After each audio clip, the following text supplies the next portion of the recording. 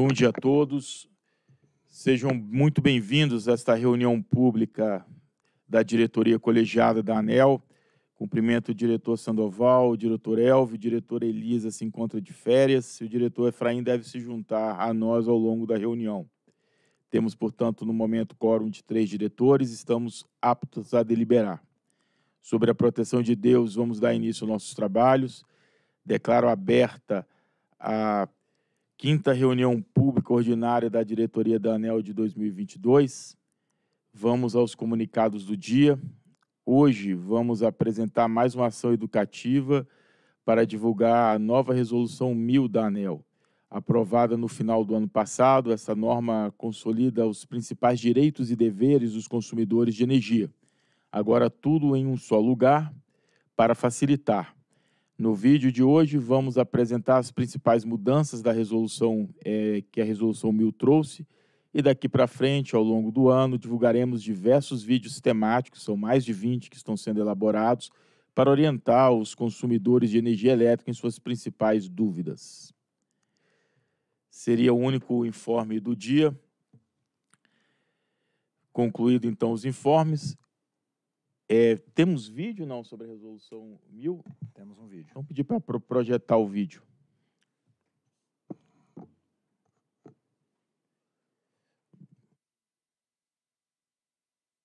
Você sabia que, como consumidor de energia elétrica, você possui direitos e deveres?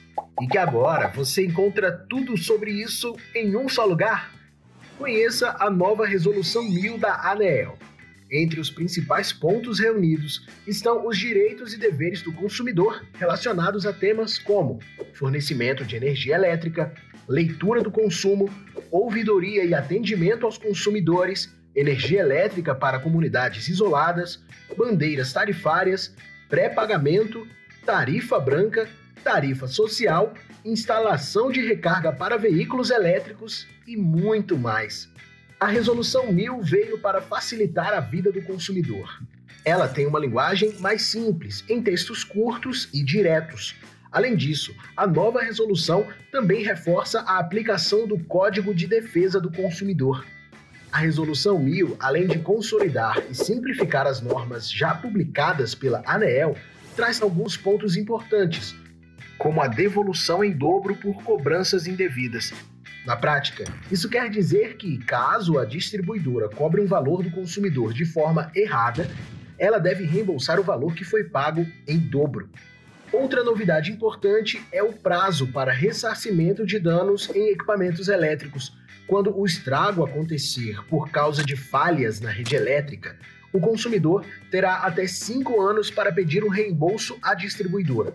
Além disso, o consumidor pode consertar o equipamento por conta própria, sem precisar esperar a autorização da distribuidora. A Resolução 1000 também trata sobre o corte de energia nas unidades consumidoras, que não pode acontecer em finais de semana e feriados. Ainda por cima, a distribuidora é obrigada a informar ao consumidor qual será o dia inicial da suspensão do fornecimento. Para descomplicar de vez a vida do consumidor, também está inclusa no novo texto a norma que trata sobre a mudança de uma pessoa para um imóvel com contas de luz atrasadas. A distribuidora não pode cobrar do novo ocupante débitos pendentes do morador anterior, e para aqueles que desejarem quitar antecipadamente seus débitos, lembre-se, vocês têm direito à redução de juros e de demais acréscimos. A Resolução 1000 também reforça o compromisso da ANEEL com as comunidades indígenas e quilombolas, garantindo a elas o direito de conexão gratuita ao sistema de distribuição de energia elétrica.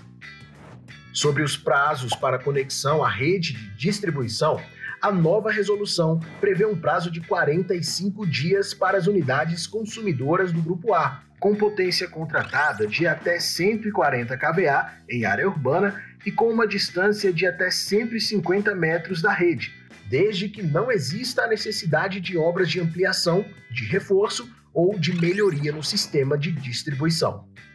Uma grande mudança ainda trazida pela norma é que agora a adesão ao programa Tarifa Social será automática, com base no cadastro único para programas sociais do governo federal. Quer saber mais sobre os seus direitos e deveres? Consulte a resolução 1000 da ANEEL e fique por dentro.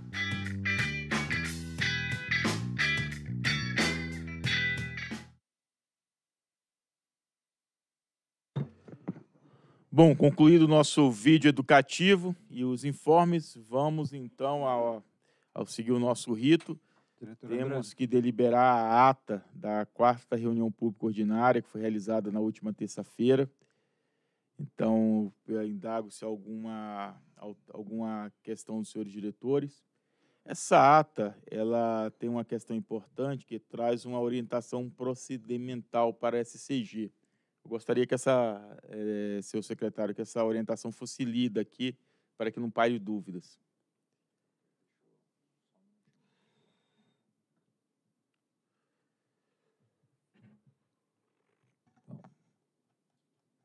A, a orientação é a seguinte, conforme a, a, discussão aqui do colegiado. A diretoria, né, além do, do voto do, do relator, a diretoria decidiu ainda orientar a Superintendência de Concessões e Autorizações de Geração, a SCG, e a Superintendência de Fiscalização de Serviços de Geração, a SFG, para que procedam instrução de pedidos de alteração de características técnicas e de cronograma de empreendimentos outorgados somente quando forem cumpridos os seguintes critérios: 1. Um, licença de instalação emitida. 2. É, contrato de fiel de, contrato de uso dos sistemas de transmissão ou distribuição CUST ou CUSG associados. 3. Que são as obras iniciadas, que foi um, um ponto é, que houve alguma discussão aqui entre os diretores. E o 4. Aporte de garantia de fiel cumprimento nos casos em que haja transferência de de titularidade ou de controle societário dos empreendimentos.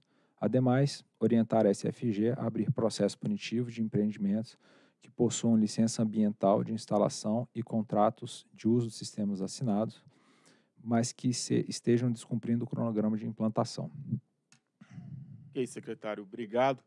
Então, se os diretores todos concordam, permaneça como estão. Tá. Doutor André, só pela ordem aqui. É, primeiro, dizer que de plano já concordo com todas as as, as recomendações para a unidade técnica, a gente tem que fazer uma racionalização na, nesses pedidos, porque eles entram e acabam concorrendo com outras análises e, e todas essas etapas consideradas necessárias, não tem nenhum sentido discutir alteração de características técnicas sem que a obra avance nos seus aspectos contratuais e também nos seus, nos seus avanços, nos seus aspectos físicos de implantação. Então, apenas dizer que, eh, de plano, concordo, mas eu gostaria de deixar ressaltada essa, essa observação. Eu, diretor André, eu também queria fazer uma, uma breve observação. Eu, eu tinha é, até conversado com a Secretaria-Geral sobre esse ponto das obras iniciadas, mas é, eu, eu, eu, eu, havia feito, na realidade, uma, uma confusão em relação a isso, por, especialmente por conta de que o processo que motivou essa essa instrução para as áreas, que era um processo sob minha relatoria, ele não era um caso em que as obras não tinham sido iniciadas. Mas eu acho que foi exatamente isso que foi deliberado na reunião e essa, esse também é um dos critérios que deve ser posto como orientação para as áreas. Então, eu estou aqui também manifestando a minha concordância é, com aquilo que foi posto na ata. E eu vou pedir também licença, diretor André, já que eu estou com a palavra, e, e eu, eu, faria isso na sessão de informes, mas passou. É, eu vou representar a ANEL amanhã num evento em Santa Catarina, no município de Xanxerê, um evento que vai tratar com empresários locais é, do tema energias renováveis e eficiência energética. Então, quero aqui é, manifestar que estarei presente lá no município de Xanxerê e nós vamos aproveitar para fazer também uma reunião com a concessionária de distribuição local, que é a Decelt. Eu vou estar acompanhado pelo superintendente eh, da SRG também nessa reunião. E eu, eu faço essa observação e essa informação aqui porque acho que é muito importante também que a ANEL esteja presente nas pequenas distribuidoras de energia, em reuniões, como sempre faz. Então, eu estou aproveitando o fato de que estarei participando desse evento para também fazer uma reunião local é, com a distribuidora, e especialmente porque eu fui o relator da revisão tarifária da Decelt recentemente. Então, quero fazer essa observação. Da Eflu, né? Ex é, exatamente. Tem, é, na verdade, tem, tem ali próximo, né? Tem Eflu e tem um conjunto de pequenas ah, não, distribuidoras. A Eflu é outra. A Eflu é, a Eflu teve conosco. A Eflu, é, a Eflu é, é em Uruçanga. É Uruçanga, desculpa. Isso. E que, a, que, Mas a Celt, ela mudou de nome. Era Iguaçu. chamava Iguaçu. Iguaçu. Perfeito, Iguaçu. E recentemente, já que o diretor-geral fez referência à EFLU, nós recentemente foi aprovada uma a lei, uma lei de que o projeto era do, de autoria do senador Esperidião Amin, que beneficia as pequenas distribuidoras, é, inclusive a distribuidora EFLU.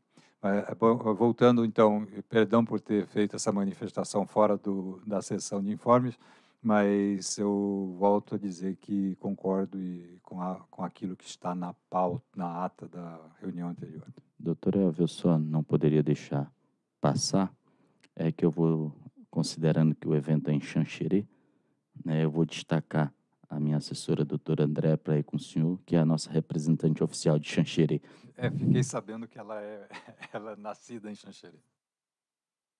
Bom, então, se todos concordam, permaneçam como estão. Está aprovada a ata da quarta reunião pública ordinária da diretoria de 2022.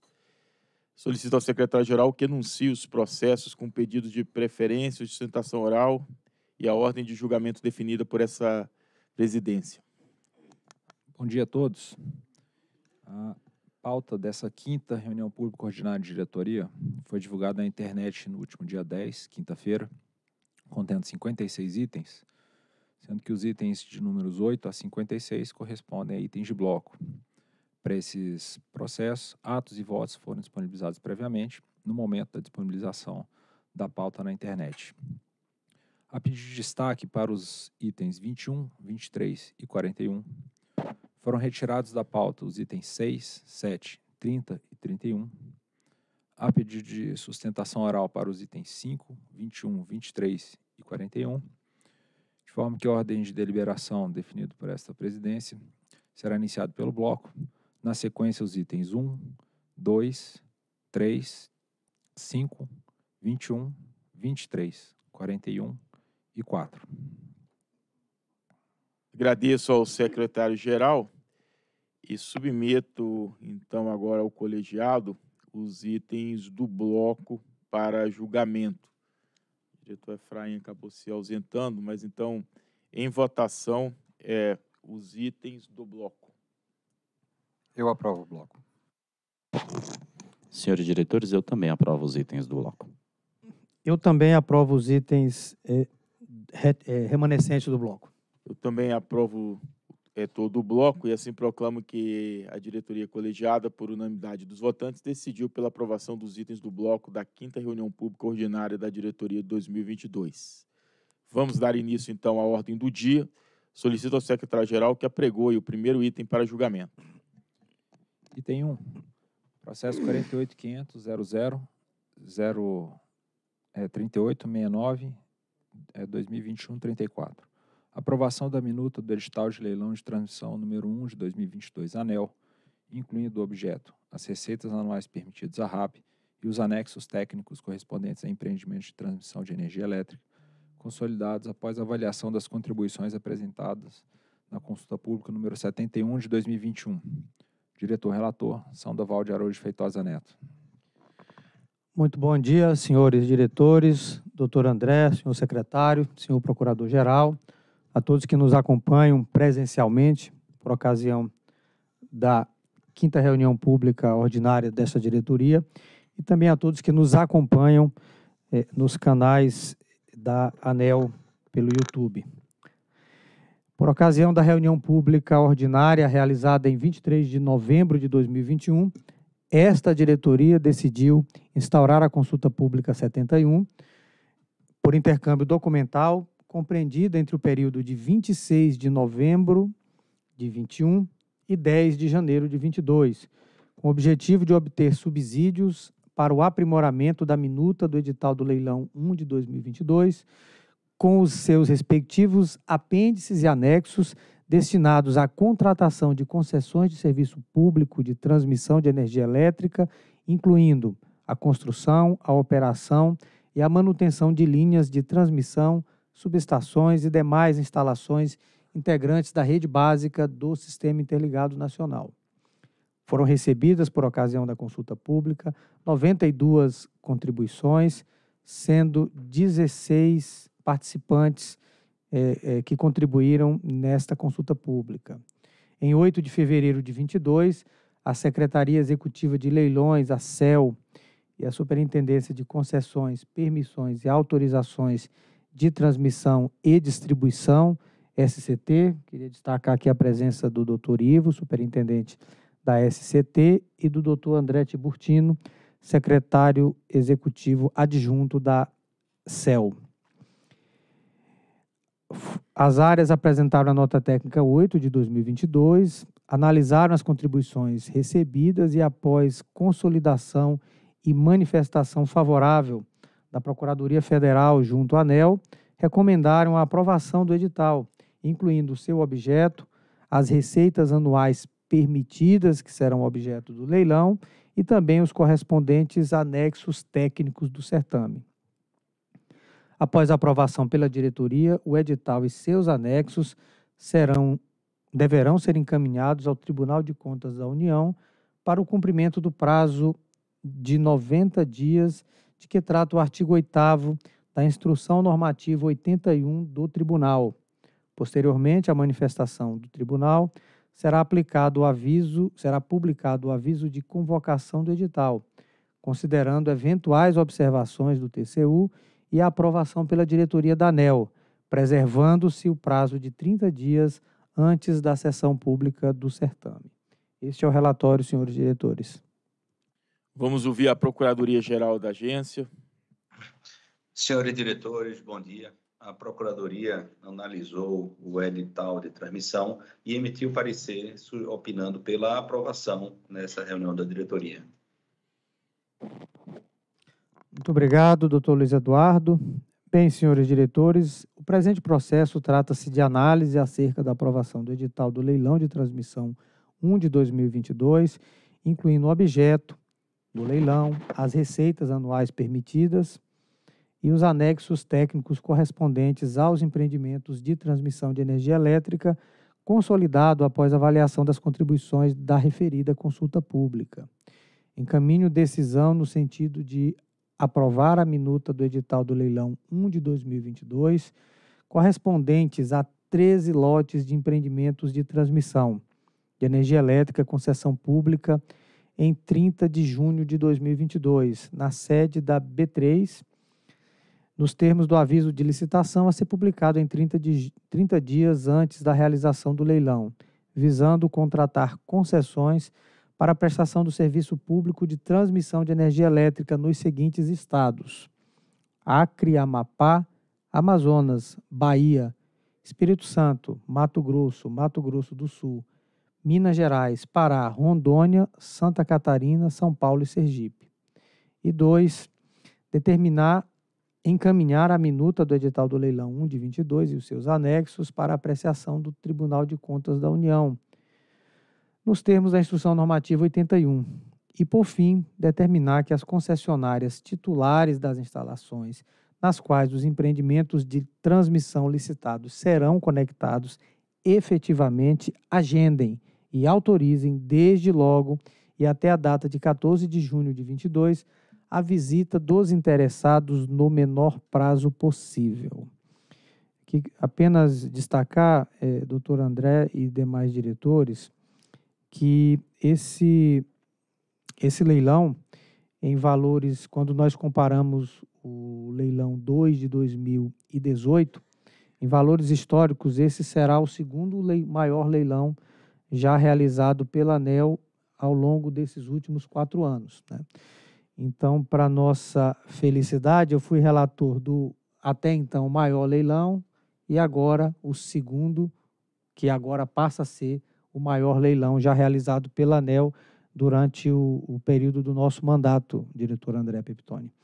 Então, esse será um, um leilão que trará é, receitas estimadas na ordem de investimentos de 15,3 bilhões de reais, a RAP a ser ofertada e que nós esperemos seja objeto de deságios, fortes deságios em prol do consumidor, será de 2,2 bilhões de reais. E o que a gente espera também que essas obras tragam emprego nas regiões mencionadas, da ordem de 31.500 empregos diretos e indiretos. É, há um maior detalhamento aqui da, do, da apresentação do leilão, do, que eu vou solicitar que seja feito, é o doutor André Tiburtino que vai realizar. Então, registrar aqui, doutor André, a nossa satisfação de realizar mais um leilão que terá o seu certame na data de 14 de junho de 2022, na B3. Doutor André Tiburtino, o senhor tem a palavra.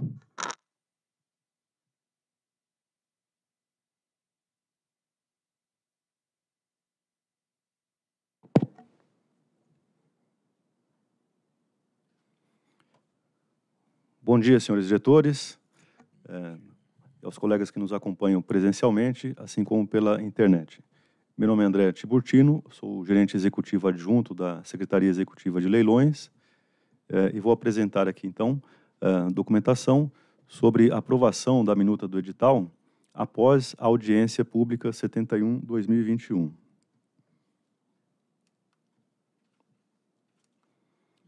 Algumas informações gerais nós seremos breves, uma vez que o diretor Sandoval já é, adiantou bastante das informações, né? Investimentos de 15,3 bilhões de reais, sendo 13,1 em é, investimentos novos, novos leilões, e 2,2 bilhões resultantes de empreendimentos, objetos de caducidade, que estão transcorrendo na ANEL e no Ministério de Minas e Energia. É, doutor André, só um Sim. instantinho, só fazer uma pequena correção, que com certeza senhor faria ao longo da, da sua leitura, é, eu citei que o certame será dia 14 de junho. Ele será dia 30 de junho de 2022. Tá? Certamente essa informação vai estar na apresentação, como também está no voto, e eu fiz uma referência aqui com relação a outra data, peço desculpas. Perfeitamente, doutor Sandoval, será no dia 30 de junho, na B3, em São Paulo.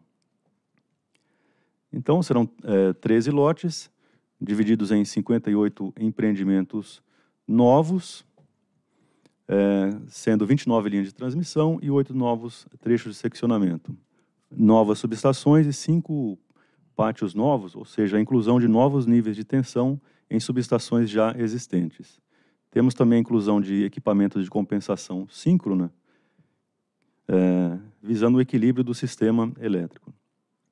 Ao todo, são 5.289 km de linha de transmissão e 6.180 MVA em transformação. Os prazos variam de 42 a 60 meses nos três estados já declarados pelo diretor. Aqui, para uh, encurtar um pouco a apresentação, eu vou me referir aos lotes 1, 2 e 3, né, que são um cinturão de transmissão, principalmente em 500 kV, na região norte de Minas Gerais.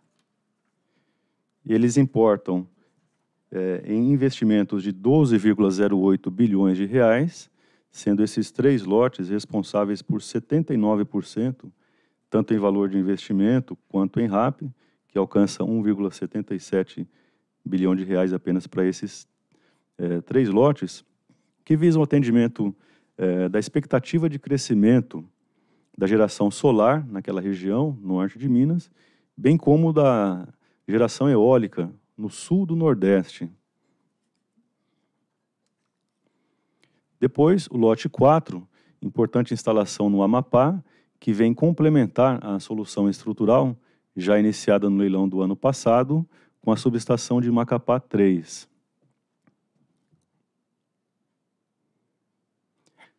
Essa obra é uma linha de transmissão em 230 kV, de 217 quilômetros, e não tem é, subestação associada nesse caso. O lote 5 visa o atendimento de cargas na subestação é, de Itabaiana, na região de Sergipe e Bahia. O lote 6 no estado de São Paulo, a subestação Água Azul, trata-se de um novo pátio de 88 kV, né, visando uh, a ampliação do atendimento na região de Guarulhos. O lote 7 é o atendimento na região de Itacaiunas, no estado do Pará, uma subestação de 230 kV, também um novo pátio.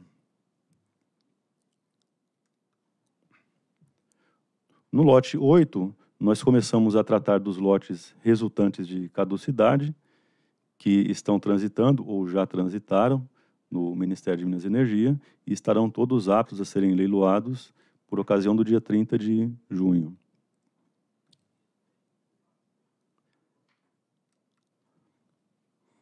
O lote 9, na região do Mato Grosso e Pará, é, um prazo de 60 meses, visa suprir a região de Novo Progresso.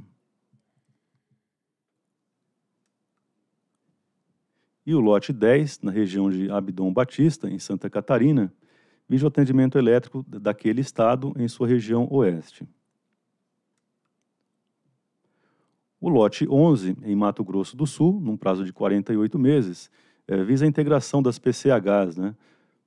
Fundãozinho, Areado e Bandeirante. O lote 12, no estado do Amazonas, visa atendimento da região de Manaus e todo aquele estado, naquela região, claro.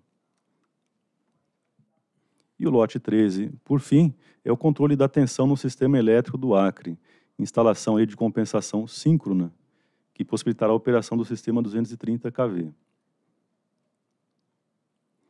É, nós não falamos aqui muito dos valores de investimento e, e RAP, para ser um pouco mais célere na apresentação, né, diretor?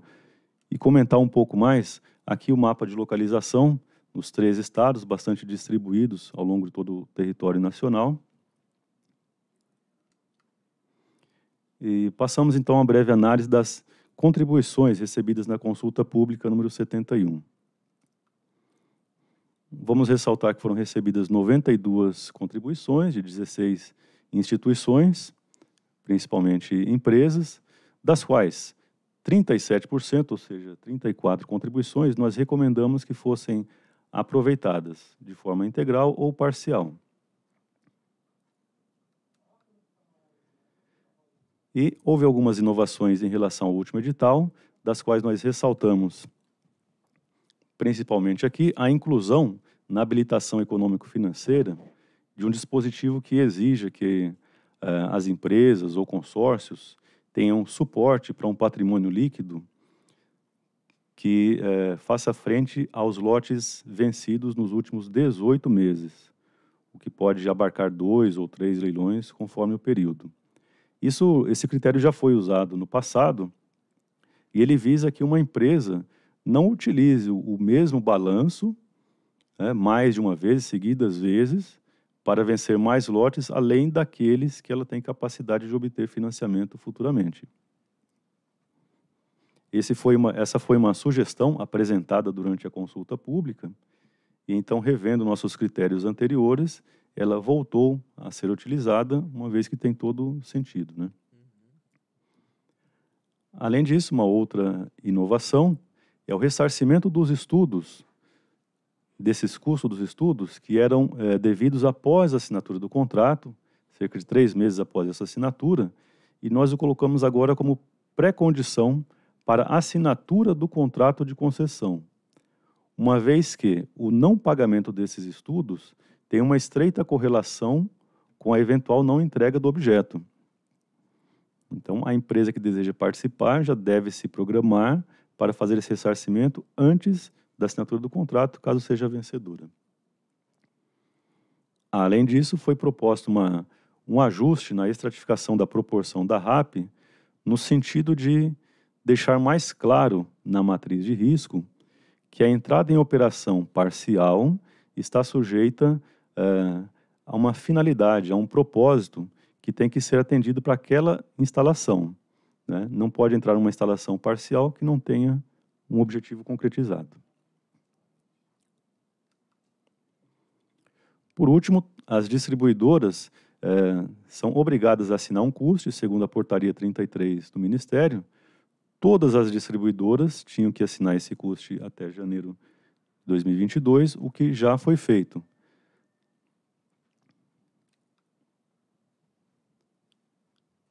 Além disso, houve atualização nos custos daqueles empreendimentos que estão sendo objeto de análise de caducidade.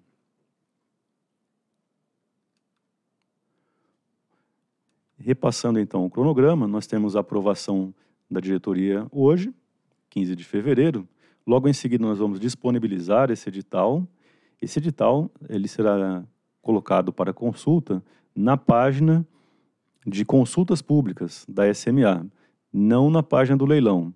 Eu já aviso aqui porque nos leilões anteriores temos tido procura na página errada, informando que não está lá, mas é que ele está agora como resultado da consulta pública, que é o que ele efetivamente é, para posterior encaminhamento ao TCU, né?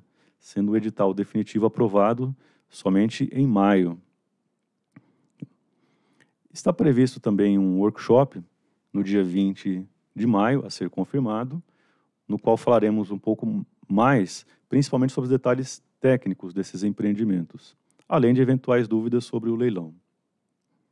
Após isso, as empresas terão oportunidade de colocar por escrito seus pedidos de esclarecimento, preferencialmente já após a publicação do edital, né, com que esses, eh, essas respostas aos pedidos de esclarecimento passam a integrar o edital. Então, em 24 de maio, é, está prevista a aprovação do edital e em 26 a sua publicação. Assim, no dia 30, como já ressaltado, a sessão pública ocorrerá na B3, em São Paulo, e a assinatura dos contratos de concessão está prevista para 30 de setembro de 2022. É o que tínhamos a apresentar. Obrigado. Muito obrigado, doutor André Tiburtino.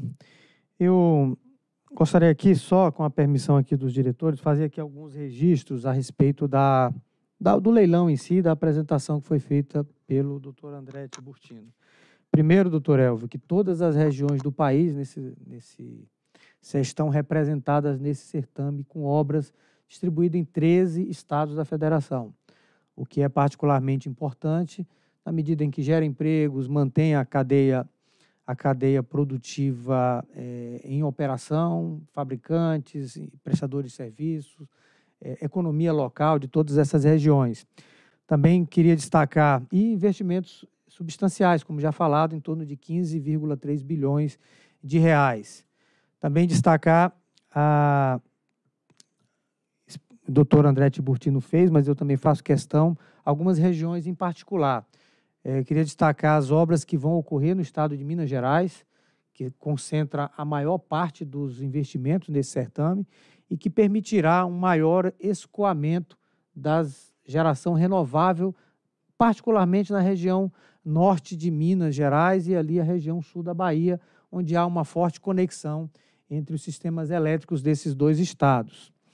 Também destacar a importância de mais uma obra para fortalecimento do atendimento do estado do Amapá, o que também é muito importante, é, uma vez que a, o país continua se expandindo e aquela região norte do país é uma região que demandará certamente muitos investimentos. É, e a eletricidade, com certeza, forte, robusta e segura e confiável, trará, dará as condições necessárias para esse desenvolvimento da região. Também queria destacar os processos de caducidade, que foram rapidamente instruídos por, pelas áreas técnicas da ANEL e por esse colegiado da ANEL, e também pelo Ministério de Minas e Energia, o que permitiu, em uma grande sinergia, que nós pudéssemos rapidamente reinscrever esses processos num certame e que nós esperemos, esperamos que eles sejam é, vitoriosos e logrem êxito com empreendedores que efetivamente realizem os investimentos. Queria destacar aqui é, uma obra no estado de Rondônia, aqui do diretor Efraim, a obra de Caladinho, que foi caducada e que rapidamente nós estamos retornando. É, o Ministério, como já disse, fez a, a é, decretou a caducidade desse empreendimento e de outros, e nós já voltamos para colocar em licitação. E também aqui destacar, exatamente para evitar essas situações de caducidade que nós citamos, que têm sido cada vez menores, eh, doutor André, diga-se de passagem, por vários motivos. O aprimoramento constante dos contratos de concessão, dos editais e a atuação rápida e diligente das áreas de concessão, das áreas de fiscalização da ANEL e deste colegiado, que, como já dito, rapidamente é, instruiu os processos e também do Ministério de Minas e Energia, que fez e decretou a caducidade desses empreendimentos. E mais um passo no sentido de aprimorarmos os contratos de concessão é que as inovações que foram colocadas em audiência pública nós estamos trazendo para o edital. E aí um destaque especial. A primeira, a questão do balanço, como muito bem dito pelo doutor Tiburtino, porque isso, inclusive, na nossa, é, é, é corriqueiro na nossa vida é, é, pessoal, quando nós vamos ao sistema financeiro solicitar é, financiamentos, é consultado se nós temos outros financiamentos, exatamente para ver a nossa capacidade de pagamento. Então, o que está sendo trazido para cá é exatamente essa racionalidade. O empreendedor participa de, e ele pode participar de quantos certames a sua capacidade financeira permitir. O que não pode é ele utilizar um único balanço e repetidamente participar das licitações com uma situação financeira que não representa a realidade. Então, acho que é um avanço muito importante. Um outro ponto também é o ressarcimento dos custos é, dos relatórios é, já no momento da assinatura, para exatamente a gente ter mais um compromisso. Sabemos que não é um valor substancial frente ao, aos investimentos, mas já é um sinal de que aquele empreendedor de fato quer e deseja fazer aquele, aquele, aquele empreendimento.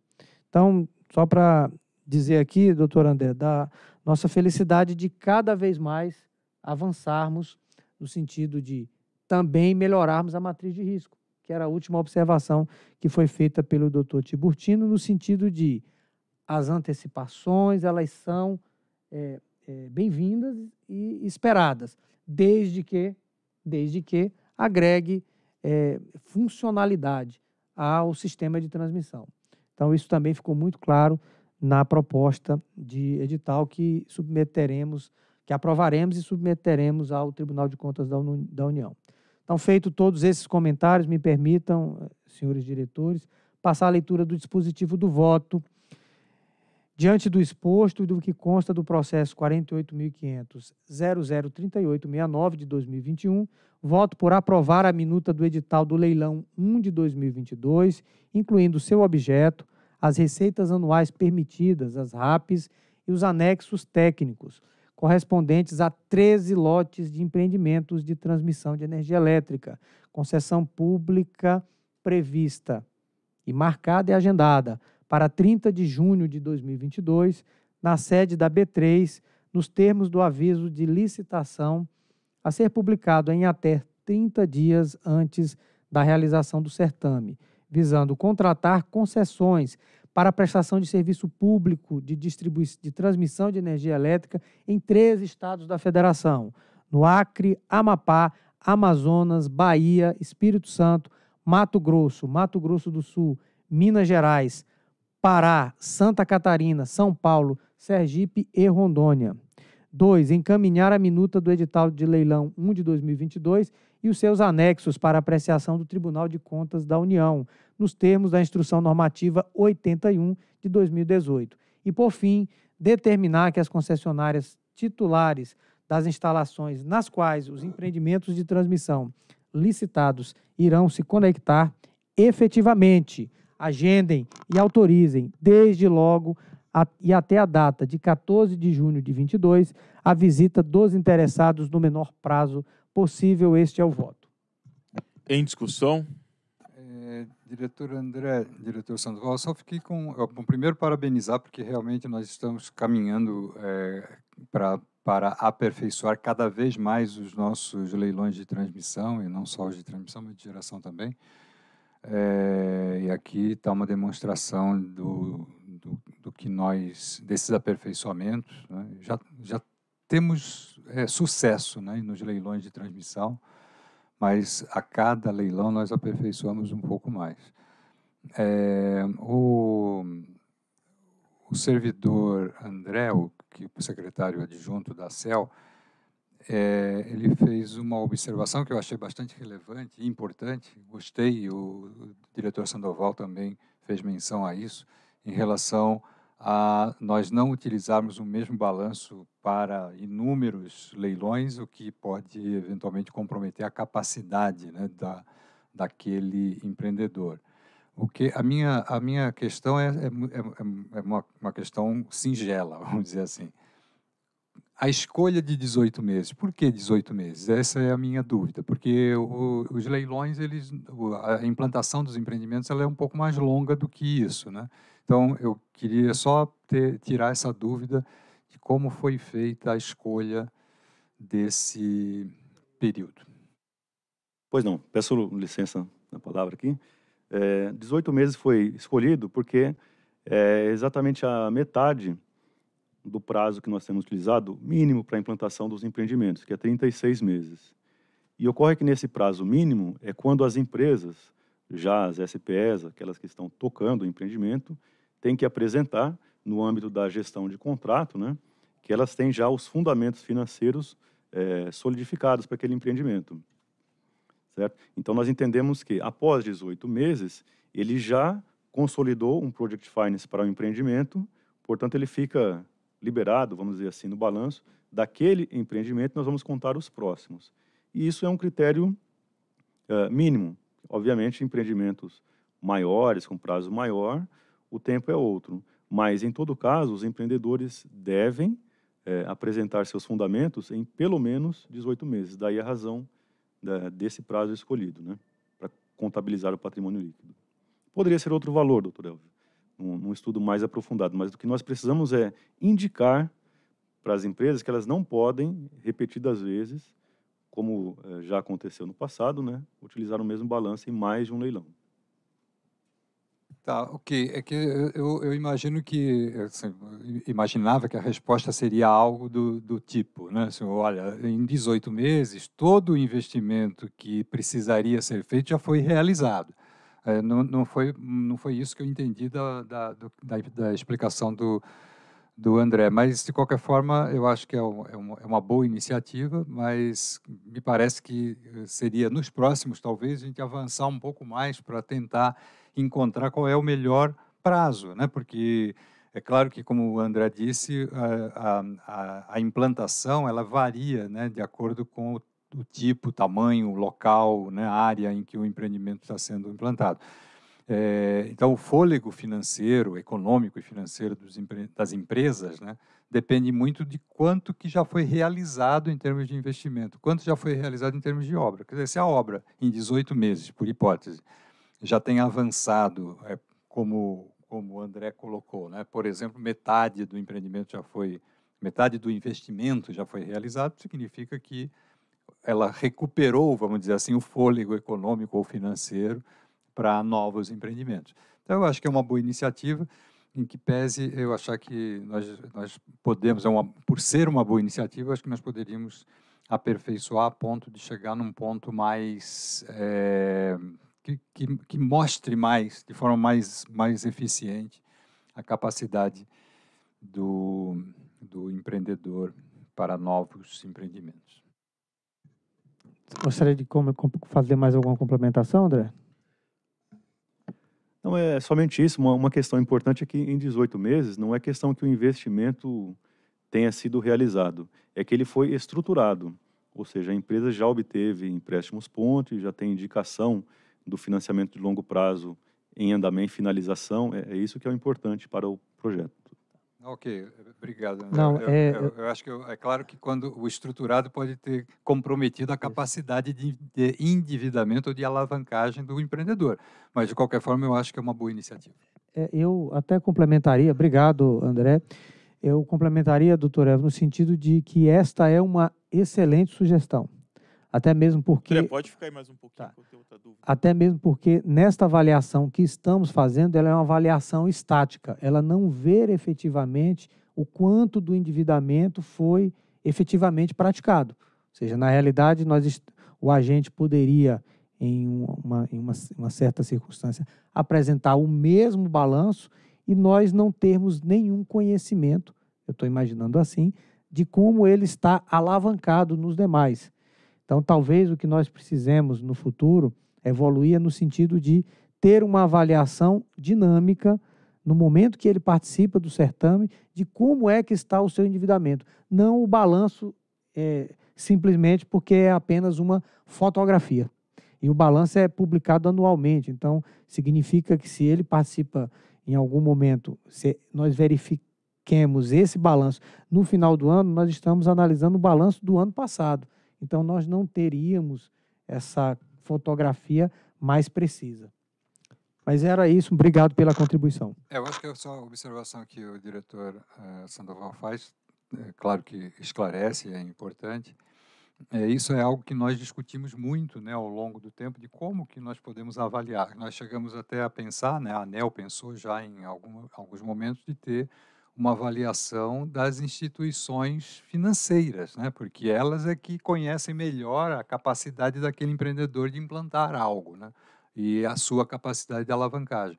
No momento em que uma instituição financeira é, concede um empréstimo, por exemplo, ou um financiamento, melhor dizendo, para um empreendedor, é claro que ela olha né, qual é a capacidade daquele empreendedor de pagamento. Né? E está muito relacionado a esse, ao endividamento, ao, à alavancagem que aquela empresa é, tem. É, mas eu acho que a, a, iniciativa é muito, muito boa e quero parabenizar e acho que podemos ir, ir aperfeiçoar um pouco mais.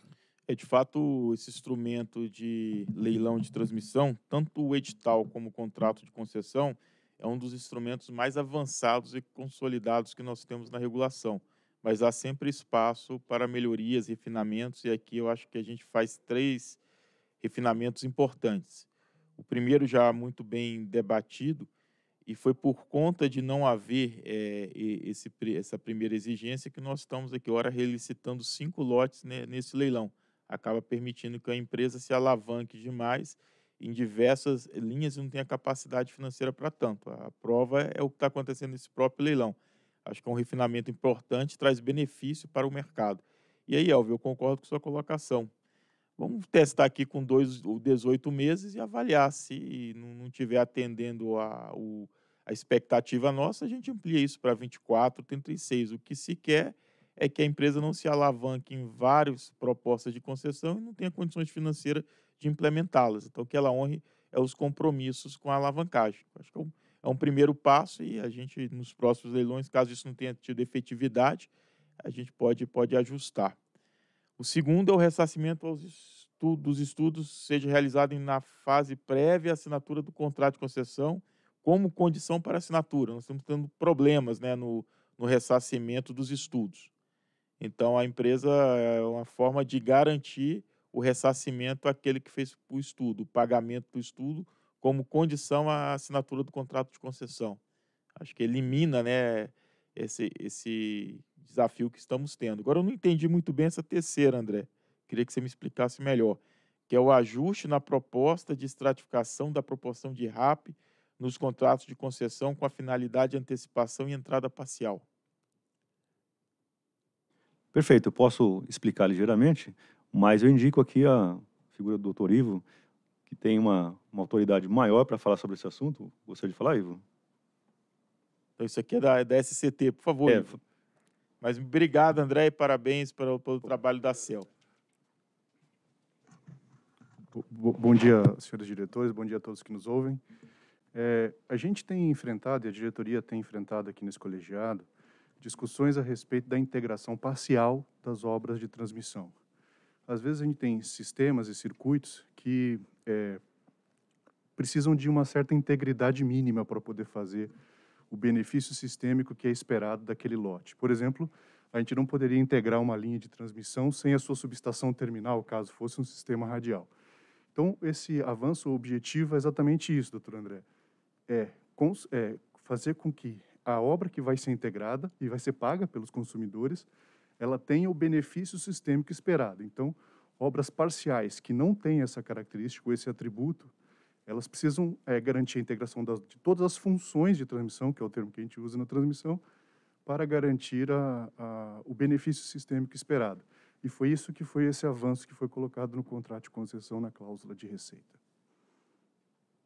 Ok, então aqui é uma, é uma, quando o agente faz a proposta da RAP, no contrato de concessão, ele já tem que dizer a, a, o, se vai antecipar ou entrada parcial? Não, é porque a cláusula não estava é, escrita da melhor forma possível, estava permitindo interpretações de integração sem o benefício sistêmico esperado. Então, a gente está se defrontando com pedidos de integração ah, de linhas e subestações Aqui é que não dar trazem segurança benefício. que, olha, você pode entrar parcialmente, Exatamente. vai receber a RAP, desde que o sistema se beneficie da, da É instalação. um é um ganha-ganha, né? É, é esse que é o objetivo. Exatamente. Se eu, eu é, fazer a instalação antecipada, mas não trouxer benefício ao sistema, não há sentido em pagar RAP antecipada. Isso, não, não só antecipada, mesmo projetos que estão no prazo ou eventualmente um pouco atrasados. É, as obras vão ficando prontas ali a partir do licenciamento de operação, do, da finalização da obra, e é comum em obras de grande porte como essas algum descasamento dentro do próprio lote, né? Faltou um determinado equipamento, ele não funcionou na sua integração, e é, a det- a- o, o que tem acontecido aqui nas instruções da gestão de outorgas é pedidos de integração de linhas de transmissão e subestações que não têm o seu funcionamento com comprometimento de atendimento à sua finalidade. E esse ponto é que está sendo bem direcionado para que fique claro na matriz de risco do contrato de concessão que os lotes são muito bem-vindos e as antecipações são muito bem-vindas, mas elas Desde têm que, que trazer o benefício para o usuário É. e para o operador nacional do sistema elétrico. Não, só uma sugestão na apresentação, suprimir a palavra proposta. Acho que ela está causando confusão, Não, não, porque no perfeito. leilão você dá RAP, né?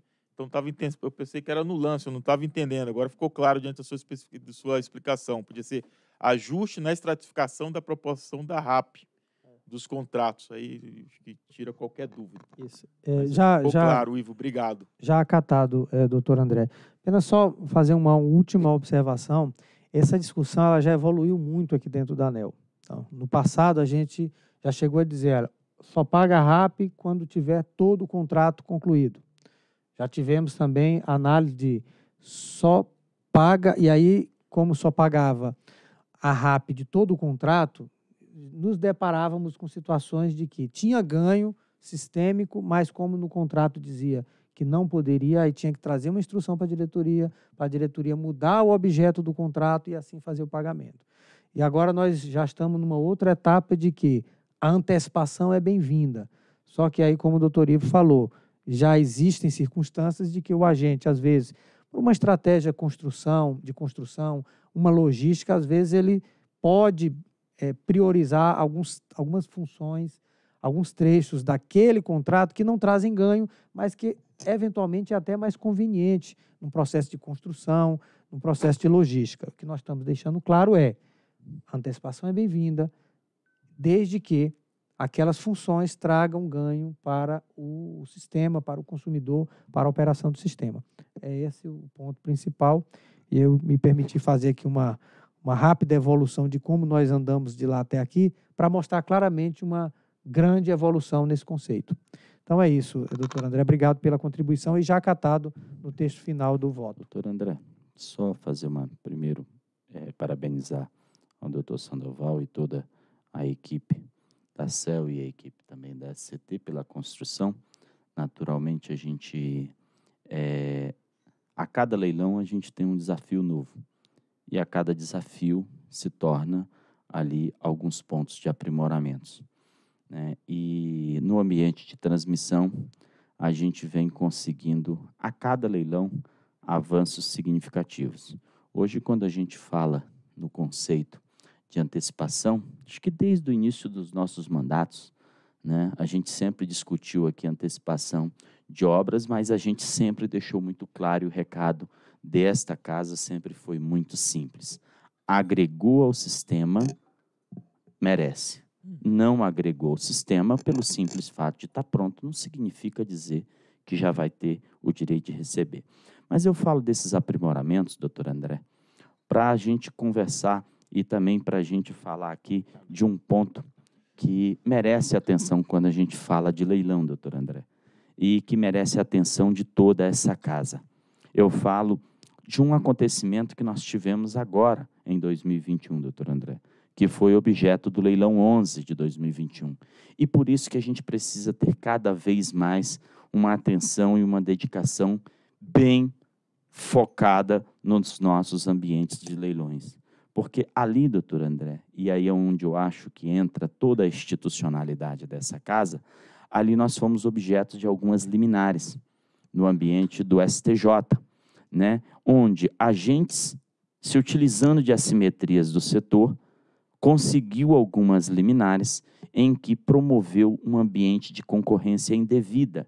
E essa concorrência indevida, doutor André, não está sendo falado somente por mim, mas tivemos uma nota do Ministério de Minas e Energia, onde a nossa própria CEL comuga né, com o que ali foi falado. Veja que nós tivemos liminares do STJ, doutor André, nós tivemos antecipação de tutela de três ministros, né, e esse efeito no leilão de 2021, leilão 11, onde a gente estava tratando ali de reserva de capacidade, onde, por um modelo que nós criamos juntamente com o Ministério, a gente dava um corte de CVU justamente para tentar encontrar uma tarifa mais barata para o consumidor, no momento que isso se torna crucial, sete usinas conseguiram eliminar para participar com CVU acima de dois mil reais, doutor Elvio.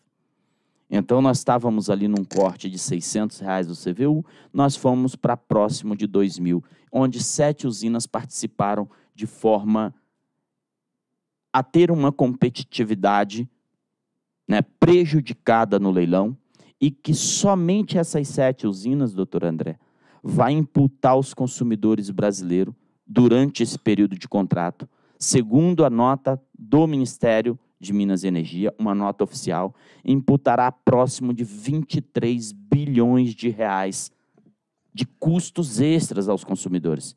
Né? Então, nós estamos analisando, essa casa vai estar aí enfrentando essas decisões nos caminhos adequados da justiça por meio da nossa AGU, já temos ali uma série de andamentos para poder combater esses efeitos deletérios que, assim como muito bem colocado na nota, para poder, doutor André, primar por algo que é algo, assim, essencial na nossa missão, que é o tal do equilíbrio.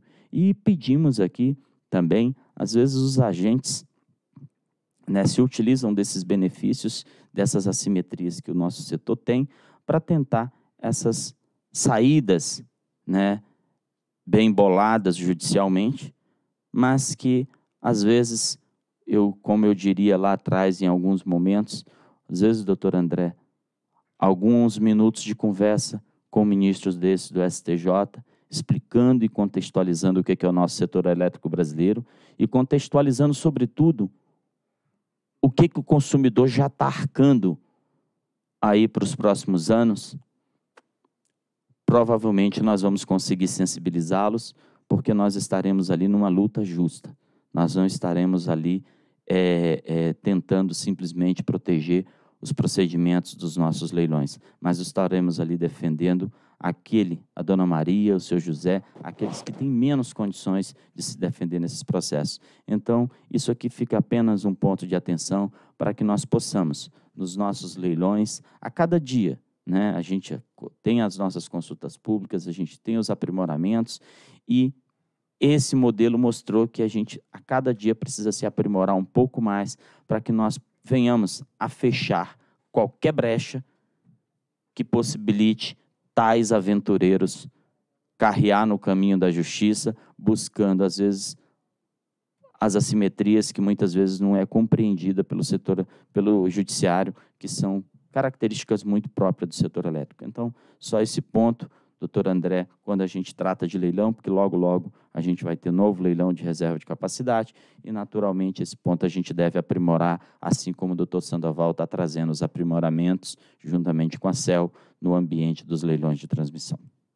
Diretor Efraim, esse ponto que você nos traz é relevante. Gostaria de fazer uma reflexão é, aqui a ANEL é cumpridora da, da política pública. A política pública foi estabelecida dando uma diretriz de contratação. Então, o Estado ele quer contratar aquele tipo de produto.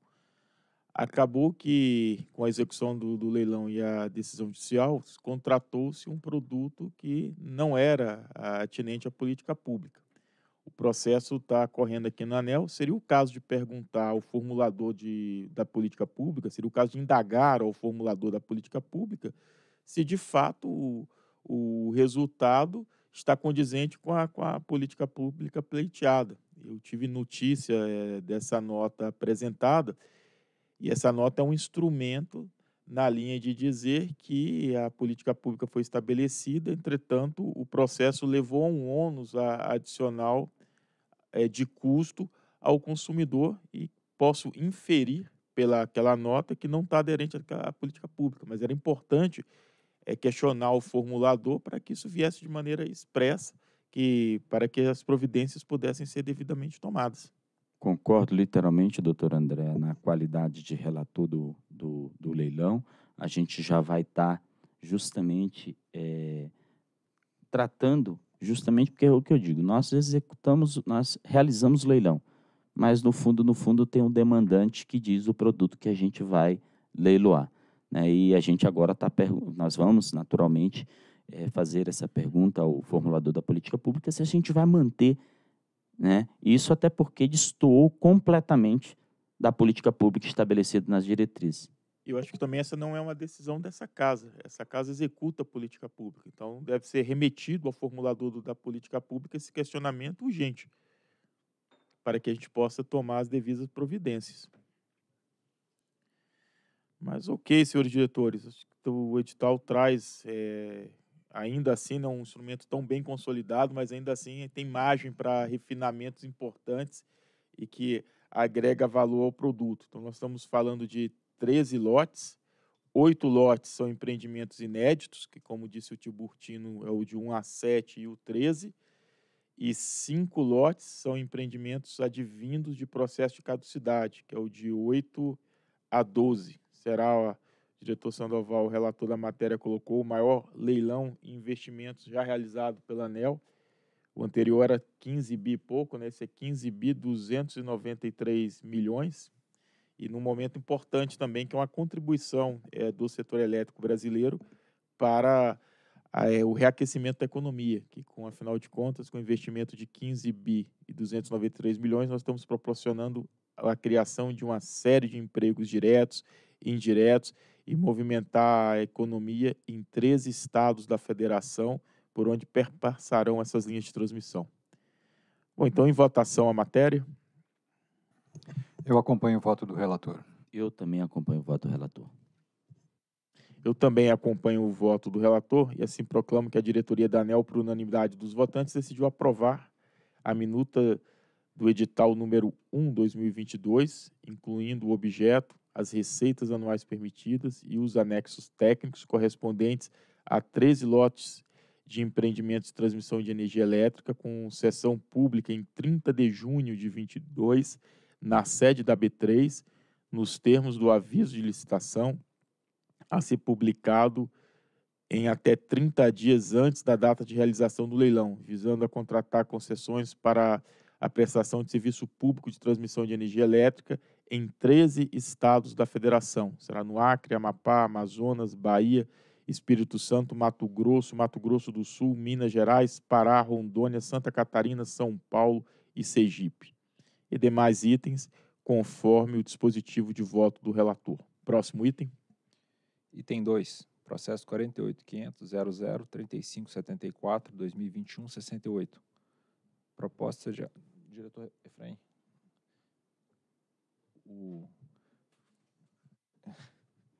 podemos bom vamos sim. Só deixa eu só terminar a leitura aqui do pode do terminar assunto. a leitura que eu tô, tô terminando outro outro dispositivo ainda ali. Tá ok. É, a proposta de abertura de consulta pública com vista a colher subsídios e informações adicionais para aprimoramento da proposta de revisão tarifária periódica de 2022 da Companhia Sul Sergipana de Eletricidade, a SUGIP, a vigorar a partir de 22 de, 22 de maio de 2022, definição dos correspondentes limites dos indicadores de continuidade de duração equivalente de interrupção por unidade de consumidor, o DEC, e de frequência equivalente de interrupção por unidade de consumidor, o FEC, para o período de 2023 a 2027. Diretor-relator, Efraim Pereira da Cruz. Senhores diretores, muito bom dia.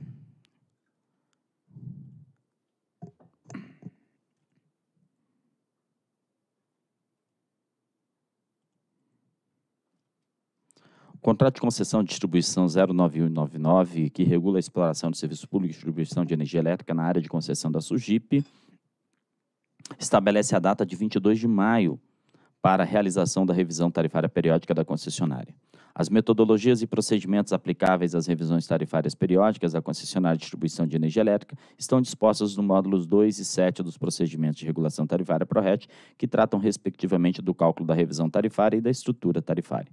Em 8 de novembro de 2021, na sessão do sorteio público ordinário número 44, o presente processo foi distribuído à minha relatoria. As informações iniciais para subsidiar o cálculo da revisão tarifária foram solicitadas por meio do ofício número 4 de 12 de 22, 12 de janeiro de 22, cujos dados foram encaminhados pela concessionária mediante correspondência também em janeiro. Pelo memorando número 6 de 19 de janeiro, a SRD disponibilizou o percentual das perdas técnicas na distribuição a ser considerados na fase da consulta pública. Em 7 de fevereiro, a SUGIP quanto o Conselho de Consumidores dispensaram a realização da reunião inicial para discussão da proposta da revisão tarifária periódica da concessionária. Para fins da abertura de consulta pública, pelo memorando 19 de 22, a SFF informou os valores para a composição da base de remuneração da SEGIP e os valores brutos concernentes a outras receitas e ultrapassagem da demanda e excedente de reativos. Em 17 de janeiro de 22, por intermédio do memorando número 4, a Superintendência de Regulação Econômica do Mercado prestou as informações concernentes ao contrato bilateral que a distribuidora possui com a Santa Maria Comercialização e Serviços de Energia.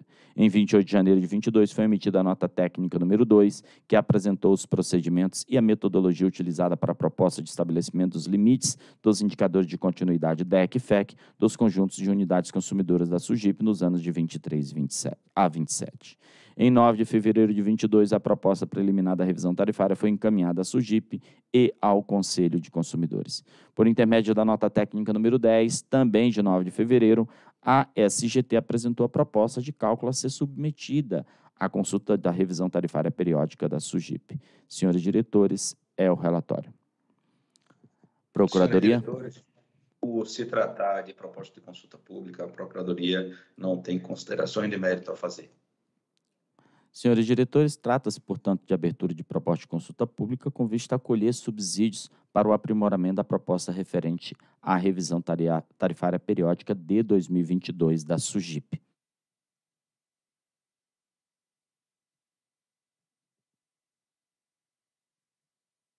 A gente solicitou a apresentação em que o Dr. Charles fará a apresentação aqui de forma muito mais metodológica do que verdadeiramente a leitura de um voto. Então, peço ao nosso ilustre secretário diretor, eh, doutor Dana, que proceda com a apresentação do vídeo.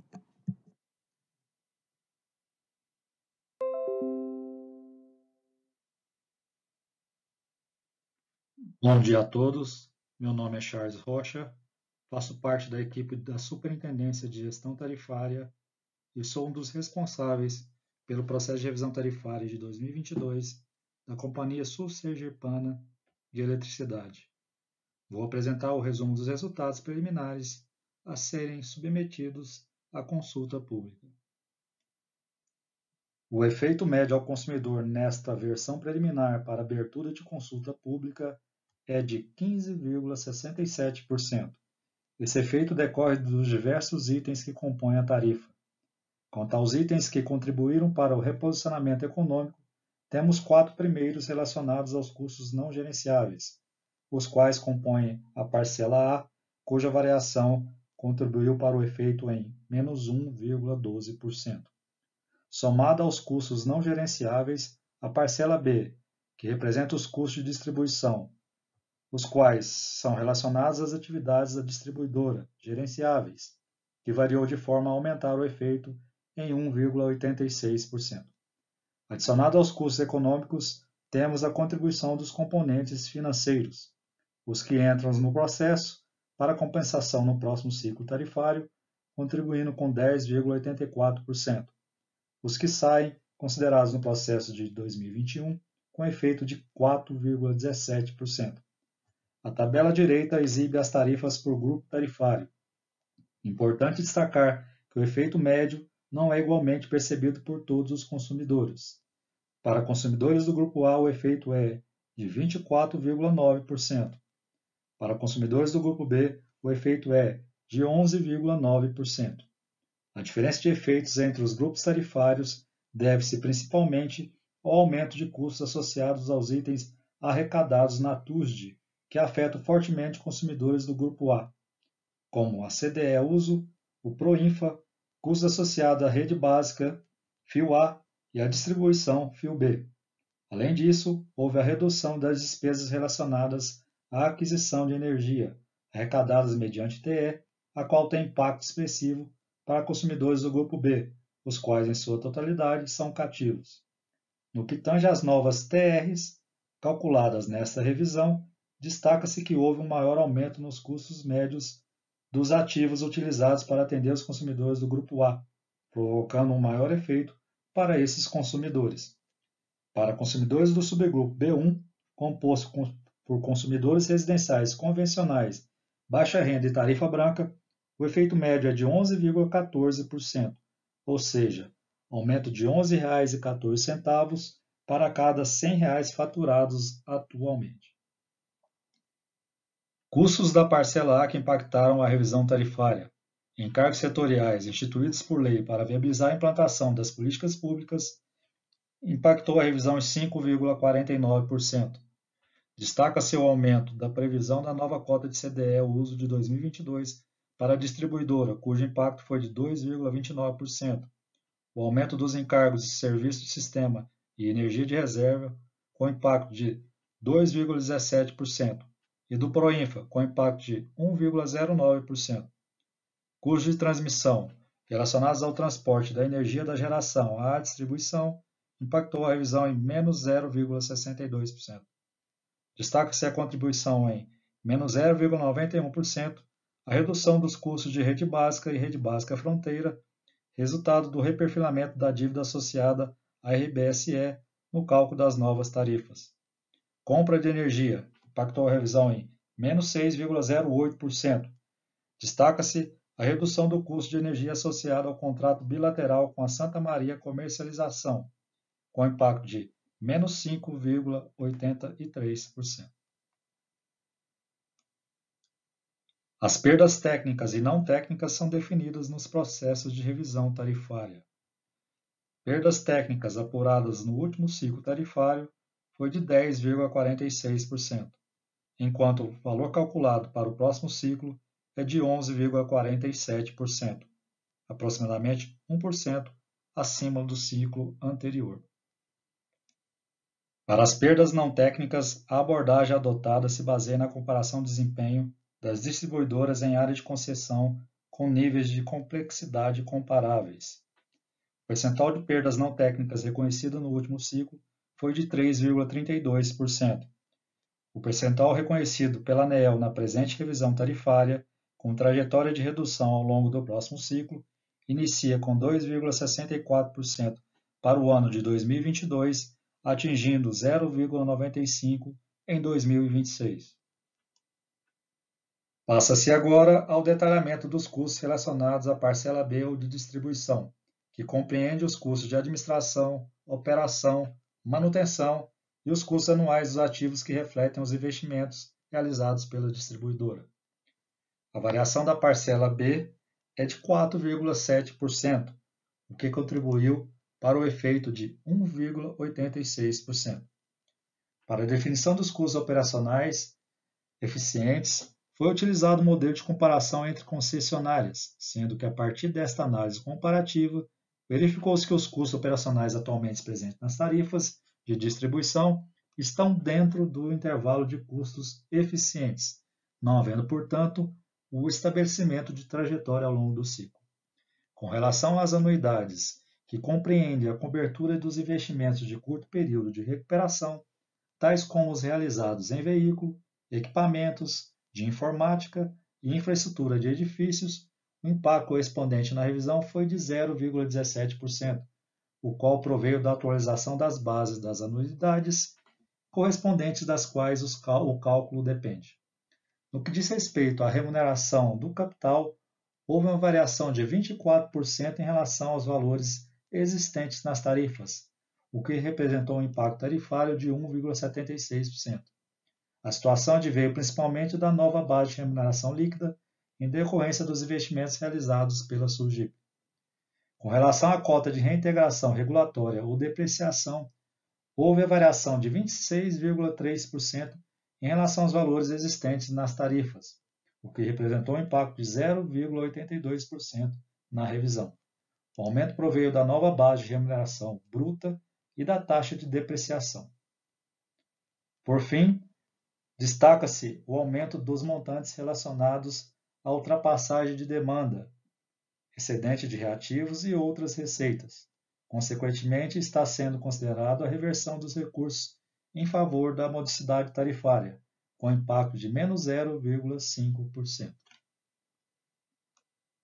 Importante destacar que a atualização da parcela B nos reajustes de 2023 a 2026 irá considerar o índice de correção monetária, no caso o IPCA, descontado do fator X. Nesta revisão, foram calculados os componentes PD e Q do fator X. O componente PD, que captura os ganhos de produtividade do setor e compartilha com o consumidor final, indicou o valor de 1,01%. O componente T, que estabelece a trajetória do custo operacional, conforme já apresentado, foi apurado em 0%, devido aos custos operacionais existentes na tarifa estarem dentro da faixa de eficiência e, portanto, não havendo trajetória estabelecida ao longo do ciclo. O componente Q, que apura a qualidade e incentiva a melhoria das concessionárias, foi calculado em 0,48%. Componentes financeiros. Os financeiros de CVA foram estimados pela SUGIP, que totalizam um impacto de 5,19% e serão fiscalizados e recalculados até a versão final dessa revisão. Merece destaque o montante da reversão em favor da modicidade tarifária, de receitas associadas ao encargo tarifário da conta Covid aplicável a consumidores migrantes para o ACL, Resolução Normativa 885 de 2020, e ao spread da conta Covid, Resolução Normativa 952 de 2021, com impacto na revisão de menos 0,1%. Este gráfico apresenta o ranking de tarifas B1 residencial para todas as distribuidoras do país. A tarifa da Surgip passaria da 29ª posição, com R$ 617,59 o megawatt-hora, para a sétima posição, com R$ 691,18 o megawatt-hora.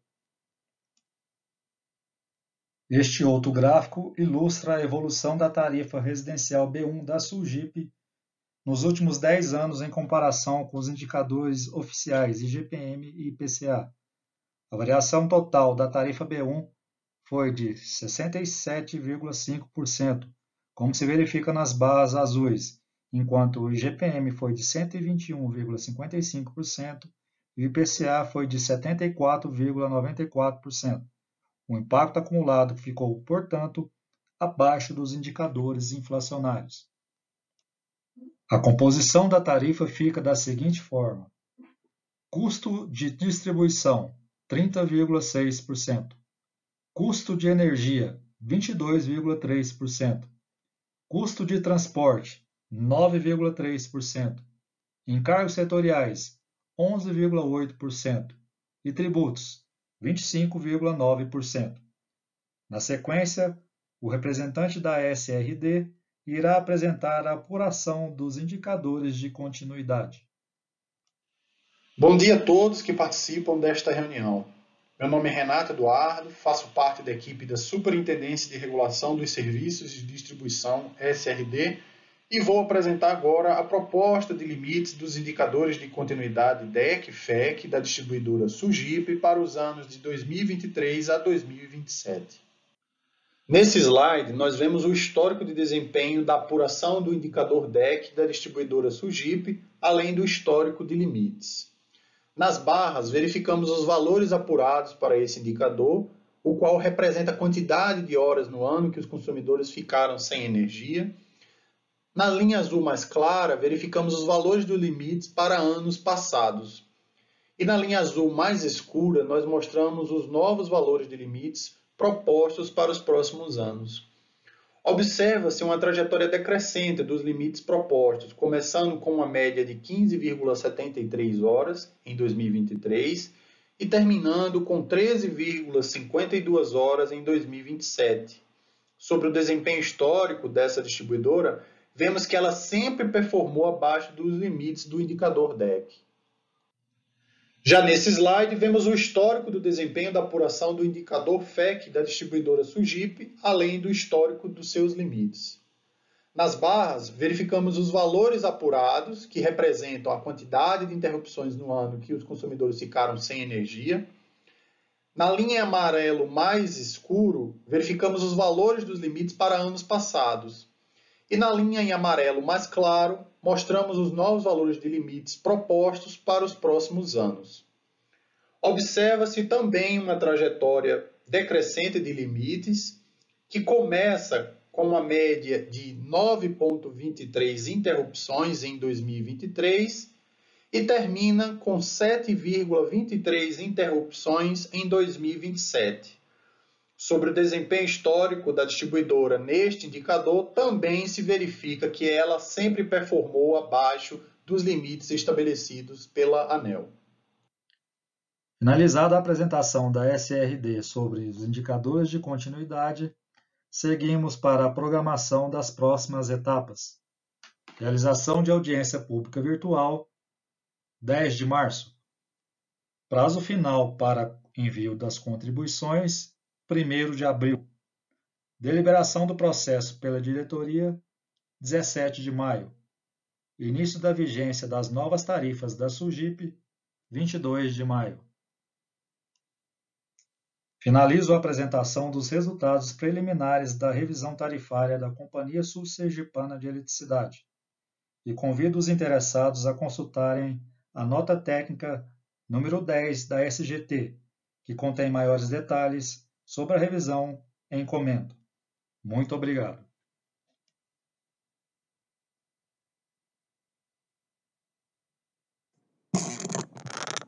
Senhores diretores, agradecer. Só um pouquinho, senhores diretores. Agradecer ao doutor Charles, Charles Lenz, que fez a apresentação, e ao doutor Renato também, que aqui nos ajudou bastante na apresentação, trazendo aqui a visão da SRD, na qual, no nome dos dois, cumprimento ao doutor Davi, superintendente da SGT, e ao doutor Matar, superintendente da SRD, que tem feito um trabalho extremamente valoroso aqui para nossa casa.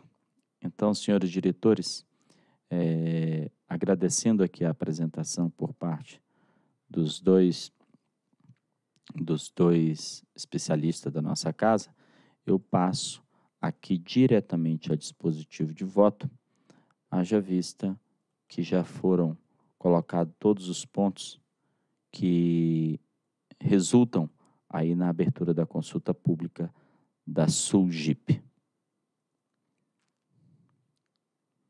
Só um segundo.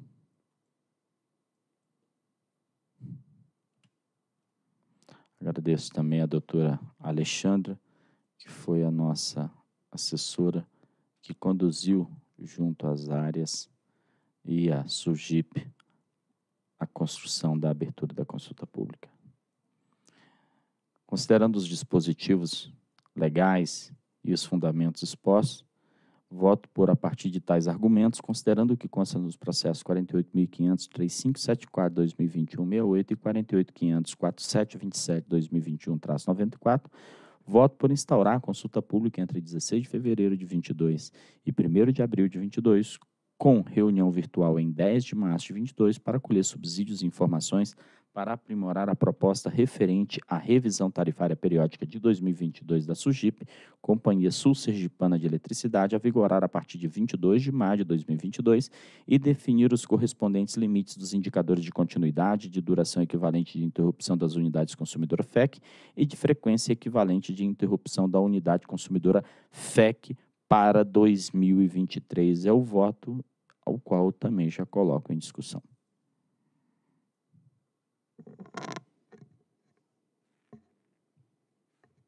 Não tendo discussão, em votação. Eu acompanho o voto do relator. Eu também acompanho a proposta de voto do relator. Senhores diretores, eu declaro que a diretoria, por unanimidade, decidiu instaurar a consulta pública entre 16 de fevereiro de 22 e 1 de abril de 22, com reunião virtual em 10 de março de 22, para colher subsídios e informações para aprimorar a proposta referente à revisão tarifária periódica de 22 da Companhia Sul Sergipana de Eletricidade Sugip a vigorar a partir de 22 de maio de 22 e definir os correspondentes limites dos indicadores de continuidade de duração equivalente de interrupção por unidade consumidora DEC e de frequência equivalente de interrupção por unidade consumidora FEC para 2023 a 2027. Peço ao nosso ilustre secretário-geral que apregue o próximo processo. Item 3, processo 48.500.00.0537.2021.06. Resultado da consulta pública número 42 de 2021, instituída com vistas a colher subsídios e informações adicionais para aprimoramento da proposta de consolidação do módulo 6, coordenação e controle da operação das regras do serviço de transmissão de energia elétrica, referente à consolidação da regulamentação de serviços de transmissão. Diretor-relator, Sandoval de Araújo Feitosa Neto. Muito obrigado, senhor secretário. Em 8, 8 de dezembro de 2020, foi aprovada a agenda regulatória da agência para o biênio 21-22, contendo em seu item 18 a atividade consolidação, coordenação e controle da operação da transmissão. Em 8 de dezembro de 20, por meio da Resolução Normativa 905, foram estabelecidas as regras dos serviços de transmissão de energia elétrica no Sistema Elétrico Nacional, regras de transmissão, bem como aprovados os seus módulos 1 e 3, que tratam respectivamente do glossário, glossário e das instalações de transmissão. Em 16 de dezembro de 20, por meio da Resolução 906 de 2020, foi aprovada a primeira revisão do módulo 1 e o módulo 4, que trata da prestação dos serviços. Em 7 de junho de 21, em sessão pública de sorteio, o processo foi distribuído a esta relatoria. Em 6 de julho de 2021, a diretoria da ANEL decidiu instaurar consulta pública 42 com período de contribuições até o dia 23 de agosto de 21 para discutir o módulo 6, coordenação e controle da operação e a revisão do módulo 1 do glossário. Em 4 de outubro de 21, por meio da portaria 6697, foi delegada a competência à Superintendência de Regulação dos Serviços de Transmissão para aprovar atualizações dos procedimentos de rede que se referem aos assuntos de sua competência e que já tenham sido deliberados pela ANEL. Em 25 de novembro de 21, por meio da nota técnica 109, a SRT avaliou as contribuições recebidas na consulta pública. Em 18 de janeiro de 22, por meio da resolução 1001, a diretoria da ANEL aprovou o módulo 2, classificação das instalações, módulo 5, acesso ao sistema e à segunda revisão do módulo 1 das regras de transmissão. É, este é o relatório é, do voto. E antes de passar aqui a palavra para a Procuradoria, queria apenas destacar a presença aqui do doutor Leonardo, superintendente de regulação dos serviços de transmissão, e da doutora Telma Pinheiro, que fará a apresentação técnica na sequência. Procuradoria. Senhores diretores, em razão de não haver uma questão jurídica controversa, a Procuradoria também não se manifestou nesse processo. Bem, é, como já dito, o processo trata da, do resultado da consulta pública 42 de 2021. A minha proposta de voto, que submeto a este colegiado, é no sentido de aprovar a emissão de resolução normativa, que inclui o módulo 6, coordenação e controle da operação, e aprova a revisão 3 do módulo 1, glossário das regras dos serviços de transmissão de energia elétrica e também por determinar o encaminhamento por parte do Operador Nacional do Sistema Elétrico, ANS, das minutas dos documentos dos procedimentos de rede associados que terão suas referências atualizadas até a data de 1 de agosto de 22. E feito esse, essa leitura parcial da fundamentação, eu já Passo a palavra à doutora Thelma. Bom dia. É... Olá, é, primeiro eu queria saudar a todos que nos acompanham pela internet, todos os diretores aqui presentes, os que também estão online, e a, o secretário-geral e procurador-geral. É, essa é a apresentação técnica da finalização, da conclusão da, da consolidação das regras de transmissão, e agora com seu módulo 6, coordenação e controle da, da operação. É, aqui eu sou Thelma Pinheiro, especialista e coordenadora de monitoramento é, e procedimentos de rede da Superintendência de Regulamentação do, da, da transmissão. E eu queria só, primeiramente, ressaltar, enaltecer todo o esforço da, da SRT nesse processo, tá? Isso foi um, essa foi uma atividade regulatória que ela perpassou por todas as coordenações e praticamente todos os especialistas e, e todos os servidores da área participaram. Uma curiosidade sobre esse processo é que ele teve início em, no final de 2017, por meio de uma licença capacitação da servidora Isabela Vieira, que hoje é assessora da diretora é, Elisa, em que ela tratou nessa licença capacitação da proposta do projeto de consolidação da regulamentação da transmissão. Então, desde 2017, ou seja, muito bem antes do decreto 10.139, a SRT já tinha preocupação com a, a simplifica, simplificação e a consolidação dos regulamentos.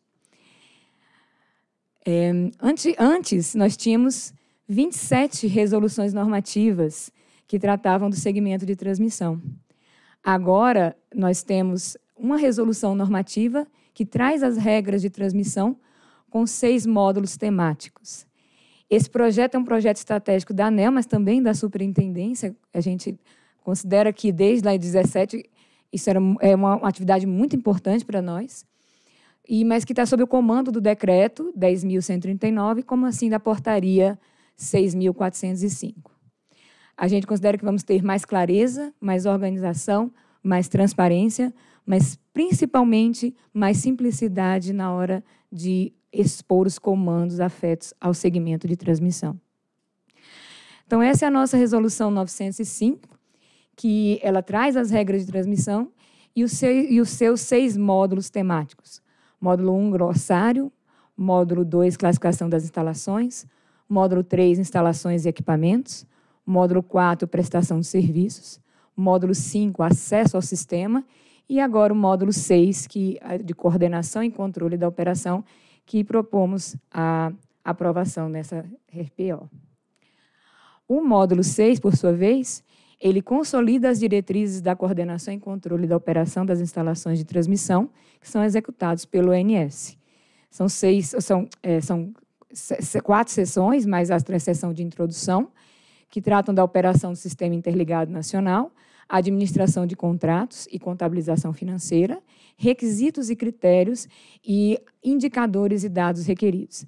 É interessante que a gente pontue que essa, essa organização ela já nasce com a intenção do futuro, né, de como a gente vai poder colocar os comandos, né, distribuir os comandos afetos à coordenação e controle das instalações de transmissões nessas sessões.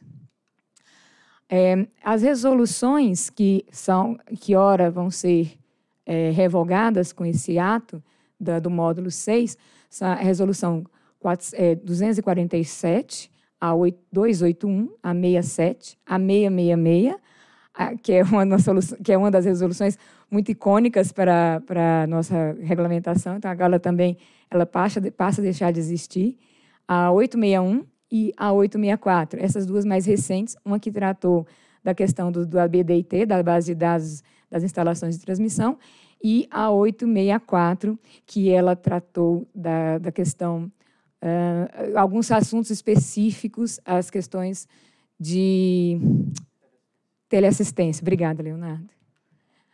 É, resultados de é, consulta pública, agora tratando especificamente da consulta pública 42. A gente recebeu 18 contribuições é, de seis contribuintes, e a maior parte foi das contribuições foi no módulo 6, 83% do total, que tratou exatamente da, do, do, do, módulo 6, de coordenação controle da operação, porque além do módulo 6, a gente colocou em consulta pública o módulo 1 do glossário, que nós tínhamos algumas alterações, e também a resolução norma, a minuta de resolução normativa.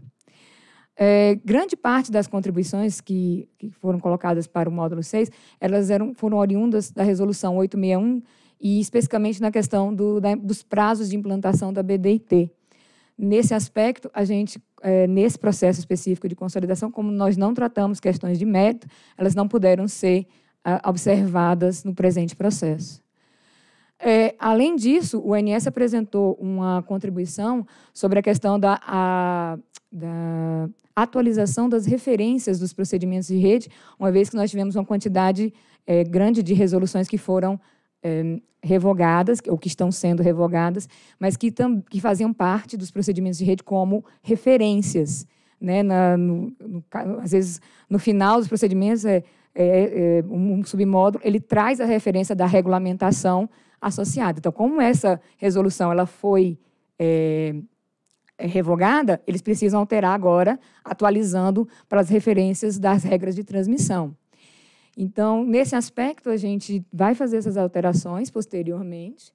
É, demos um prazo até agosto, acredito eu, na determinação do diretor relator, para que ONS apresente essas, e por, essas alterações das referências. E por que agosto?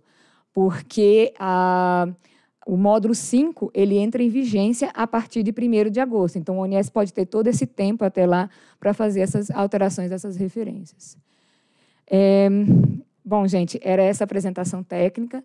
Só dizer que eu me sinto uma cada assim, eu venho aqui apresentar, toda vida que eu venho aqui apresentar questões estruturais, né, estruturantes, é, processos que vão facilitar e simplificar não só nós que trabalhamos com a regulamentação, mas principalmente os usuários do sistema de transmissão eu fico muito feliz de, de poder vir aqui representar a SRT nesses momentos, porque a simplificação da regulamentação dos sistemas de transmissão é algo, é um feito bastante importante, porque vai trazer mais investimentos, vai trazer um melhor entendimento do regulamento, vai trazer um, uma transparência maior para todos os processos. E é isso aí, as regras da, da, da, de transmissão passam a valer hoje, a partir de, da aprovação de vocês, aqui da diretoria, dos diretores. Então, fico muito feliz que a gente possa estar tratando esse assunto nessa reunião. Obrigada. Obrigado, Thelma. É, bem, eu queria apenas fazer aqui um, um relato muito rápido. É, eu, o, as regras de transmissão, as resoluções associadas, durante muito tempo, é, doutor Elvio, as mudanças eram colocadas, seja por imposição de algum comando legal ou algum aprimoramento que se, que se identificava, e ia-se apenas fazendo remendos na norma. Então, aí, durante muito tempo, a, a SRT ficou muito dependente dos servidores que tinham ali na sua cabeça toda a história, toda a estratégia, por que, é que aquele inciso entrou, por que, é que aquele anexo foi colocado. Isso trazia uma, uma leitura muito complexa das regras de transmissão, o que não deveria ser, porque é um, é, é, o acesso à rede de transmissão, quando muito bem ordenado, ele não é complexo, não é uma matéria tão complexa como eu poderia colocar, como a regulação da geração, por exemplo. Mas, em função dessa forma como se foi construindo ao longo do tempo, passou-se a ser regulamentos muito extensos, uma leitura muito transversal, muito difícil de ser feita. Então, e aí a gente tem que antes mesmo do decreto presidencial que visava essa simplificação das normas em geral do Poder Executivo, a agência já vinha por um planejamento interno, já fazendo um planejamento e já é, colocando na agenda regulatória revisão de normas importantes, resolução 67, 68, é, 443, 643, e ao longo do tempo, essas normas, agora, com esse processo de consolidação e outros que estão sendo, sendo feitos, nós estamos fazendo por matérias temáticas, e o que simplifica também a leitura, e aí, como a doutora Thelma falou, é, para um investidor, para um, um, empreendedor que quer compreender e entender o, setor, o setor de transmissão, nós temos uma organização que já vai mais simplificada desde os procedimentos de rede, que era um verdadeiro tratado e continua sobre a questão do, do, conceito, é um documento rico, com muitas informações, mas também era muito complexo. Então, foi feita uma simplificação é monumental na organização dos procedimentos de rede e até na sua forma de consulta, então, por meio de ferramentas de busca e tudo mais. E aqui na questão da transmissão, a gente dá mais um passo, outros já foram dados e outros serão dados também, para que tenhamos, ao fim, uma norma mais simples, de fácil consulta e de fácil compreensão. Então, agradeço a Thelma e a toda a equipe da, da SRT, ao doutor Leonardo, e eu peço licença aqui, diante da apresentação que foi feita, já passar a leitura do dispositivo do voto, que diante do exposto e considerando o que consta do processo 48.500.000.537 de 2021, voto por aprovar a emissão de resolução normativa na forma da minuta anexa, que inclui o módulo 6, coordenação e controle da operação, e aprova a revisão 3 do módulo 1, glossário das regras dos serviços de transmissão de energia elétrica. E, por fim, determinar o, que o ONS encaminhe as minutas dos documentos relacionados aos procedimentos de rede, que terão suas referências atualizadas até a data de 1 de agosto de 22. Este é o voto em discussão. Diretor Sandoval, queria fazer apenas uma observação, é, que esses, essas é, alterações que, ou os encaminhamentos que devem ser feitos pela, pelo ONS em relação aos procedimentos de rede, na proposta que está em discussão agora, é, nós estamos determinando um prazo de 30 dias para que o ONS encaminhe essas alterações. Foi assim que entendi. Não, até agosto, 1 de agosto de 22. Ah, ok. Tá. Eu tinha entendido que vocês estavam solicitando um prazo de 30 dias. Eu estou fazendo essa observação porque é, eu fui relato, foi aprovado recentemente a, as, o resultado da consulta pública 13, que resultou na publicação da resolução 1001, normativa 1001, em, em que lá nós de, estabelecemos um prazo de 90 dias para que a ONS encaminhe alterações nos procedimentos de rede. Então, é, era só era essa observação porque me chamou a atenção, porque eu entendi que estava sendo dado um prazo de 30 dias, então estaria incompatível com a resolução 1001, mas não é o caso, então. Ok, obrigado. Só parabenizar toda a equipe. Primeira apresentação da doutora Telma, que a gente vê muito mais do que um simples trabalho, mas vê amor no que faz, e isso, de certa forma, nos alegra muito, sobretudo pelo pelo que está sendo feito no ambiente da regulação da nossa área de transmissão. Parabenizar o relator, não caberíamos nós, né, doutor Elvio, conversar com o professor de transmissão, então. Eu digo que o doutor Elvio é o nosso professor de geração, doutor Sandoval aí é um especialista exímio na área de transmissão, então só doutor Sandoval parabenizá-lo e dizer que quanto mais transparência, mais simplicidade, menos assimetria nós tivermos nos nossos ambientes de negócio, só teremos um beneficiado no final da linha, que é o consumidor, que naturalmente isso tira custos escondidos e que isso acaba refletindo somente nos preços que a gente tem aí no ambiente de negócio setor elétrico. Então, só parabenizar, caminhamos para a desburocratização, caminhamos para mais transparência, caminhamos para menos assimetrias em todos os ambientes de negócio do nosso setor elétrico, não só na transmissão, mas na geração, na distribuição, na comercialização.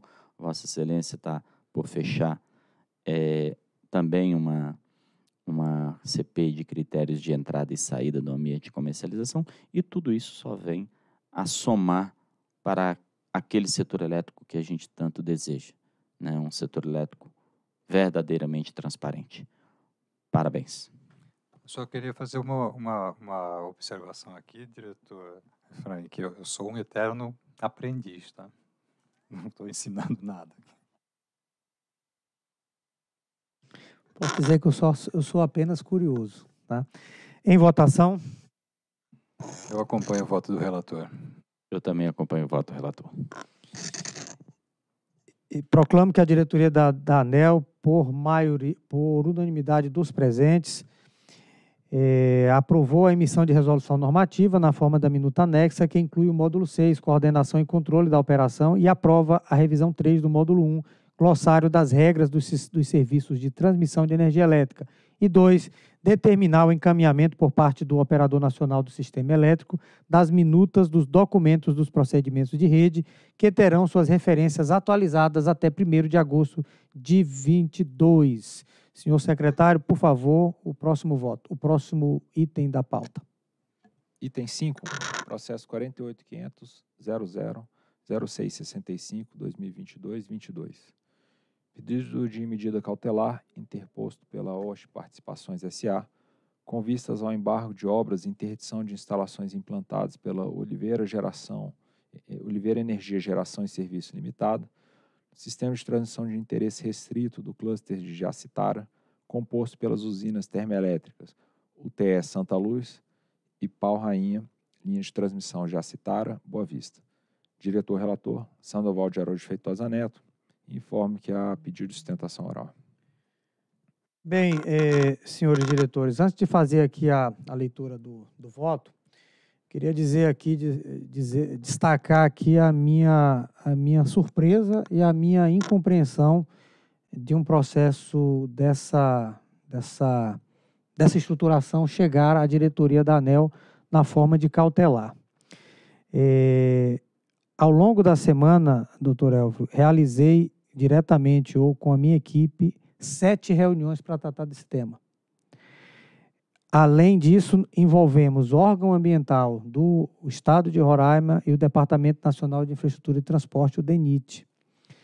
É, aqui há, de ambas as partes, aqui, é importante destacar, acusações de práticas anticompetitivas é, de parte a parte. E temos aqui um, um, nível de compreensão limitado com relação a todos os fatos que envolvem esse evento. Razão pela qual acho importante a, a sustentação oral de ambas as partes, como também outras ações e diligências que estarei por determinar a área de fiscalização da agência. Então, feito esse comentário inicial, apenas destacar que as usinas termoelétricas Santa Luz, Santa Luz, Pau Rainha, Monte Cristo, Sucuba comercializaram energia no leilão de Boa Vista e localidades conectadas, que fora realizado em 2019, objeto da portaria 512 de 2018. Por meio da resolução autorizativa 8058 de 2019, a resolução autorizativa 8391 de 19, a resolução autorizativa 8057 de 19, resolução autorizativa 8393 de 19, a Santa Luz Geração e Comércio de Energia SPE, SA, e a Pau Rainha Geração e Comércio de Energia SPE, SA, ambas controladas pela Oxy Participações, foram autorizadas a implantar e explorar as usinas termoelétricas Santa Luz e Pau Rainha, sob o regime de produção independente de energia elétrica, localizadas no município de Boa Vista, estado de Roraima. A resolução autorizativa 8055 de 2019, por sua vez, autorizou a Oliveira Energia Geração e Serviço Limitada a implantar e explorar a UTE Monte Cristo Sucuba, sob o regime de produção independente de energia elétrica, localizada no município de Boa Vista, também no estado de Roraima. Por meio da resolução autorizativa 8.815 de 2020, a área necessária para a passagem da linha de transmissão 69KV Jacitara Boa Vista, localizada no estado de Roraima, foi declarada de utilidade pública para a instituição de servidão administrativa em favor da SPE Santa Luz. Em 2 de fevereiro de 22, a Oxy apresentou pedido de medida cautelar com vistas ao embargo, a empresa solicitando embargo de obras e retirada das instalações lançadas pela Oliveira Energia em área de interferência com o sistema de transmissão de interesse restrito das UTS Santa Luz e Pau Rainha, é, aqui especificamente a linha de transmissão 69KV, já citara a Boa Vista. Em, em 7 de fevereiro de 22, o processo foi a mim distribuído. No âmbito da instrução processual, em 7 de fevereiro, foi realizada a reunião com a participação da Oxy, e representantes da área de fiscalização e da minha assessoria. Fiscalização da geração, a qual está presente aqui o doutor Gentil e o doutor Rodrigo, respectivamente, o superintendente e o superintendente adjunto daquela unidade. Em 8 de fevereiro de 22, a SFG, e a SFG e minha assessoria conduziram reuniões individualizadas com a Fundação Estadual do Meio Ambiente e Recursos Hídricos do Estado de Roraima e com a Oliveira Energia. Em 9 de fevereiro de 22, a SFG realizou reunião com a participação da Oxy e da Oliveira Energia. Em 11 de fevereiro de 22, realizei reuniões individualizadas com a Oxy e com a Oliveira Energia. E na mesma data, a SFG e minha assessoria reuniram-se com o Departamento Nacional de Infraestrutura de Transportes, o DENIT, de Roraima. Senhores diretores, este é o relatório. É, Procuradoria. Ah, desculpe, desculpe. Temos duas sustentações orais. Perfeito, secretário. Obrigado. É, são dois pedidos de sustentação oral, um enviado por meio de vídeo e outro de uma sustentação oral presencial. E por, por regulamentação interna da agência, o tempo limite para sustentação oral será é de 10 minutos. Portanto, o vídeo enviado eh, no dia de hoje pelo senhor Elvis Brito, eh, representante da Oliveira Energia, será limitado a esse tempo de 10 minutos. Então, eh, será exposto inicialmente esse vídeo de sustentação oral e, na sequência, chamo É, só só um momento, secretário. Só para privilegiar a presença da, dos representantes da Oxy, gostaria de solic- solicitar a inversão da ordem, tá? Pois não. Então, eh, por solicitação do diretor Sandoval, a- solicito a- ao representante Henrique Silva Reis, da Santa Luz Geração e Comércio de Energia, SPE, SA, que, que faça sua exposição oral. O senhor dispõe de 10 minutos. Obrigado. Bom dia, diretor relator, diretores, secretário-geral, procurador-geral, deve estar nos assistindo por vídeo. É, bom dia a todos os presentes. Bom, trata-se aqui, como relatado, de um pedido de medida cautelar formulado pelas UTES, a Biomassa Santa Luz e Pau Rainha, para que a ANEL determine a retirada de cabos lançados indevidamente pela Oliveira Energia em sobreposição à LT Jacitara, que atende essas usinas biomassas, a biomassa, é, implantada, lançados única e exclusivamente com o objetivo de impedir a energização e entrada em operação desses empreendimentos. Em primeiro lugar, eu não poderia iniciar sem agradecer em nome do Grupo XP, dos fundos é, Sigler Golf, é, Trios Capital e Leon Capital, acionistas do projeto, ao superintendente Gentil e ao relator do processo, pelo seu senso de urgência e os esforços que foram feitos para colher as informações necessárias para trazer esse assunto à deliberação da diretoria com a urgência que ele merece. De nossa parte, também não poderia deixar de externar o nosso descontentamento e, de certa forma, nosso constrangimento de ter que trazer para a ANEL um assunto que deveria ter sido resolvido na esfera negocial, de forma amigável. Havia regra, havia solução de engenharia, de certa forma até singela, e norma de segurança para que as linhas coexistissem, tá? Em- eh, mesmo com sobreposição de traçado aprovado por órgãos públicos. tá? Eh, existia até opções legítimas para que Oliveira procurasse os demais órgãos públicos, judiciário, a própria ANEL. A a opção legítima não era lançar os cabos da forma como fo- esses cabos foram lançados. E a gente vai ver um pouco do relatório fotográfico aqui. É, bom, é, a oportunidade para resolver não faltou. Mesmo tendo precedência de licença e início de execução de obras, só de propostas algo que se apresentou cinco. Todas foram rejeitadas por Oliveira, que desde o primeiro e-mail, início das conversas, se ancorou em uma autorização do DENIT, posterior às licenças e às obras da Ox, para se colocar em posição de só fazer exigências e evitar qualquer negociação, negociação amigável. A própria SFG presenciou esse comportamento. É, no entanto, é importante destacar que só apresentamos esse pedido depois que foi identificado o lançamento de cabos no final de janeiro, é, que impede a energização de duas usinas a biomassa, concluídas e aptas a fornecer energia renovável ao sistema isolado. É, de todo modo, ao mesmo tempo que pedimos escusas a essa diretoria, também compreendemos que é competência legal da ANEL dirimir eventuais conflitos entre os agentes com equilíbrio e ponderando os interesses envolvidos, inclusive os da sociedade. Então, os interesses transcendem os interesses das partes nesse processo. Só aqui, né? Bom, trazendo algumas características do projeto, são usinas a biomassa com CVU muito baixo para sistema isolado, R$ 438,44, reajustado a IPCA. É, em comparação com o custo atual do Cisol, para ver que é um, é um valor muito baixo. É, hoje gira em torno de R$ 1.379 o megawatt-hora. É um parque gerador existente basicamente a diesel. é, quase o dobro do custo da geração das usinas de que trata o nosso pleito, considerando também a receita fixa. Tá? É, um aporte aí de cerca de 250 milhões por acionistas, ávidos por investir no setor elétrico, acionistas sérios, são grupos sérios, e que não estão aqui de, de brincadeira né, com o setor elétrico. É, a LT já citara, que atende esses projetos, está pronta e comissionada desde novembro de 2021.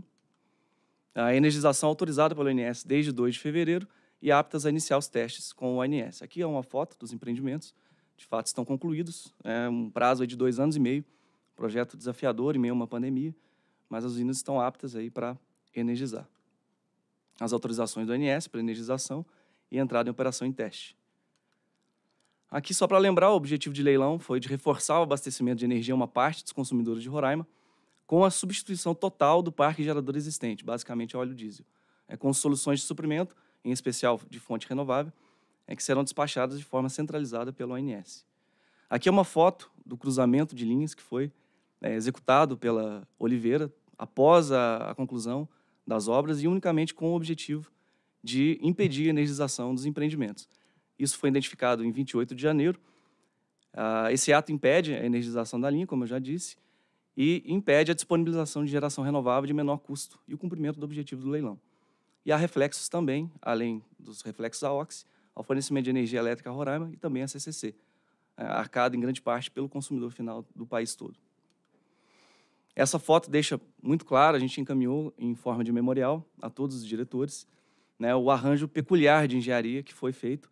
Como a linha não liga nada a lugar nenhum, o cabo, são três cabos condutores, tem um cabo condutor que foi ancorado no chão, é, de maneira que se energizar essa linha, não vai ser permitida a energização, é, esse cabo poderia ter um carregamento e causar sérias consequências, inclusive fatais. Esse local não está isolado, tem uma BR, tem um ponto de ônibus ali, inclusive. Então, é, de fato, um arranjo assim bastante peculiar e temerário é, que foi perpetrado com esse objetivo proposital de impedir a energização. Eu sou aqui porta-voz da equipe técnica, tá? Mas a ANEL tem expertise para avaliar esses elementos e muito provavelmente a equipe né, irá, se não me engano, amanhã para conferir né, esses detalhes. Mas aí estão as fotos, não é exatamente o ponto da interferência, mas é o final, né? E o cabo foi de fato ancorado no chão. É, as obras da Monte Cristo Sucuba não estão prontas. É, dá para perceber que os cabos foram lançados somente nesse trecho. É, há fundações, atividades iniciais em vários trechos. É uma usina diesel, o maior preço de referência do leilão utilizativos existentes da UTE Monte Cristo 1, atualmente em operação da Oliveira, é, com contrato de locação de grupos geradores. A migração da usina existente para a UTE Monte Cristo Sucuba só deve ocorrer depois da entrada plena da UTE Jaguatirica, então há um cronograma ainda a ser cumprido, há prazo para que ah, as instalações sejam adaptadas de acordo com o plano do CISOL do ONS. E a UTE enfrenta atrasos em outras frentes, os cabos foram lançados somente para impedir a energização e há irregularidades de, de, é, de ordem ambiental conforme manifestações inequívocas do órgão ambiental. Ao passo que, no caso do DENIT, entendemos que devemos dialogar com o DENIT e estamos fazendo isso, nós vamos apresentar aqui é, e já encaminhamos os projetos para que seja regularizada a situação no DENIT, mas não há nenhuma ordem no DENIT, não há nenhuma manifestação como há nesse caso do órgão ambiental para que os cabos sejam retirados. É, ordem ainda não cumprida. Aqui são as, as ordens que também foram encaminhadas aos diretores. Notificação para retirar em um prazo de 24 horas os cabos, os condutores. Bom, em relação às negociações, eh, em março de 21, a AUX foi comunicada da possível interferência pela Oliveira. E naquele momento as obras já estavam em andamento, conforme a LI de janeiro. Eh, obras da UTE Monte Cristo ainda não haviam eh, iniciado, conforme o próprio e-mail da Oliveira confirma esse, esse fato. A OX sempre se manteve disposta a discutir soluções técnicas para possível interferência e apresentou cinco propostas à Oliveira, nesse período todo. Em agosto de 21, a Oliveira, conforme relatado, o ANEL alterou o traçado, mesmo assim manteve a interferência. Em outubro e novembro, a OX fez a proposta que nós entendemos que é a mais razoável e é a que deveria ter sido executada, que é a de alteamento das torres. Ah, existem regras técnicas para solucionar esse problema, independentemente de precedência de LI ou de autorização do DENIT. Existe solução técnica para esse, esse problema. A solução técnica não é o que a Oliveira fez. O que a Oliveira fez é, traz riscos, inclusive, à integridade física de pessoas. É, em dezembro de janeiro de 22, é, em dezembro de 21, janeiro de 22, a Ox enviou três novas propostas sem resposta da Oliveira. Havia uma sinalização de que seria feita uma reunião no final de janeiro, mas em vez da reunião, foram lançados os cabos. Em fevereiro de 22, a quinta proposta foi detalhada, eh, já havia sido apresentada, foi detalhada em uma reunião a SFG e foi acordado ali na reunião que a Ox enviaria o detalhamento até 10 de janeiro e a Oliveira responderia em 11 de, desculpa, 10 de fevereiro e a, a Oliveira responderia no dia seguinte. É, nós enviamos a proposta estruturada com, com memorial descritivo é, cobramos uma resposta, a resposta não veio no dia que foi acordado, e em 14 de fevereiro, na data de ontem, três dias após o prazo, a Oliveira respondeu no sentido de rejeitar, com base em argumentos que ela mesma expôs, argumentos que foram é, relativizados, é, até reputados como superáveis pela própria superintendência, como questões fundiárias. É, a Oxy entende que as linhas, a faixa já está indenizada, tem contratos com os proprietários, é, e no limite poderia ser emitida uma DUP, Dificuldades na FEMAR e no DENIT podem ser resolvidas, entendemos que os órgãos estão né, imbuídos também com o propósito de resolver essa questão e permitir a energização dos dois empreendimentos. Com relação à aquisição de materiais, tem uma questão de prazo, nós entendemos que há um prazo bastante factível, até pelo cronograma atual da UTM Anticristo. É, com relação à precedência, desde o início das conversas, a Oliveira alega né, ter precedência para o DT desde o primeiro e-mail, que detém uma autorização do DENIT 25 de março de 2021. No entanto, a Oxy detém inúmeras licenças, é, licença prévia, licença de instalação, todas anteriores, do, declaração de utilidade pública pela ANEL, como relator, é, no, no, relatório, o, diretor, é, foi emitida pela ANEL em 12 de maio e a retificação também veio antes da, da autorização do DENIT. E a precedência da LT já citada também se verifica sob o ponto de vista de, de execução de processo construtivo, né, uma vez que as obras foram iniciadas muito, muito antes, um, alguns meses antes. É, com relação ao DENIT, entre março e maio de 2021, a OX recebeu, de fato, notificações com relação ao embargo. Esse embargo na faixa de domínio que veio quando as obras já estavam em andamento não tem relação com essa discussão que estamos tendo hoje, com a discussão da interferência. Tá? É, em outubro de 21, o DENIT informou o ANEL de forma até um pouco confusa, né, que, fazendo uma uh, mistura desses, desse embargo com a questão da interferência, e o DENIT não tem sido claro nas manifestações, de, de toda forma, nós encaminhamos os projetos, tanto para resolver a questão do embargo, quanto é, para resolver a questão das travessias, tá? em meio de dezembro e de fevereiro. É, bom, com relação aos fundamentos, é, para deferimento de medida cautelar, já tem pacificado aqui o entendimento da, da ANEL, no sentido de que deve ser comprovada a fumaça do bom direito e o perigo na demora. Fumaça do bom direito, no nosso caso, nós temos precedências de autorizações, tá? LP, LI, documentos ambientais, DUP, é, anteriores aos documentos que a Oliveira alega ter, e também aqui há riscos à sociedade, riscos à confiabilidade e ao custo do fornecimento de energia elétrica Boa Vista e a CCC, e a integridade física de pessoas, e também riscos à OX, risco, riscos muito evidentes, prejuízo pelo atraso na energização. E já concluindo, né, requeremos aqui providência administrativa da ANEL para determinar a retirada desses cabos, desse arranjo peculiar de engenharia que foi perpetrado, é, e com, como fundamentos, apesar de o pedido inicial ter fundamentado na interdição ou embargo de obras, também entendemos que há outras ferramentas regulatórias, como obrigação de fazer ou não fazer, uma inovação da 846, e também o poder geral de cautela. Peço desculpas aqui, é, eram muitos fatos, mas peço desculpa pelo excedente de tempo aí. E fique à vontade para deferir o excedente também para a contraparte. Muito obrigado. É, o próximo vídeo de sustentação oral será apresentado pelo senhor Elvis Brito Paz, representante do Oliveira Energia Geração e Serviço Limitada. E, para ser justo, se o diretor me permitir, a gente concedeu o tempo de exposição a 12 minutos tá, para equilibrar as sustentações orais. A disputa aqui é cabeça a cabeça, né?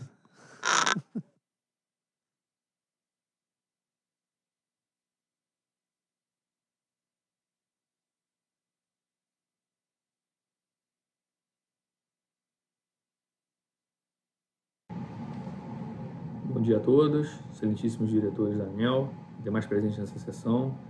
É, na qualidade de advogado aqui da Oliveira Energia, fazer breve, breves considerações a respeito do, da ação pedido com medida cautelar depois pela Ox Energia, é, com vista ao embargo de obra e interdição de instalações da Oliveira Energia é, no sistema de transmissão da Jacetara. É, é, na verdade, a gente, inclusive, ontem protocolou um pedido de retirada de pauta, de adiamento do julgamento, uma vez que se identificou no processo que sequer a Oliveira Energia foi intimada para se manifestar sobre esse pleito. É, houve um encaminhamento de um ofício pela SCG para que para uma reunião no tentativa de solucionar esse impasse. É, nessa, nesse ofício se encaminhou uma, uma cópia do pedido inicial sem qualquer outra documentação. Com base nesse pedido inicial, nós fizemos uma manifestação preliminar, direcionamos ao diretor é, relator Sandoval para que, para devido instrução do, do, do, processo, e nesse pedido, inclusive, foi requerido uma dilação, uma concessão de um prazo específico para que a gente falasse após a liberação do acesso aos autos, uma vez que até a presente data o acesso ao pedido cautelar, os documentos, as informações estão restritos, inclusive para os representantes da Oliveira Energia. Então, foi pedido, é, o, primeiro que houvesse uma regularização dos autos com a juntada de requerimentos apresentados pela Oliveira Energia, que não constam dos autos, requerimentos esses que comprovam, demonstram todo o histórico das tratativas com a Ox Energia, desde março de 2021, quando a Oliveira Energia é, demonstrou, né, entrou em contato com a Ox alertando do, da interferência e a Ox, desde então, nada fez de, de efetivo para resolver esse impasse, sendo certo que a Oliveira Energia detém a autorização do DENIT para ocupar aquela faixa de domínio, tem a obra inteiramente irregular, é, por todas as autoridades competentes, enquanto a Ox Energia está com a obra embargada pelo DENIT, foi autuada diversas vezes tudo isso está relatado na, na nossa manifestação. É, gente já confirmou, gente entrou em contato com a ANEL, notificou a ANEL, na pessoa do, do científico diretor-geral, deixando claramente que a OX está ocupando uma faixa irregular, tá? e ainda assim a OX seguiu a obra de forma temerária, é, desrespeitando a regulamentação, e concluiu a obra antes, chegou no ponto da interferência antes da Oliveira Energia. E agora ela vem, a ANEL, pedir que a Oliveira Energia retire os cabos lançados no ponto de interferência. Mas vamos lá. É, voltando à questão ainda da, da prejudicial, né? É, não consta essa, esse requerimento apresentado pela Oliveira Energia nos autos do medida cautelar. Fizemos uma petição ontem, juntando toda, tudo novamente, é, deixando claro que tem pedido feito pela Oliveira Energia, inclusive para que não pedido liminares para que inclusive a Ox não energizasse a rede dela, isso em dezembro de 2021. Até a gente data, a ANEL não se manifestou sobre esse, esse pleito. Tem alguns requerimentos ainda não acostados esse pleito cautelar. Ontem tentamos fazer com que esses autos fossem regularizados, juntamos novamente todas as manifestações, as notificações trocadas entre as partes, notas técnicas sinalizando as diferenças entre as propostas apresentadas por cada empresa na tentativa de solução desse impasse, demonstrando que a nossa proposta de solução leva em torno de 30 dias, com custo muito menor do que a proposta que a própria Ox Energia vem apresentando, que não resolve o assunto em menos de 120 dias, sendo que ela propõe uma solução que só altera, só mexe no projeto da Oliveira Energia, empresa que está com a sua obra regularizada, ou seja, parte que infringiu a legislação, cumpriu, a, a, realizou a obra antes do tempo, né? É, antes da sem autorização, busca agora uma, uma, um, um, um paro da ANEL para poder seguir com a obra regular, porque na verdade ela entende que concluiu a obra, mas a obra até a presente data não tem está embargada pela, pela, pelo DENIT, que é a autarquia competente para regulamentar a ocupação da faixa de domínio. E as duas travessias que foram feitas de forma irregular na, na BR que geram a interseção com a Ox Oliveira, com a, com a, com a linha da Oliveira Energia. Então, por conta disso, é, se requereu o adiamento do julgamento, retirar de pauta, para que a Oliveira Energia tivesse a oportunidade de se manifestar de forma conclusiva nos autos, enfrentando toda a documentação técnica apresentada pela OX, da qual a gente não teve acesso ainda. É, além disso, a gente pede o adiamento por conta de as partes ainda estarem tratativas, foram feitas algumas reuniões com a ANEL ontem na presença das partes. As partes estão trocando projetos, é, ideias de engenharia para tentar solucionar esse impasse.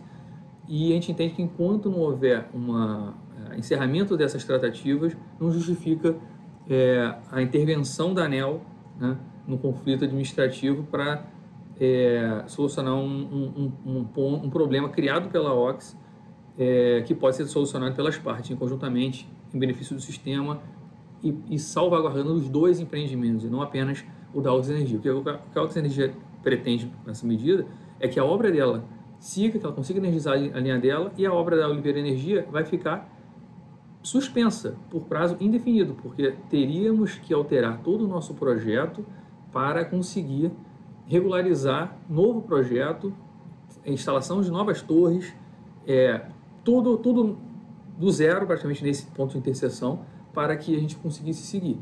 E, e a gente entende que o empreendimento da Oliveira Energia, onde Cristo Sucuba, é tão relevante para o sistema em termos de capacidade de geração e de, de, de preço quanto é o do Ox Energia. Então não faz sentido dar uma preferência à conclusão de empreendimento matando o outro quando a gente poderia chegar a uma solução consensual de resolver os dois concomitantemente. É, além disso, é, para análise da urgência que existe pedido cautelar, é, a OX sustenta que é, a linha dela, que a usina dela estaria pronta para energizar e, portanto, é, essa, esse lançamento de cabo teria impedido, vem impedindo urgência, a urgência na, na liberação da linha. É, o ponto é que a gente já demonstrou nas tratativas que a usina não está pronta. Ela ainda depende de conclusão de obra. É, estivemos com o pessoal em campo, confirmando as informações, e a, a partir daí a ANEL é, a SCG, né, a pessoa da a área técnica, decidiu fazer uma vistoria em loco. E essa vistoria está prevista, se eu não me engano, para a partir de amanhã, dia 16. Então a gente entende que não há como avaliar uma questão de urgência no pleito cautelar hoje, julgando isso hoje, se a, a análise técnica vai ser feita só a partir de amanhã.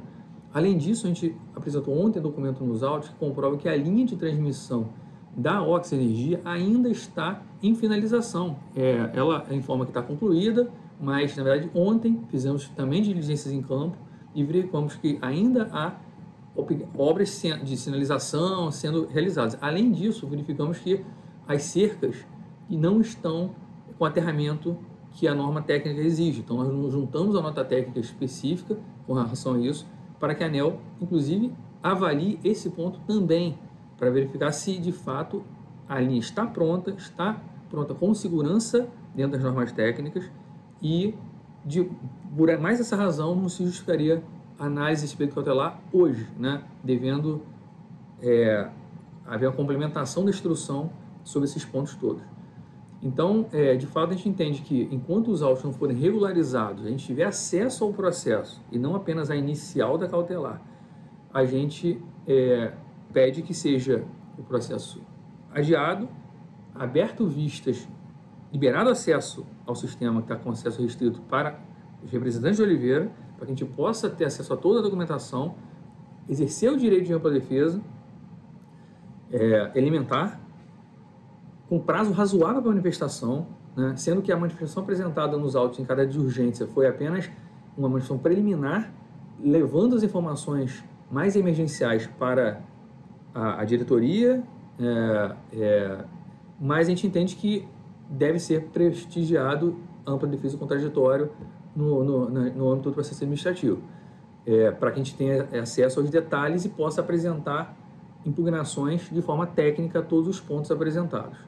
Então, é, de todo modo, a gente entende que apresentamos a manifestação preliminar com todo o histórico, as notificações trocadas entre as partes, a gente é, demonstra claramente que a Ox Energia está a obra embargada pelo DENIT, prosseguiu de forma irregular, apesar de diversos alertas feitos pelo Oliveira Energia, buscando a solução, a Oliveira Energia sempre tomando iniciativa de buscar a solução, e somente em dezembro, quando praticamente a obra deles se encerrou, né?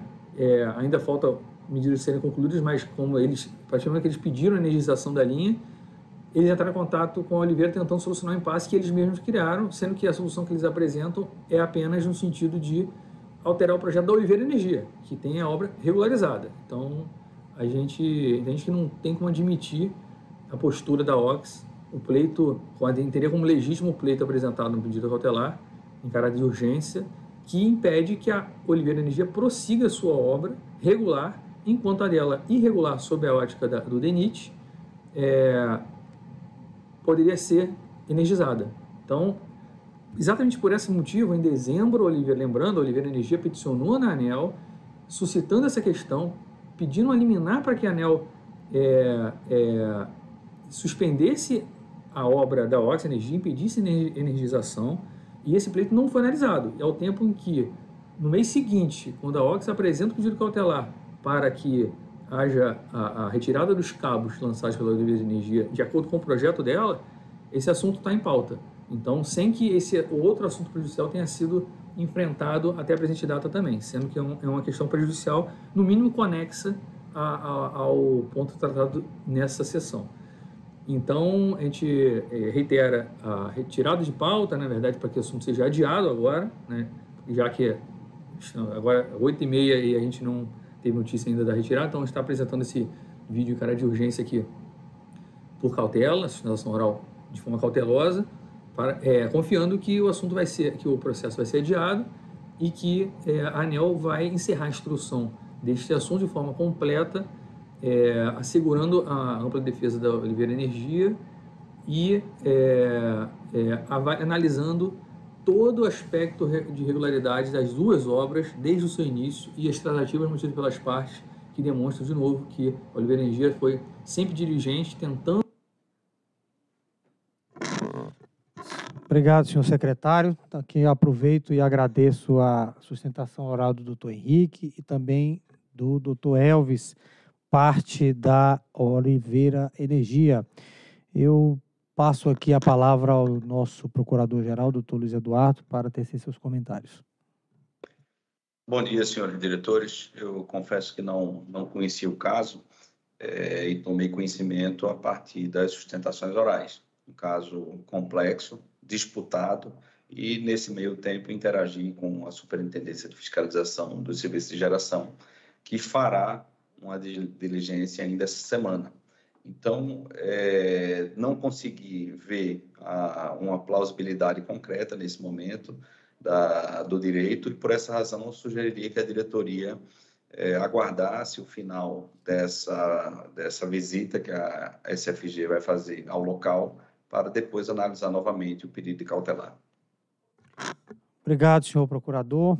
É, antes de fazer aqui alguns comentários iniciais, eu queria, aqui bem no início da nossa, da nossa reunião, acho que o diretor Efraim teve curiosidade e perguntou quantos anos eu tenho de anel. Eu vou fazer 18 anos. E eu nunca vi nesses 18 anos é, uma discussão é, nesse nível. Então, Estamos tratando aqui de obras que estão em estágios diferentes de maturação, cada uma delas. Ambas as obras, elas são legítimas no certame. Uma tem combustível renovável e a outra é óleo diesel.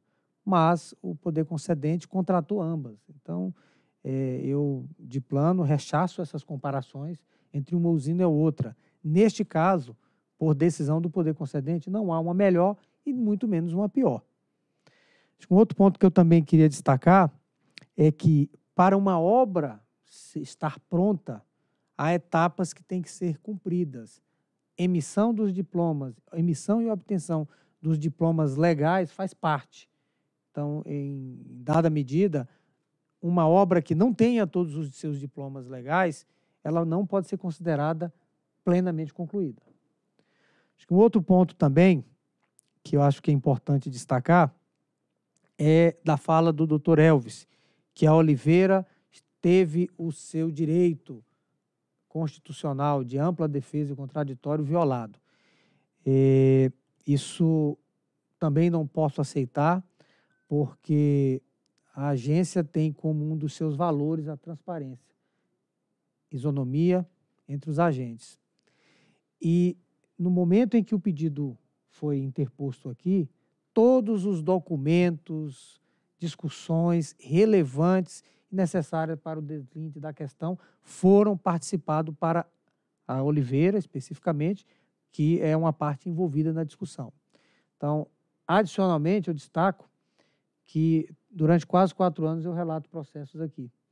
E não me lembro nenhum julgado em que houve afronta a esses direitos tutelados e defendidos, até mesmo por formação própria minha, não permitiria, e muito menos o nosso colegiado aqui, que tem eh, diretores, procuradoria, e que certamente não concordariam com nenhuma restrição de defesa. Então, desse plano, eu também ressacho as alegações trazidas. E, um último ponto, que eu queria, e agora aqui, senhores diretores, como esse processo é um processo cautelar, os diretores não conhecem a completude dos fatos. Então, me permitam aqui fazer um breve, mas importante relato dessa discussão. Trata-se de uma condição de interferência entre duas linhas de transmissão, aqui a rigor, duas linhas de distribuição de 69 kV, de interesse restrito das duas usinas. Interferência essa identificada em fase incipiente dos projetos. Aqui, por ambos os relatos, essa interferência ela já existia, ela já existia, ela já existia, e aparentemente as partes não, não entraram no acordo. Em lugar de uma solução técnica possível e viável, ambas as empresas optaram por práticas anticompetitivas em detrimento da outra parte. Aqui há acusações da primeira parte da Oliveira, da Oxy ter avançado na faixa que seria destinada à sua linha de transmissão, sob a alegação de que estava mais adiantada nas obras. Isso são alegações que são trazidas. Há, da mesma forma, e aí comprovado, de uma construção técnica irregular para impedir o avanço e a conclusão das obras da Oxy Empreendimentos. Me causa certa consternação que uma discussão desse nível seja trazida para a ANEL, que se encontra, e aí todos sabem aqui nossas reuniões diárias, sobrecarregada com temas de grande relevância para o país. Enorme. E essa mesma equipe que está envolvida, que ficou ao longo da semana, durante sete reuniões, é a mesma equipe que trata discussões sobre GSF, cronograma de obras impactantes e importantes ao país. Além de inconveniente, esse tipo de pauta naturalmente compromete as demais atividades da agência. Pois vejam, apenas, como eu já falei, foram realizadas sete reuniões. Além disso, como já citado, será realizado uma ação fiscalizatória em campo. Estamos falando de um custo administrativo elevado, para enfrentamento de uma situação que deveria ter sido resolvida na sua raiz, por meio da busca de uma solução acordada entre os agentes. Afinal, pelos relatos até então apresentados, não se trata de um problema complexo sob a ótica da engenharia, ou mesmo economicamente inviável.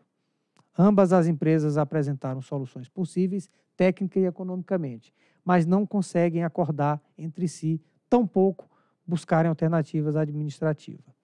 Esse tipo de conduta tem que ser inibida na agência. E aqui, senhores diretores, em todas as reuniões que eu fiz com as partes, eu citei que a decisão que eu iria tomar hoje, ela não seria boa nem para uma e nem para outra empresa, uma vez que não tenho a completude das informações.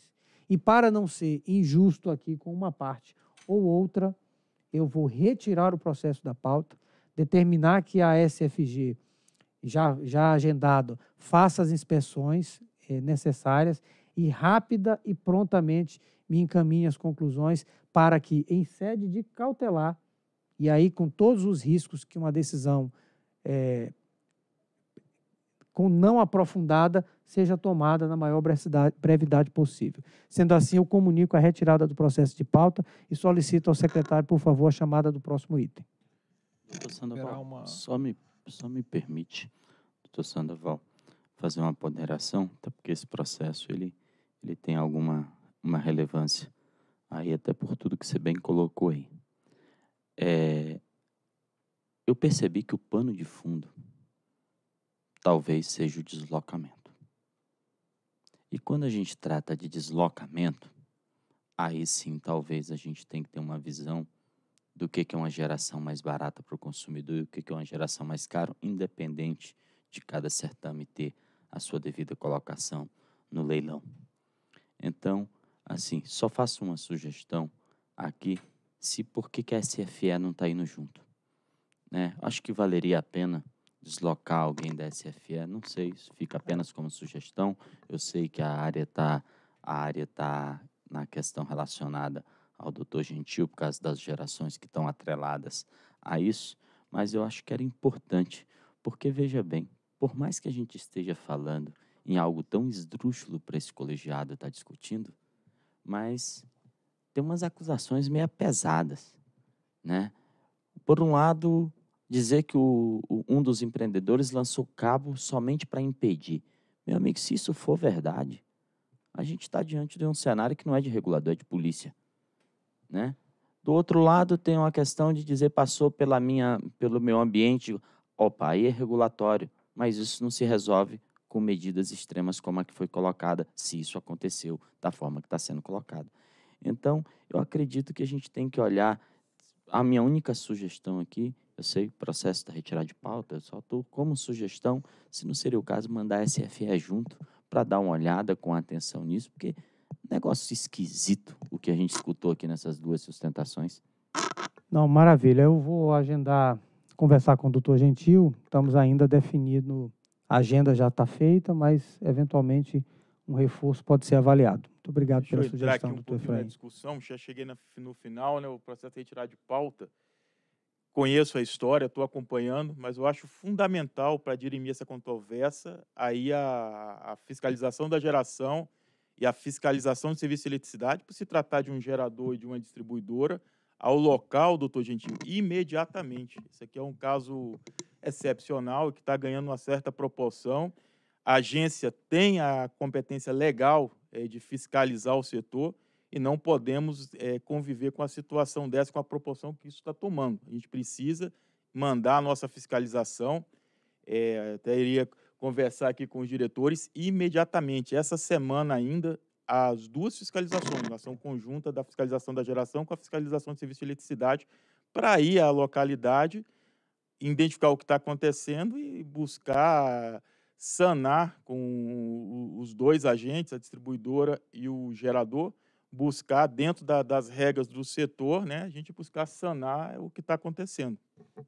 Maravilha. Eu só é, acho que um reforço eventual para a equipe do doutor Gentil é, pode ser avaliado, mas só um esclarecimento. Neste caso, apesar de que o nome é Oliveira Energia, trata-se de uma instalação de interesse restrito de uma usina geradora do próprio Grupo Oliveira. Então, nós estamos aqui sobre uma interposição entre duas linhas de interesse restrito de dois geradores. Pois é, mas doutor Sandoval, o que eu coloco é o seguinte, o que eu estou entendendo, e eu até fiz essa pergunta para o doutor Gentil, isso aí é só a cortina. Essa discussão, ela se resolve aqui.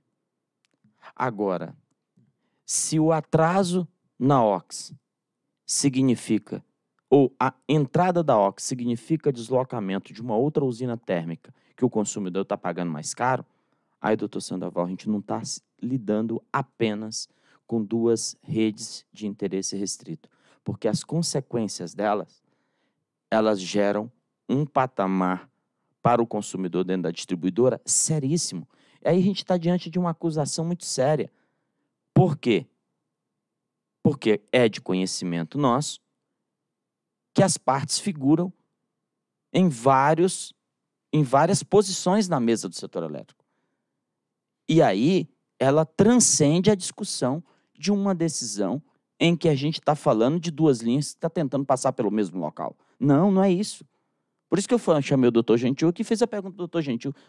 Qual a proteção que se está tentando dar? Ao quê? O que, que nós estamos buscando proteger? Porque se houver realmente essa fundamentação do deslocamento, o troço fica um pouco mais sério, doutor André. Não é só a é, é. discussão de, um, de passar um ponto. Porque se eu estou pela área do DENIT, se eu não estou, se está embargado, isso aqui a gente resolve no outro campo.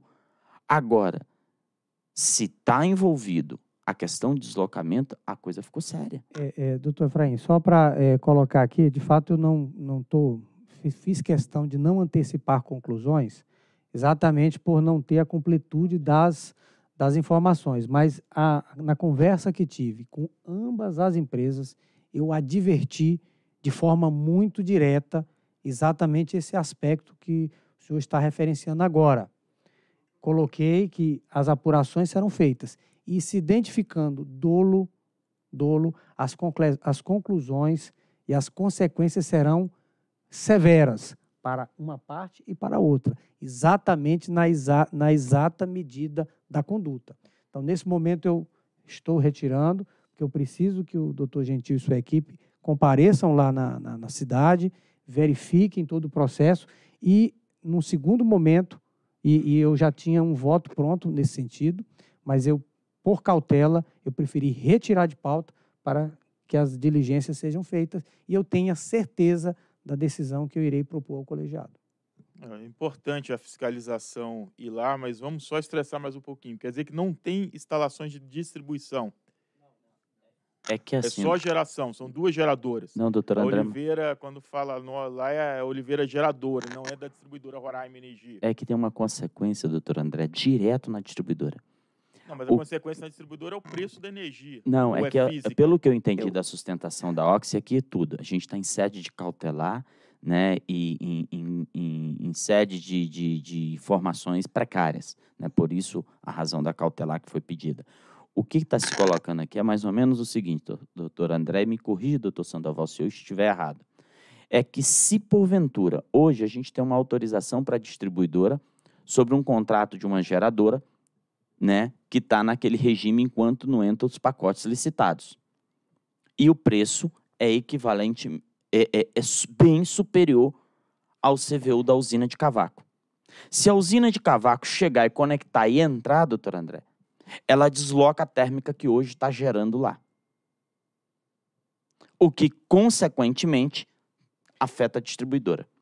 Entendeu por que, que o troço transcende as duas situações? Não. Porque, dito de outra forma, a gente estaria apenas pelo, pelo uma Eu- briga de eu- passagem. eu- eu A só- questão comercial, é, né? é- Mas eu falo do ponto de que a fiscalização vai lá avaliar a questão física da conexão. de- deixa- do deixa de eu- vista eu- físico, envolve instalação da distribuidora ou não? É, de- deixa Não eu- envolve. de- deixa eu- Não, então tem que ficar, reformular o que disse. Tá. Então tem que ficar restrito à geração. Isso.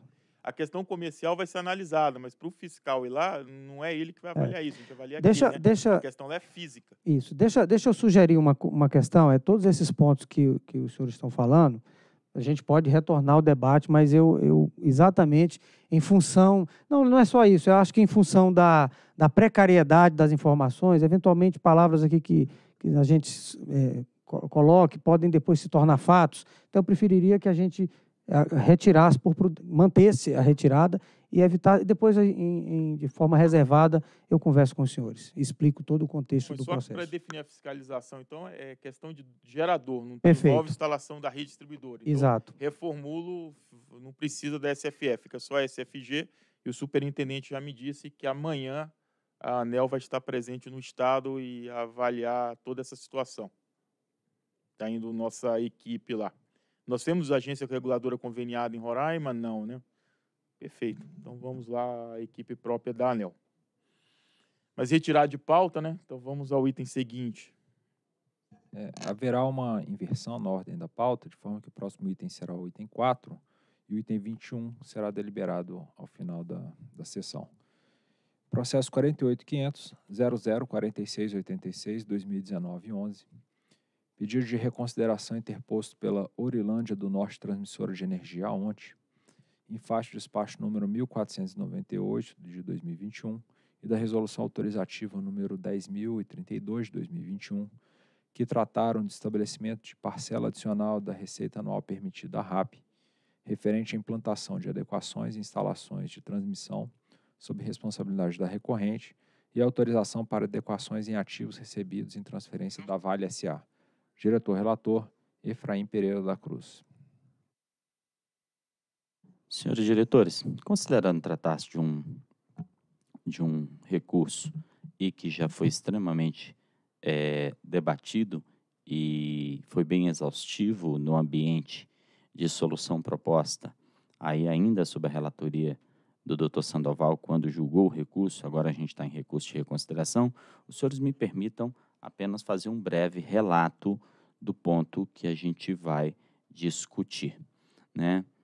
Eh, na 18ª reunião eh, de diretoria de reunião pública, ocorrida ainda em 25 de maio de 2000, essa diretoria colegiada decidiu por conhecer e dar provimento parcial ao requerimento da Aurilândia, onde ali ficou constado em dar provimento ao pleito da ONT quanto ao estabelecimento de adicional de RAP pelos serviços de operação e manutenção prestados pela ONT desde 21 de junho de 18 em relação aos ativos transferidos pela Vale.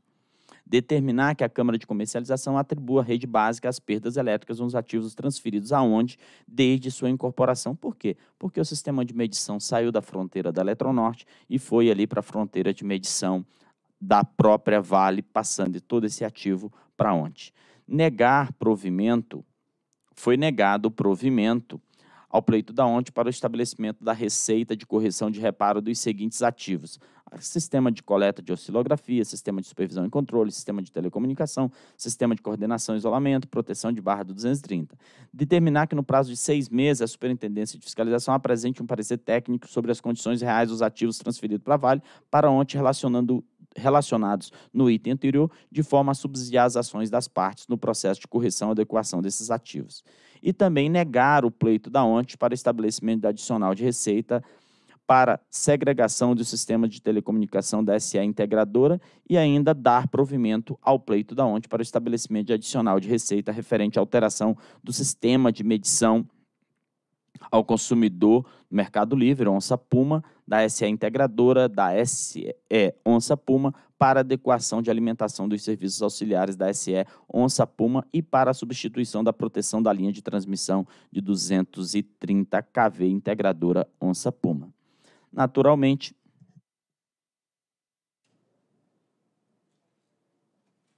é, naturalmente, a, a ONT né, ela interpôs o recurso administrativo, razão pelo qual nós estamos hoje aqui relatando o processo. E nesse, nesse ponto, ela arguiu a questão de determinar que a receita anual permitida pelo serviço de OIM não contemple o fator do REID e que tem início do recebimento definido em favor da ONT a partir de 1 de julho de 21, data do reajuste da receita das transmissoras. Também que a ONT seja remunerada pelas adequações no CMF com o correspondente contrapartida de RAP, ou seja, em vez de receber de uma vez, receber aí no modelo como se ativo de transmissão fosse.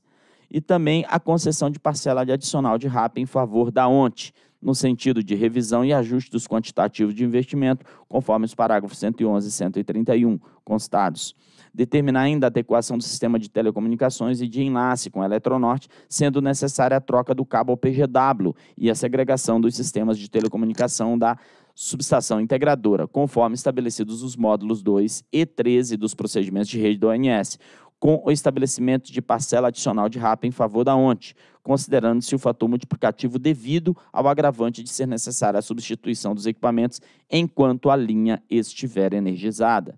Determinar também a adequação dos sistemas determinar também a adequação dos sistemas relativos às trocas, de, às trocas remotas, relés, controladores e registradores digitais de perturbações, assim como as adequações do sistema de supervisão, proteção e controle de barras da subestação, em especial os de proteção de linhas de transmissão, conforme estabelecido nos módulos 2 e 11 dos procedimentos de redes do ONS, e também determinar a substituição dos paras-raios da subestação em virtude da recuperação da capacidade operativa, conforme estabelecido no módulo 2 também dos procedimentos de redes do ANS, com estabelecimento de RAP em favor da ONT. Subsidiariamente, em caso de não acolhimento dos pedidos 1 a 4 do item C, que sejam adotadas as medidas pela ANEL para que as adequações e reparo nos antigos, nos ativos antigos sejam atribuídos à Vale, ou seja, se não permitisse que ela tivesse a receita, mas que a Vale o fizesse por uma consequência simples dos valores dos investimentos que ora nós estamos falando. Em suma, senhores diretores, a empresa requer reconsideração quanto à não incidência do RED no cálculo da parcela adicional de RAP, a atribuição a vale dos reparos e correções necessárias das instalações transferidas ou em contrapartida à execução das obras pela transmissora, o cálculo pela ANEL do valor correspondente a ser pago pela Vale, correção de erros das planilhas de cálculo realizada pela SCT e correção na forma de remuneração calculada pelo remanejamento do sistema de medição para faturamento. Após receber aqui por várias vezes o pessoal que representam a Orilândia, o que, que a gente se deparou, senhores diretores? No tocante aos investimentos. Primeiro, a questão de dizer o seguinte: a, a, solução bilateral entre Vale e eles seria uma solução ali quase de hipossuficiência e da dificuldade que teriam frente aos investimentos que seriam lançados versus a possibilidade da Vale também entrar em níveis de questionamento, se tornar uma judicialização aí longa, o que naturalmente, pelo volume de, de dinheiro que estaria sendo despendido, seria algo extremamente dificultoso para suportar por parte da ONT. Então, senhores diretores, a priori, essa é a nossa fundamentação. Perdão, senhores diretores, esse é o relatório. Procuradoria. Senhores diretores, a Procuradoria se manifestou antes ainda do, da interposição do pedido de reconsideração por meio de dois pareceres, sendo que no último parecer, o de número 113 de 2021, a Procuradoria se manifestou concordando com as áreas técnicas de que deve ser aplicado o fator rate nos cálculos realizados para a definição do adicional de RAP.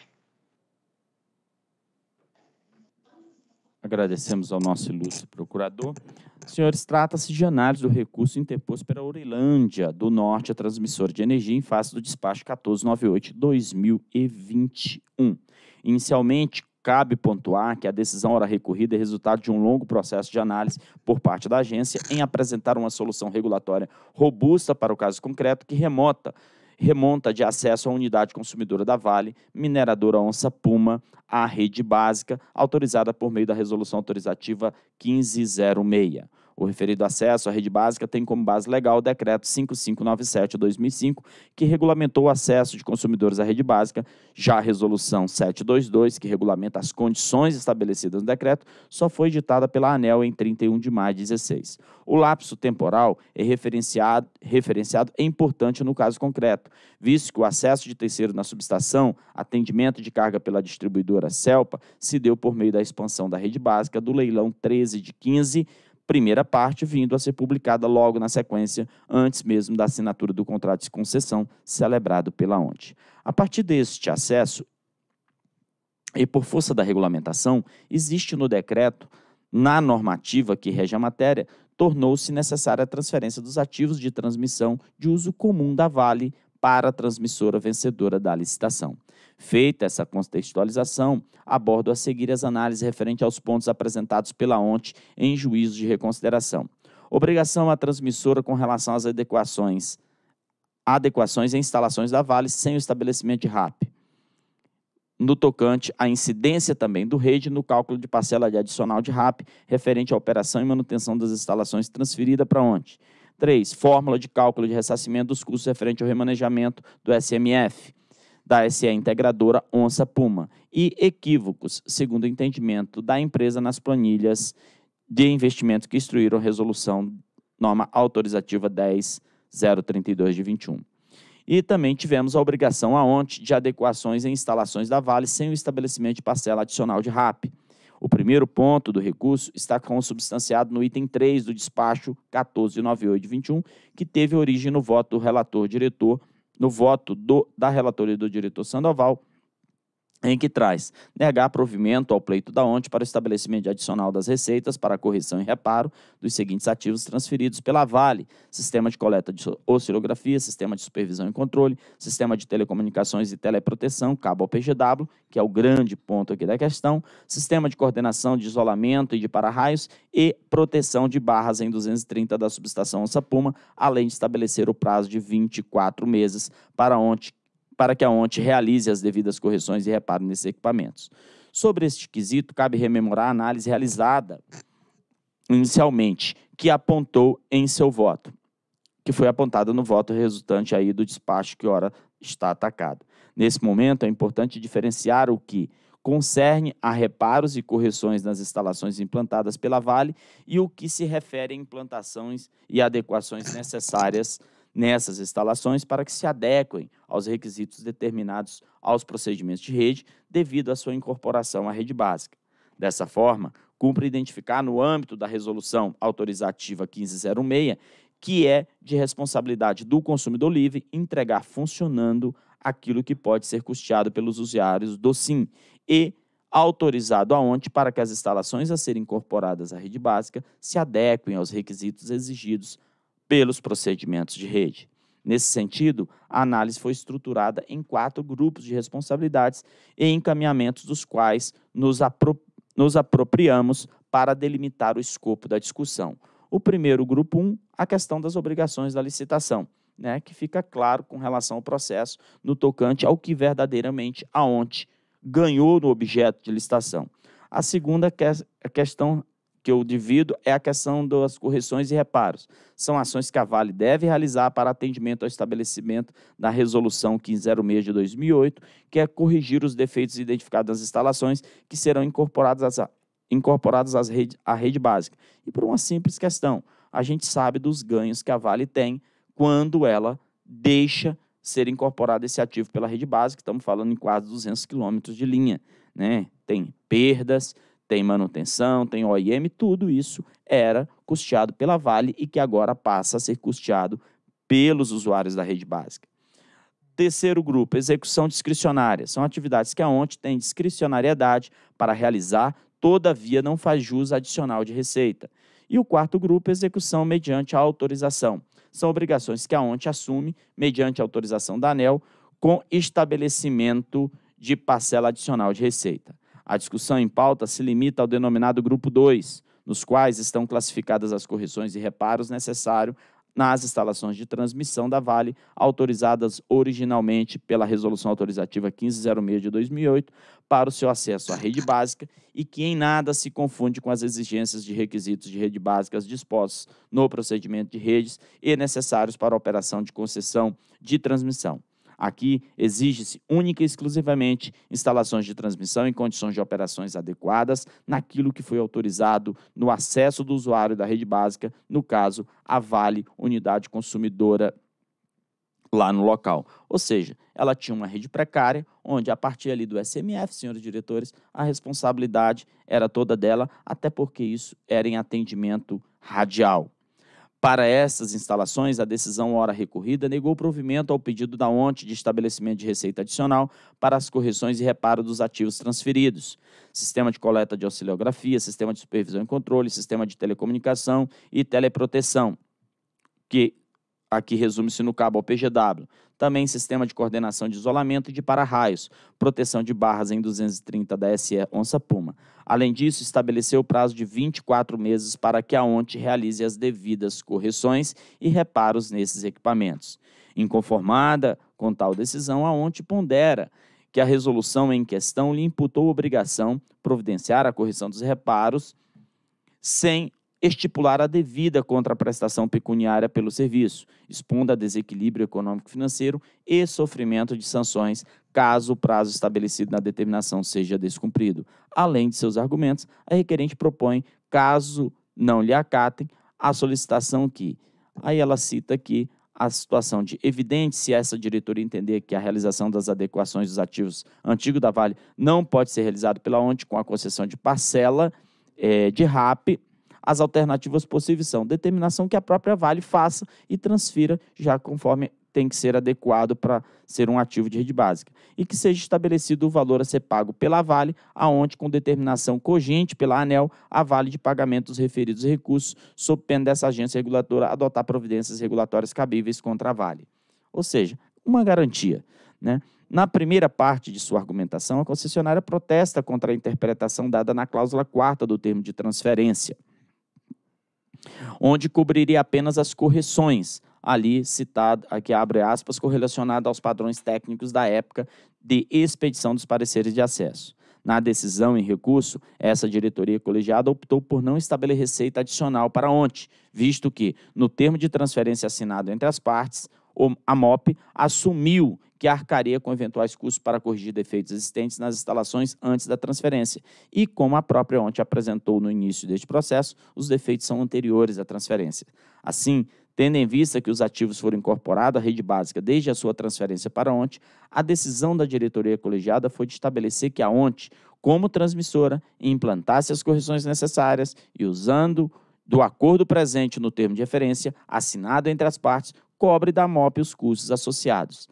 Além disso, cabe esclarecer que, conforme pontuado nas análises das áreas técnicas contidos nas notas técnicas 657 e 469, todos os ativos implantados pela MOP e apresentados pela ONT deviam estar plenamente funcionando para serem incorporados à rede básica. A própria Resolução Autorizativa 1506 de 2008 impôs como condição ao consumidor que procedesse à manutenção das instalações que implantava para o seu acesso, sem fazer distinção quanto aos ativos de manutenção a serem apenas exigidos por normas ou outros, ou seja, todos os ativos que a MOP implantasse para o seu acesso deveria por ela ser, serem mantidos em condições adequadas de operação enquanto durasse o seu acesso ou até que fossem transferidos.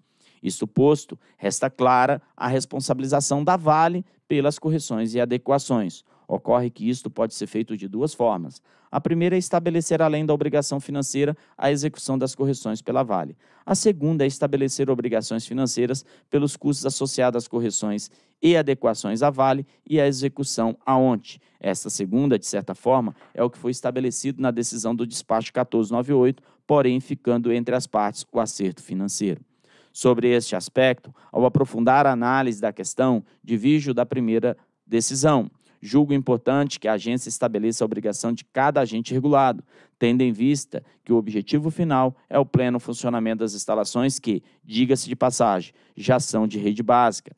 Cabe, para o caso concreto, a ação do regulador no sentido de estabelecer a obrigação das partes, visto que uma falta de consenso em um acordo bilateral pode resultar em baixo desempenho das instalações do SIM e até a indisponibilidade da rede em um sistema radial, trazendo prejuízo para os demais consumidores atendidos naquela localidade.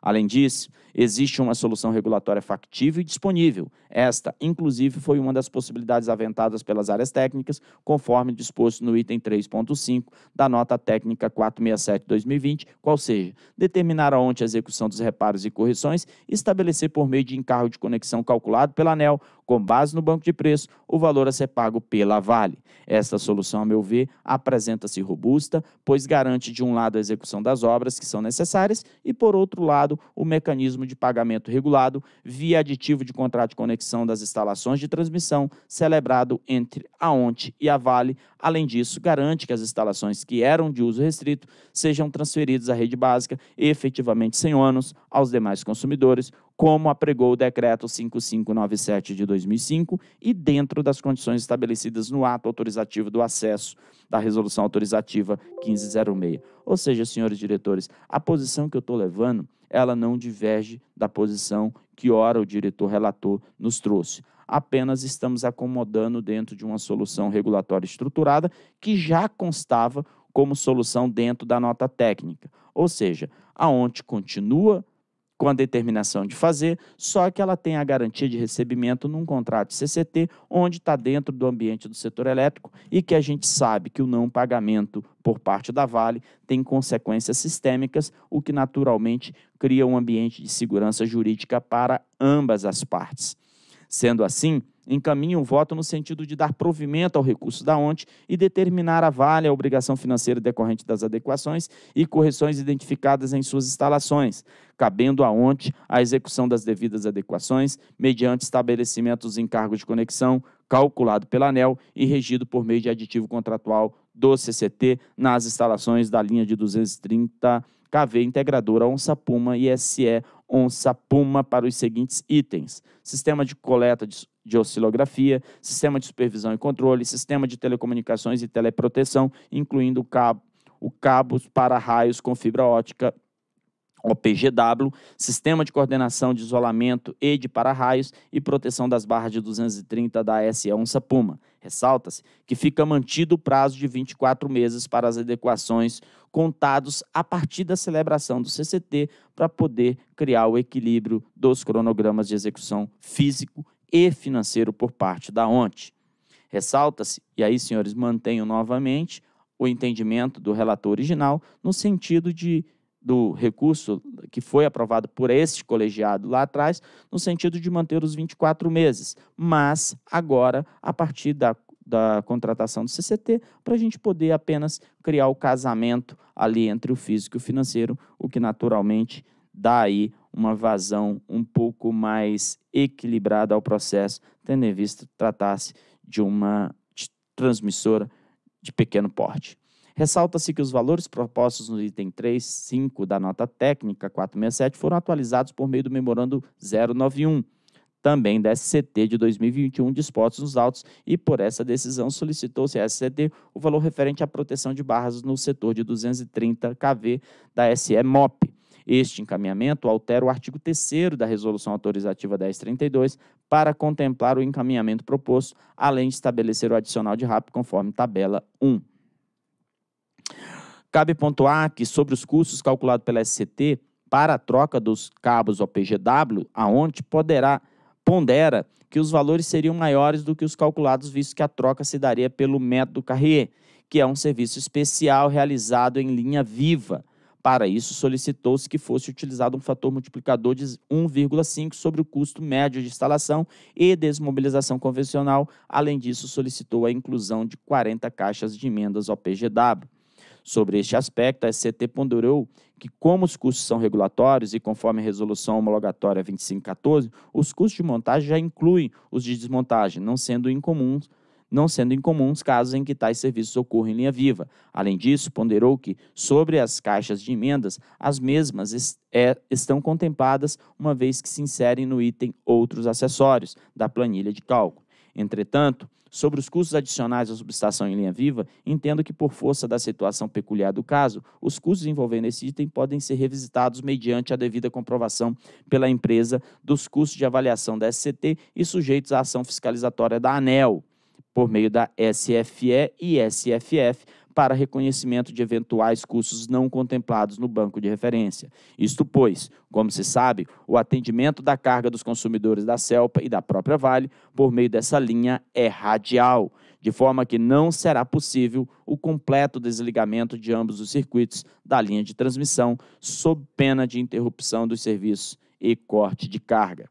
Ademais, cabe rememorar a discussão sobre os custos de execução de serviços em linha viva na Resolução Homologatória 251419, que aprovou a revisão do banco de preços de referência a ser utilizado nos processos de autorização, licitação e revisão de receitas anuais permitidas sob minha relatoria. Naquela ocasião, avaliou-se o acréscimo de percentual de 30% dos itens de mão de obra civis referente à periculosidade. Chegou-se à conclusão de que nem toda execução de serviço culminaria em situação de periculosidade, de tal forma que a informação de incidências e as respectivas justificativas deveriam ser apresentadas pelo agente no momento de solicitação e autorização da RAP, com o intuito de evitar acréscimo de custo, não necessariamente ou imprudente, naturalmente sujeitando o agente às devidas combinações legais e regulatórias em caso de inconsistências. Acrescenta-se ainda que o submódulo 9.1 dos procedimentos de regulação tarifária trata dos casos em que a aplicação do banco de preços será afastada, abarcando situações em que os itens não são apresentados ou não possuam preços correspondentes, semelhantes ou análogos. Desta forma, caberá às áreas técnicas avaliarem o serviço necessário à execução das obras para eventuais considerações no cálculo da RAP para a substituição dos cabos OPGW para o caso em tela. Aqui, senhores, ainda quando nós discutimos a 31 e a 41, que tratou do banco de preço e da remuneração da revisão das transmissoras, a gente entrou muito nesse ponto, né? E as áreas técnicas, em um primeiro momento, em que pese respeitar o entendimento da SCT, ao alegar que o custo de linha viva já está considerado no ambiente de preço referencial do banco de preço, seria demais, não seria demais aferir que então os nossos bancos de preços estariam aí em ambiente de linha morta, em ambiente de linha desenergizadas, nós estaríamos pagando custo de linha viva, o que verdadeiramente nós sabemos que é muito superior. Lembro ainda, como diretor de distribuição, o preço que a gente paga para serviços de linha viva e o preço que a gente paga para linhas mortas. Então, assim, não há que se comparar e não há para que se falar que esses preços já estejam referenciados e estejam contemplados. Por essa razão, a solução que estou encaminhando aqui no voto é no sentido de que, considerando também que temos lá previsão regulatória que custos que não são reconhecidos dentro do banco referencial, eles podem ser comprovados por vários outros ambientes, notas fiscais, fiscalização da SFE com a SFF, foi um assunto que eu discuti muito à época com a doutora Maria Luísa, ainda no banco de referencial de preço, eles podem ser comprovados. Então, a gente deixa o ambiente de comprovação para ser feito assim que a gente tiver os custos de, de, de instalações ao preço que nós vamos receber por parte da ONT e que vai ser fiscalizado por nossas áreas para um nível de reconhecimento. Então, eu não vejo como uma decisão que também é, escape ao que o colegiado aqui já decidiu no processo original. Ademais, conforme suscita a explanação da área técnica, a explicação para tal comando regulatório reside no fato de que os valores da parcela de RAP que custearão os serviços de OIM assumidos pela concessionária devem estar aderentes aos valores de investimentos observados no âmbito do setor de transmissão e não os custos passados incorridos por aquele que implantou os ativos que tenham ou não tais dispêndios sido afetados pelos benefícios tributários associados ao rede. Dessa forma, não encontra um amparo legal para dar provimento ao pleito requerido pela ONT de não incidência de rede pela parcela adicional de RAP, até porque agora a gente vai estar fazendo pelo mecanismo de CCT. Por fim, quanto ao enquadramento junto ao REID das adequações e instalações realizadas pela ONT, apresentado em nova correspondência de 22 janeiro de 22, a SCT esclareceu que tal pedido deve ser formulado com base na portaria 318 do Ministério de Minas e Energia, endereçado para a ANEL com todos os formulários necessários e após o preenchimento dos dados no sistema S-RAID do MM para instrução em processo específico. Ou seja, ainda tem todo um caminho a ser seguido. No tocante à necessidade de concessão de parcela adicional de RAP pelo remanejamento do sistema de medição para o faturamento SMF da Vale para a SA integradora Onça Puma, o que se discute aqui no voto original concedido aqui por este colegiado, nós reconhecemos o SMF, estamos aqui na, na fala do setor de transmissão, devolvendo em uma única parcela, que seria no ciclo de, no, no período de um ano. Né? O que o agente pleiteia é que isso vire um ativo de concessão e se transforme ali em RAP. Naturalmente, acompanhe o entendimento já proferido por essa casa no sentido de não reconhecer. Os equívocos nas planilhas de investimento que instruíram a resolução autorizativa 1032 de 2021. Além dos pontos específicos já discutidos acima, ontem pontuou possíveis equívocos nas planilhas de investimentos que subsidiaram os valores da resolução autorizativa 10.032. Quais sejam? Aqui eu cito de ordem geral a falta de acréscimo de custo de montagem, adequação dos serviços auxiliares, erro de quantitativo de cabo, sobre adequação das proteções da S1 Sapuma, a falta de um painel, enfim. Em análise, realizada pela SCT e SRT, contida na nota técnica 118, avaliou-se que, sobre os custos de desmontagem, todos os cálculos citados foram feitos sobre a vigência da Resolução Homologatória 2514 de 19, e tais custos já estão abarcados conforme o parágrafo 4 do artigo 1 da norma, de modo que não se encontra fundamento para a reforma da decisão. Quanto às adequações dos serviços auxiliares, a falta dos painéis de proteção e a proteção do IB as áreas técnicas revisaram os quantitativos e retificaram os valores de acordo com o apresentado pela ONT. Entretanto, quanto à proteção dos três módulos de conexão do transformador listados nos itens C, a transmissora não esclareceu as, a quais transformadores se refere as conexões. Sobre isso, a SCT esclareceu que, como não há pendência nos transformadores da ONT, não há motivação para a modificação de suas conexões. E, que os transformadores da MOP e suas conexões são de responsabilidade da Vale, de forma que não existe fundamento para considerar estabelecimento de adequações por parte dessa agência a esse respeito. Portanto, este item também ele deve ser indeferido. Por fim, em relação aos pontos D e E, esses foram considerados como pertencentes à lista de reparos e correções que estão sendo contemplados nessa decisão, mediante o cálculo de parcela de adicional de RAP a ser pago via encargos de conexão. Esses itens constam na tabela 1 deste voto. Outro ponto que merece destaque refere-se ao erro material constatado pela SCT nas receitas de OIM estabelecidos no anexo 1 da Resolução Autorizativa 10032, referente às duas entradas de linhas de 230 da SA integradora para a L, linha de transmissão integradora Onça Puma, Onça Puma C1 e C2 e aos módulos e aos dois módulos de infraestrutura de manobra a elas associados. Este erro consiste no fato da ré 4658 de maio de 14 ter estabelecido parcela de receita para o IEM para a Eletronorte operar e manter quanto a SE integradora foi recebida em transferência da Vale. Assim, já sendo a Eletronorte responsável pelas entradas de linhas citadas, estabelecer para onde receita para prestar o mesmo serviço seria um duplo pagamento por parte da rede básica. Em razão das receitas supracitadas, também terem composto a base para o estabelecimento do pagamento do retroativo referente ao período entre 21 de junho de 18 e 30 de junho de 2001, constante no parágrafo 2 do artigo 1 da RE, este, este também necessita de, de retificação. Dessa forma, acompanho a recomendação da SCT de cancelar as parcelas das duas entradas de linha de 230 da SE integradora para a, a, linha de transmissão integradora Onça Puma C1 e C2 e dos dois módulos de manobras associados ao presente anexo 1 da Resolução Autorizativa 1032 de 21, pois não faz parte dos serviços a ser prestado pela ONT e sim obrigação da própria Eletronorte. Como consequência das alterações da tabela 2 e 3, apresentam os novos valores das receitas dispostas no anexo 1 e 2 da Resolução Autorizativa 1032 de 21 a serem retificadas.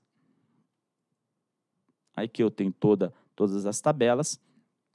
E aí, senhores diretores, com base nos fundamentos que foram apresentados, é, boa parte dessas correções de erro material a gente está acompanhando a SCT, né? Os dois itens, conforme eu coloquei, devido a eles já estarem contemplados na RAP por meio de encargo de serviço sistema, é, encargo de conexão, eles já estão contemplados no primeiro dispositivo que assim eu já apresentei o meu fundamento.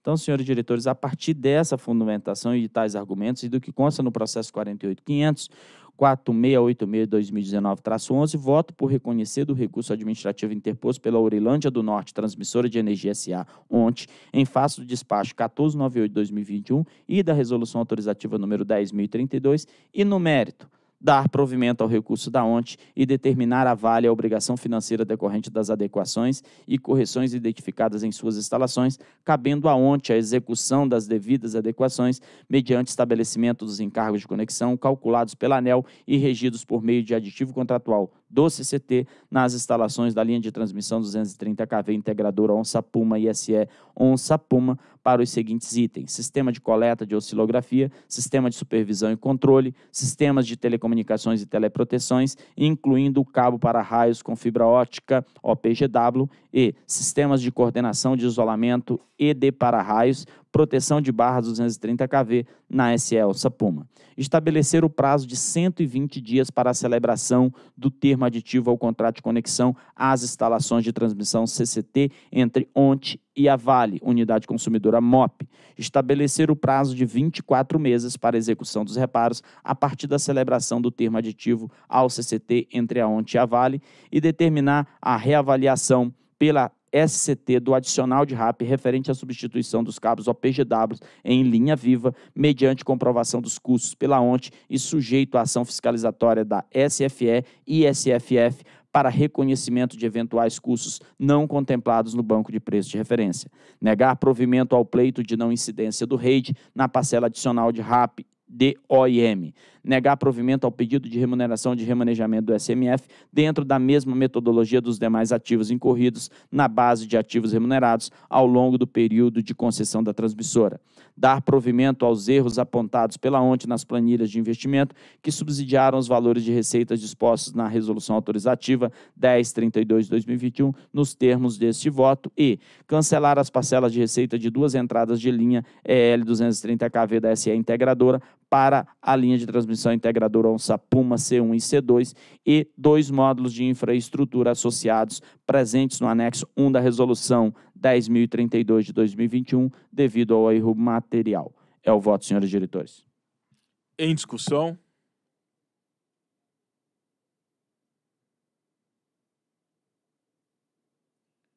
Bom, aqui eu acho que o, o, o principal é, ponto a, a, ser decidido, e acredito que haja consenso na instru, instrução processual, é que cabe à Vale as correções das, das adequações, correto? É, é, na realidade, há uma, uma, uma, sutil diferença nessa, nessa interpretação. A rigor, a responsabilidade pela correção dos itens é, considerados não conformes é da concessionária outorgada, no caso da Urilândia. O ponto principal aqui da decisão que constou do despacho 1498 é que a Orilândia deverá fazer, porque a responsabilidade é objetiva sua, e, é, e aí é uma questão contratual entre as partes, é importante destacar, porque a, as instalações, houve um termo de transferência das instalações entre a Vale e a Ourilândia.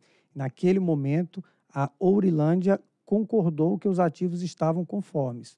Então, a gente sempre, quando fala aqui de respeito aos contratos, a ANEL sempre a, a, ressalta que esse é um valor muito caro para nós. Esse valor também deve existir no setor regulado. Então, houve um contrato entre as duas partes, é, entre a Orilândia e a Vale, um termo de transferência onde houve o aceite e o recebimento das instalações. Pequena diferença da proposta trazida pelo eminente relator é que a ANEL imporá a correção pela Vale. E aí, nesse momento, a ANEL ela acaba, por assim entender, meu entendimento, interferir em uma relação que ela é bilateral entre as duas partes. Ou seja, outrora, a empresa concordou que as instalações estavam conformes. E depois, e aí é o caso, ela sustenta que não estavam conformes e que ela solicita uma receita adicional. O pleito original era que esses reparos fossem arcados pelo consumidor via rede básica. A proposta que o diretor Efraim está trazendo é que a Vale faça e a ANEL determine que a Vale pague a na realidade, que é o contrário, que a Eurilândia faça, mas que a Vale determine, é, é, que a ANEL determine que a Vale pague a Eurilândia. O que eu estou, o que eu defendo, esse item específico do despacho é que a responsabilidade, ela, e isso tem que ser muito claro aqui, senhores diretores, porque nós estamos tratando de uma concessão pública. E se houver e continuar dúvidas a respeito desse tema, podemos ter eventos, podemos ter é, problemas no fornecimento de energia elétrica e haverá aí um limbo de responsabilidades. Então, acho que o ponto principal é a ANEL impõe é a proposta para que a Vale faça e que seja cobrado via encargos, esperando que este contrato é um contrato que é estabelecido entre o, a, as duas partes, no meu entendimento, cabe sim que a ONTE faça, porque a sua responsabilidade é objetiva, otorgada em contrato, e requeira judicialmente, porque há, de novo, um contrato entre as partes no âmbito privado que foi estabelecido. Só, só, só um pouquinho, só construir um, um raciocínio, diretor Fém, seu voto está muito claro, objetivo e muito bem exposta a tese. É, eu compreendo aqui a, a colocação do diretor Sandoval, de fato, em uma situação normal, cabe à otorgada do serviço público que detém um contrato de concessão exercer eh, os reparos. Agora, aqui é uma situação, podemos dizer, excepcional, não é uma situação que tem a lida do dia a dia. É um ponto aqui para a gente tentar encaminhar uma proposta. Não existe dúvidas, é, você tinha as instalações da Vale que foram transferidas para Orilândia. E não existe dúvidas na, na instrução processual que as instalações da Vale não estavam adequadas aos requisitos é, de, de rede básica. Há, é importante lembrar que antes de um processo licitatório, há inspeções e há declarações assinadas pela empresa. No caso, as condições que lá estavam é, na instalação eram de pleno conhecimento da, dos participantes do certame. Inclusive, o doutor Ivo está aqui, pode confirmar, há, há, há, documentos que são assinados pela empresa exatamente para que, nos, para que tenhamos segurança em pleitos futuros. Do, por exemplo, essa instalação tinha um, um vício que eu não conhecia, mas você assinou um documento que inspecionou e conhecia as, as, as condições das instalações. É, colocou que as instalações da, da Vale não atendiam os requisitos da rede básica. É, foi a ANEL? De onde que surgiu isso? E hoje nós temos assim, quem, quem alega o, o isso, prático, quem alega tinha... isso é a, é a, é a recorrente. Então, o caso prático, nós tínhamos a, a instalação da, da Vale, e aí não vamos entrar no detalhe, o fato é que ela teve que ser transferida para a concessionária que é a Orilândia. Então foi transferida para a Orilândia. é, essas instalações elas devem atender aos requisitos de rede básica. Em que momento que surgiu é, a questão de que ela não atende os requisitos de rede básica? Acho que, doutor André, me permita, acho que a gente tem que voltar um pouco atrás para a gente ter a compreensão do todo. E me permita que é o doutor Sandoval, que é o nosso especialista de transmissão aqui no nosso colegiado, me permita divergir. E aí a gente precisa fazer um histórico. Mas, mas só um pouquinho antes a gente entrar é que eu vou no mérito, tá, vamos só tentar construir é o que raciocínio. eu vou chegar nesse ponto. Não, não existe ninguém detector. São regras do procedimento de rede. Isso. Precisa estar nessas condições. Exato. Então, nós temos a, a instalação da Vale Pronto. e nós temos o procedimento de rede da ANEL. Exato. Aí essas instalações, não interessa aqui o porquê, tem É, que ser é, transferido é mais, para a ou, Aurilândia. é Só- mais só ou pra menos o seguinte. Aí quando chegou na Aurilândia, a Aurilândia olha e fala, não atende aos procedimentos eh, de rede da ANEL, então eu tenho que fazer investimento nessas instalações que veio para mim. Aí que nós estamos discutindo aqui, quem vai pagar esses investimentos. Mas uma coisa que eu acho de bom tom e que já há consenso. Não, No primeiro- isso já está decidido É, quem no- vai pagar. É, num primeiro momento. É só o modo que a gente primeiro está. momento queriam jogar para a rede básica. Aí a ANEL coloca não. Isso aí não tem o consumidor não tem nada a ver com isso. Vai ser ou a Urilândia ou a Vale. Depois evoluiu-se e já tem ciência de que a Vale deve pagar esse, esses equipamentos. Ela, é- ela, ela é a responsável, ela é responsável por adequar. Perfeito. Até aí há consenso. Mas é que tem, uma, é, tem um porquê disso tudo, doutor André. Pois não. Tem um porquê. lá. É por isso que eu estou querendo colocar o seguinte. Por que, que todo mundo se interessa em transferir acesso restrito para a rede Ah, básica? causa das perdas. Perda, OIM. A gente está falando de uma linha de quase 200 É a nossa quilômetros. regra, né? Quando É a regra. Uma, uma linha só, ela fica em Ok. Quando passa a atender duas Pronto, pra pronto. Aí o que, que a acontece? Aí nós tivemos um leilão. E aí a gente tem que observar isso com muita cautela. Quando a gente fala em segurança jurídica e segurança contratual. Nós tivemos um leilão cuja responsabilidade não estava alocada no concessionário. Né? Aí você tem, através de um- uma construção regulatória, você transfere isso para o concessionário. Agora, para nós transferirmos, a gente precisa pensar o seguinte: tem um acordo bilateral? Tem. A questão é: é suportável? É suportável imaginar que a gente vai atribuir a alguém que não foi objeto de licitação, recebeu um ativo, e a gente vai imputar a ele adequar os ativos que era obrigação da Vale ter feito e que nós, na hora da transferência, não checamos, porque vai por declaração, mas eu digo, é igual, é igual fiscalização responsiva, doutor Sandoval. Vocês têm uma declaração Ex- da Vale dizendo que Exatamente. Aí a gente acata isso e simplesmente lava a mão e diz: transmissora, faça e corra atrás da justiça. Eu acho que não há justeza nesse processo. E a proposta que está se colocando aqui, veja, está lá na nota técnica. E vejam bem, a gente está falando de quase. Aqui, ó. As, os cômputos da nossa área técnica chega próximo de 16 milhões. A ontem apresenta próximo de 30. Vamos colocar uma linha de meio aí. 25. A gente está imputando 25 milhões de investimento a uma pessoa que, de certa forma, o decreto por si só já fez a interferência e mandou transferir. Olha, a gente está falando de, trans- de- de interferência no setor elétrico, interferência em contratos. Ele foi participou de um leilão. Ah, doutor Efraim, mas ele veio aqui na ANEL, ele assinou, ele concordou. Sim, ele concordou. Aí agora o cara chega diante de um investimento de 30 milhões e aí diz o seguinte: ok, faça o investimento, a obrigação é da Vale, mas aí o senhor corre atrás da justiça porque nós não somos capazes de resolver os nossos problemas dentro do ambiente regulatório. Só para ajudar a gente a formar uma, uma opinião. Então, até aqui temos consenso de todas as partes Que a Vale. que a Vale deve pagar. Correto? Sim, correto. Então tá. Aí agora a, a discussão está como isso deve ser feito. Aí eu, tá, eu, era o que eu tinha entendido, tá, tá, tá confirmado, então não há dúvida quem deve fazer esse reforço. Para Na realidade, quem deve arcar É, com os custos desse reforço. é isso, Mas o porque fato o é, no- responsável é o No concessionário. mundo ideal, a, o- a instalação da Vale deveria estar adequada à rede básica, o concessionário receberia e tocaria. No caso, não está.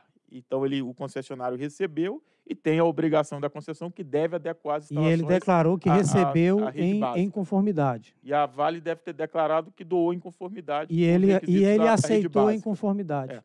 Só que aí é, é o ponto. Se a gente tem a clareza, e aqui está o superintendente Ivo e o superintendente da SRT, Leonardo. doutor Leonardo, que tem o entendimento que quem é, deve arcar com os custos, assim, quem deve pagar é a Vale. A Vale deveria estar com sua instalação adequada.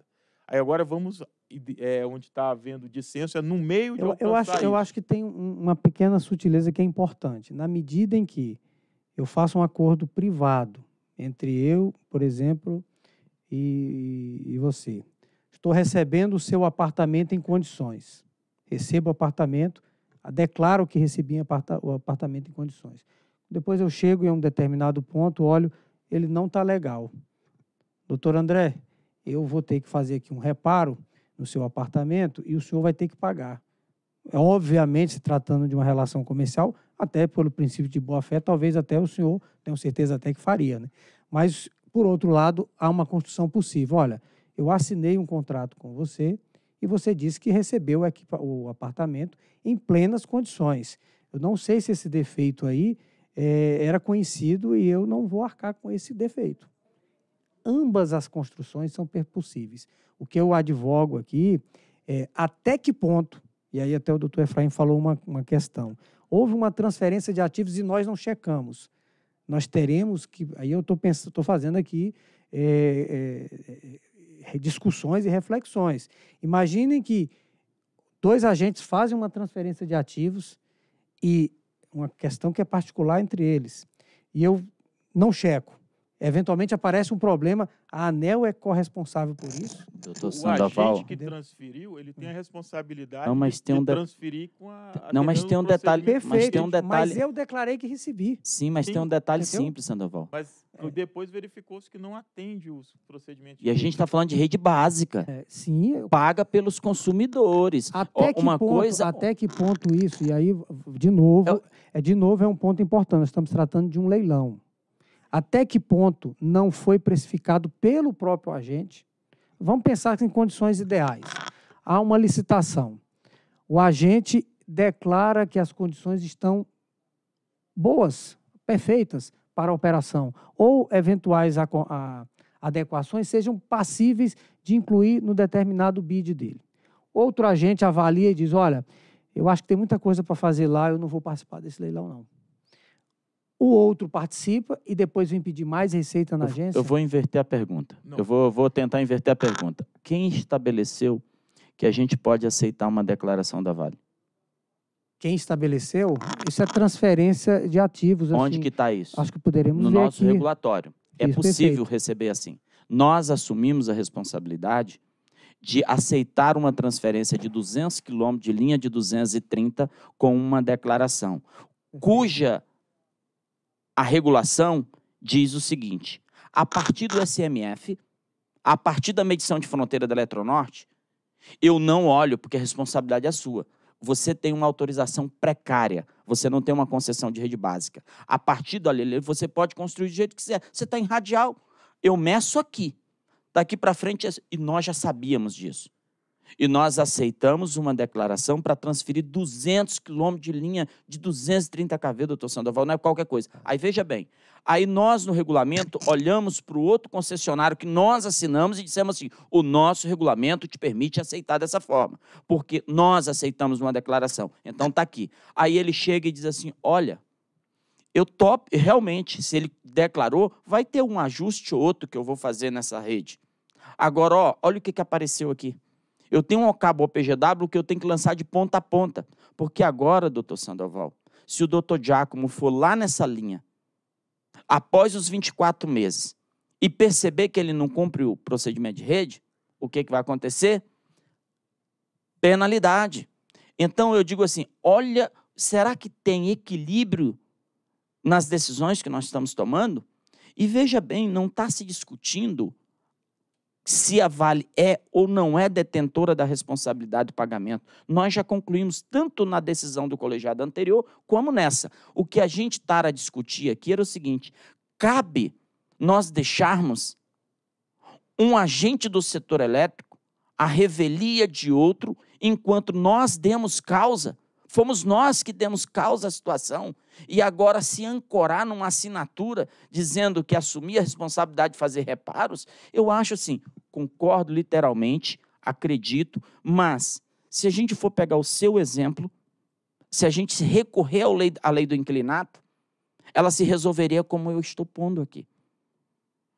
Seria de forma muito simples. A gente, se a gente for comparar uma, um defeito estrutural, é responsabilidade originária.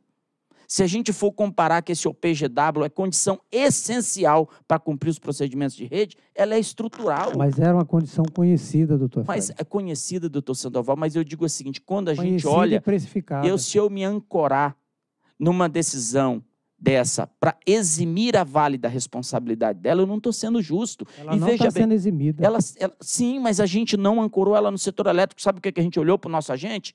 Entra na justiça se ela não quiser cobrar, se ela não quiser pagar. E veja, olha o que, que a gente está fazendo. A gente está deixando uma instalação de rede básica à mercê de uma decisão do judiciário se paga ou Não. se não paga. Não.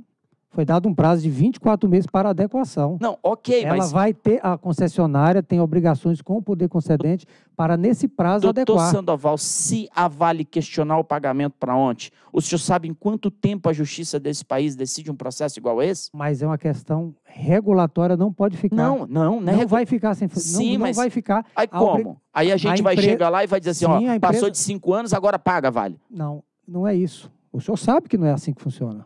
Mais do que ninguém, o senhor sabe. Só entra na estou revisão. co- Não, calma, eu só estou querendo colocar aqui. Até 24 meses, a, a transmissora tem a obrigação, sim, de adequar as instalações e fazer a cobrança junto à Vale. E É se a Vale não pagar? É uma questão entre as duas empresas. É isso que eu estou lhe Efraim. Mas é falando. um contrato privado. não é contrato Efraim. Claro privado. que é. A obrigação dele com a Vale originou-se de onde? Deixa eu perguntar de um contrato uma coisa privado? Não. No leilão. Tava a, não. A, a, a, a UNT, né? Não, não- Sabia que tinha que assumir esse- Não, esses não, 200 isso é anos ex de post. OPGW? Se a gente Não, for não. analisar sob ponto de Claro- vista não, jurídico, Claro que sim, saberia, claro. Não. Claro, claro. assumir essa linha de transmissão não está no escopo do leilão, doutor Sandoval. Doutor Efraim, então tudo isso que foi julgado está errado. Não. Porque, então, vamos, vamos ouvir aqui então Não a a área passou- técnica aqui, por favor, porque é, há um conjunto de informações aqui que estão sendo é, colocadas que nós temos que ater a robusta instrução que teve desde o princípio. A questão. Não, doutor, sabe aonde você está se ancorando? Houve uma concordância Não, da... opa, empre- Opa, Olha, a então, pergunta foi colocada. A pergunta foi colocada o seguinte: está no escopo do leilão? Não, categoricamente não houve, está. aco- houve acordo da Opa, empresa para arcar com aquilo? Não, doutor Sandoval, Não olha, olha a pergunta. A gente tem que se atre- ater ao que está, estamos julgando. Veja bem, houve o leilão. Ontem ganhou um ativo de transmissão. A pergunta é: estava no leilão? Não, não estava. Ele se comprometeu com o serviço público. Após o leilão, Muito bem. após o leilão, Isso. doutor André, surge a questão da 722, Ótimo. surge a questão ancorada ao decreto e diz o seguinte. Aí tem uma reunião que é chamada aqui nas duas superintendências e cria-se uma construção, tá um- tem uma ata lançada no processo dizendo que a ONT deveria assumir aquele ativo. Então, não está no leilão. A ONT concordou, Efraim? Agora sim. Aí a sua resposta diz assim: está no leilão? Não. Está em ata. A ONT concordou e assinou a transferência. Mas que no leilão, no escopo, não. Sim, mas isso atende perfeitamente o que eu coloquei. Houve um acordo entre as empresas. Sim, mas olha, olha a pergunta. Está no leilão? Não, não está. Ou seja, é Em um nenhuma custo mom- extraordinário que surgiu depois Pronto, do edital, que vai ser exatamente. imputado É ao isso aí. vencedor do leilão para reaver com a, com a, com a outra. Com Mas a, empresa dis- que foi transferida, a discussão aqui, eu digo assim, a gente Não. já delimitou quem vai pagar. Até porque se hoje a gente não forma. tiver essa decisão, a gente É, delimitou mas quem vai para pagar. avançar, nós já delimitamos que vai pagar, que vai pagar a Vale. tá? Sim. Que é um consenso. Então, se a Vale vai pagar, atribui-se o custo à Vale. Exato, é isso que, é, é o que eu falo. A estruturação desse modelo nos dá a seguinte garantia: o A setor outra elétrico. alternativa é fazer a UNT pagar para depois a UNT buscar esse recurso com a Vale, que é o que você pondera. Exato. Isso vai dar uma judicialização que vai durar aí um, um prazo grande, É isso, assim. é isso, é isso que eu digo assim. Aonde, olha, pelo tamanho, E aí a proposta aqui, como é que a Vale vai pagar? É via custo? faz contrato de CCT. Faz um que é um CC modelo. um esse CCT. modelo já está dentro da nota técnica e esse é um modelo extremamente usual no setor elétrico brasileiro. Nós não estamos saindo para nenhum modelo diferente do que Essa, já existe. essa, essa recomendação para Vale pagar, ela está explícita na, na nota técnica? Ela é uma das soluções apontadas na nota técnica. Mas ela foi indicada como não, recomendação? Não, não, não. Ah, foi ó. acatada a ideia de você. Por quê? Justamente, foi, se ancorou na ideia de aonde ter assinado um documento dizendo que ela assumiria as responsabilidades. Mas em nenhum momento da nota técnica diz que não é responsabilidade da Vale. Dentro do princípio assim, da eficiência e da segurança jurídica do setor, o que, que seria melhor? Se o custo, já há consenso que é da Vale, é fazer a ONTE assumir por ser concessionário e depois ser ressarcida pela Vale, aí tem todo um risco, ou então estabelecer que a Vale pague eh, esse custo. É essa a decisão que está aqui para ser tomada. Eu, eu tô, tô lançando mão de uma solução regulatória, né, que de certa forma cria um equilíbrio e dá justeza nas decisões que foram tomadas, por quê? Porque de certa forma a gente está impondo um ônus muito grande a uma concessionária e assim, doutor André, o ponto central que é quem vai pagar não saiu, ele se mantém na linha, é a Vale. Aqui é só o seguinte, é a forma e a forma não muda em nada. Modelo regulatório estruturado que nós já temos dentro de casa. Ou seja, não está mudando em nada o escopo de, de onde está saindo e onde se quer chegar. É, o ponto que eu fico com a impressão é o seguinte, teve o leilão, depois do leilão surgiu um custo extraordinário, que é esses 200 quilômetros de cabos, o, o PW, que está alçado aí pela empresa em 36 milhões, que é um custo que surgiu após o leilão. Aqui na instrução técnica não há dúvidas que quem deve pagar é a Vale. Então, acho que a, assim, a, a forma mais eficiente, que traz mais segurança, é atribuir ao custo a quem deve, quem deve é, recepcionar esse custo, e não colocar um terceiro É. agente, que talvez a gente esteja contribuindo né, para uma litigância no Eu setor. acho que o meu caminho do Dr. Sandoval vai no mesmo caminho. É assim, acho que a entendo, única- compreendo a, a única, lógica. A única questão, é, doutor André, de novo, eu voltando, dando um passo atrás na questão do respeito aos contratos, respeito ao combinado. O combinado, e aí dizia já os mais antigos, o combinado não é caro. Então, houve, identificou-se essa questão pós o leilão, a empresa veio aqui, se reuniu com as áreas técnicas, se reuniu com a outra parte, fizeram diversas reuniões, assinaram contratos de transferências de ativos, se responsabilizaram em adequar aquelas instalações e depois apresentaram para a ANEL um cenário diferente. Então, assim, esse é um ponto que, eh, de novo, eu, eu me rendo, eu me rendo a, a, aos princípios e valores que defendo aqui diariamente. Então, neste caso, mais uma vez, houve o consenso, houve um contrato entre as partes. O CCT, ainda que é um contrato com caráter regulado, ele é um contrato privado entre as partes. A decisão de eventualmente impor um custo para uma terceira parte, que inclusive nem aqui nesse processo está, ele não vejo como um processo, eh, não vejo como uma decisão razoável.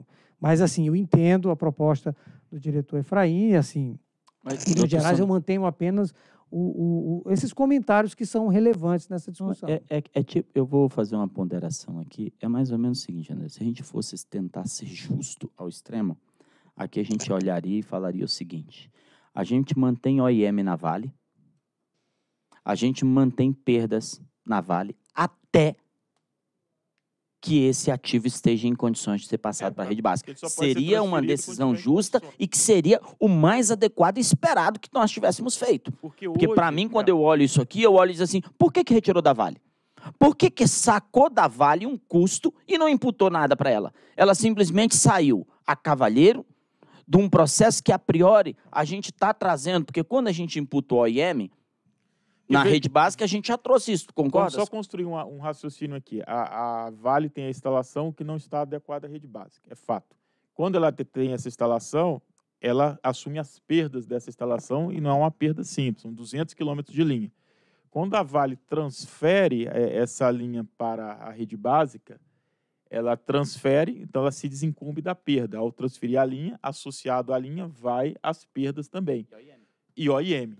Que, que é, ou seja, se isenta de um custo, e um custo relativo. Agora, para que isso seja feito, tem uma condição. Eu, eu tenho que é, transferir o ativo com determinada qualidade, que é o que o, os procedimentos de rede estabelecem. Então, há um equilíbrio entre custo e receita. Eu tenho a qualidade, que vai, que vai exigir um custo, né, porque eu tenho que fazer investimentos, e tenho a. Assim, eu me desobrigo de assumir perdas e assumir OIM. O que está acontecendo aqui é que ela transferiu a linha sem a devida qualidade e se isentou de perdas e OIM. Então, assim, a Vale ficou no melhor dos mundos. É, só, só uma pequena... Só, o regulatório não está tendo é, equilíbrio nessa Só, nessa só uma correção, doutor André. Quem, errado aqui no raciocínio. Com alguns pequenos ajustes. Quem transferiu a linha não foi a Vale.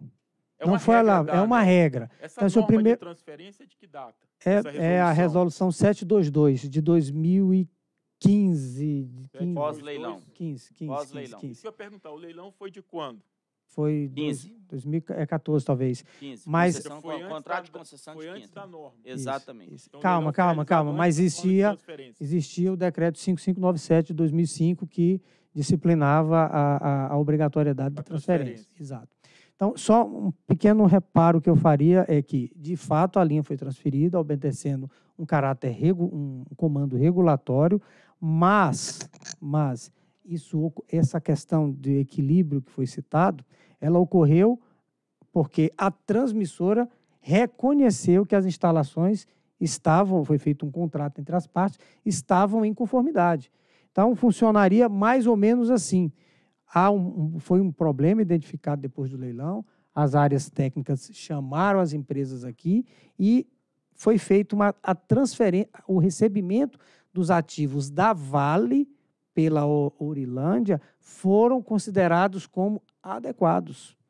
Neste momento, a empresa diz: estou recebendo, está, está adequado. De E posteriormente, surge que não é adequado? posteriormente a esse acordo, Identificado por quem?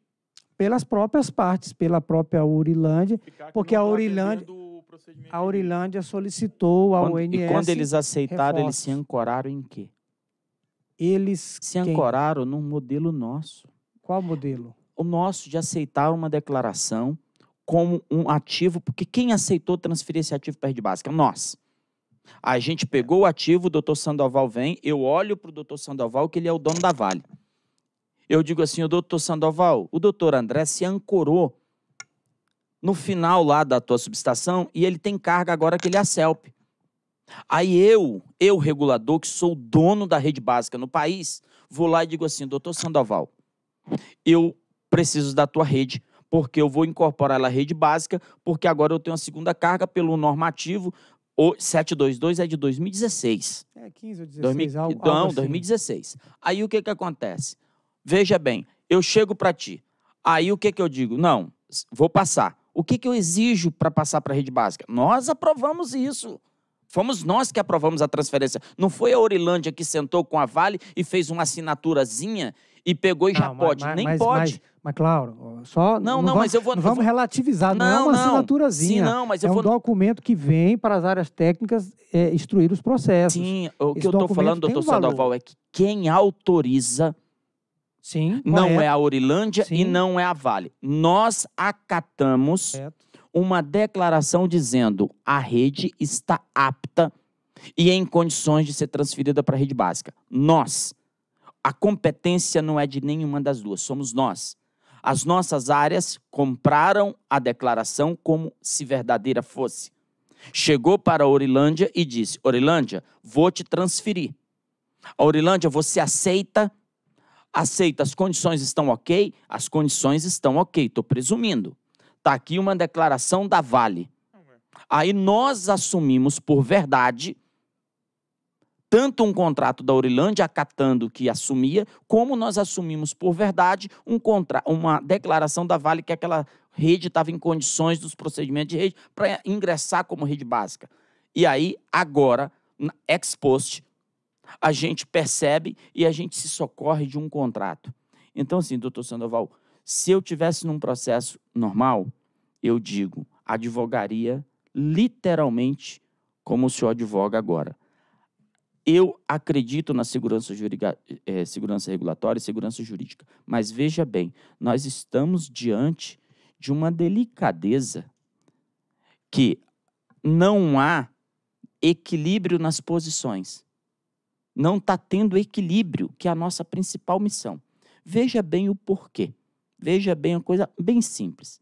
A gente está imputando a uma pequena transmissora um custo que pode estar entre 20 e 30 milhões e dizendo, quando eu te entreguei, eu falei que ela estava ok.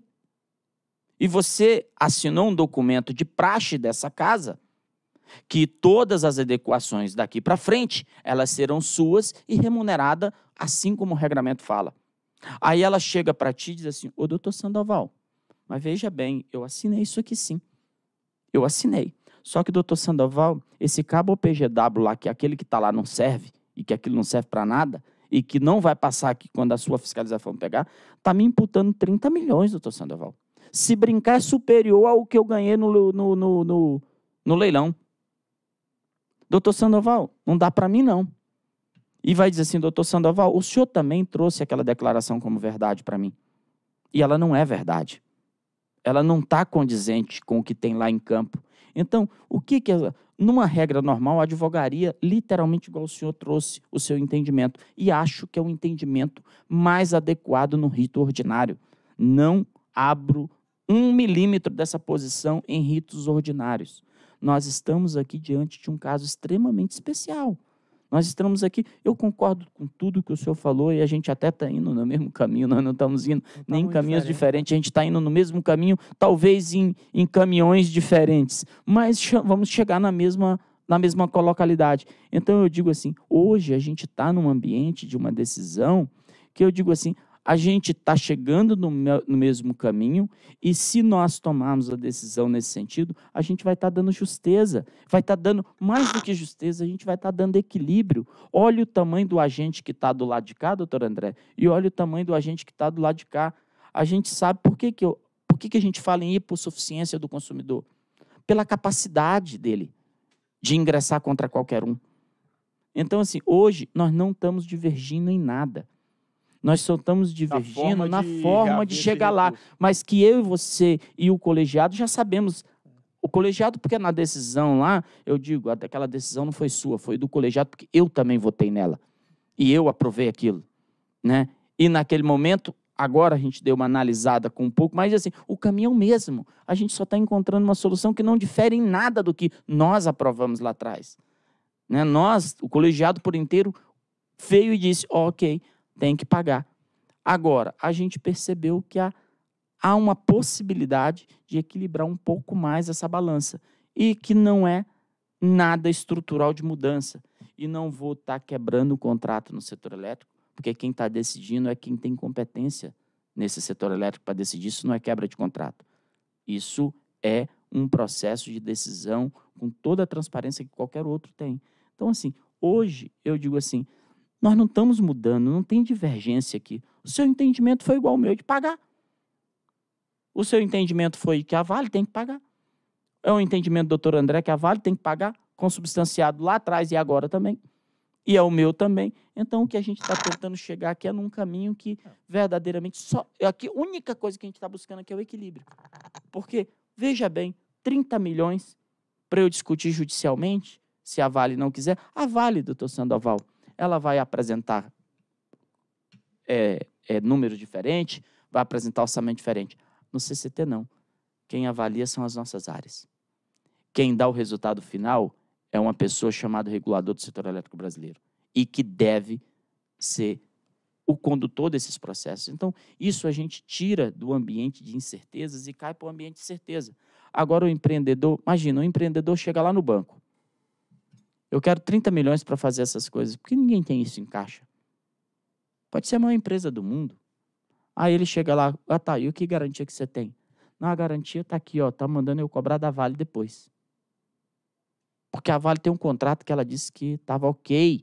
E se ela estava ok, ela é obrigada a responsabilizar pelo contrato que ela disse que estava ok. Aí eu na justiça vou dizer que ela não estava ok e eu gastei isso. A Vale que me pague. Aí o banco vai dizer assim: ah, então fala o seguinte, primeiro tu constrói a linha, depois tu vem aqui que eu te dou o dinheiro. Porque para isso eu não vou te dar o dinheiro, porque a gente sabe. Olha o que, que a gente está passando pela conta Covid. A gente tem o melhor. A conta escassez hídrica. A gente tem o melhor pagador do Brasil e as taxas não são lá essas, essas coisas todas. A gente sempre está brigando com os bancos para ter que taxa.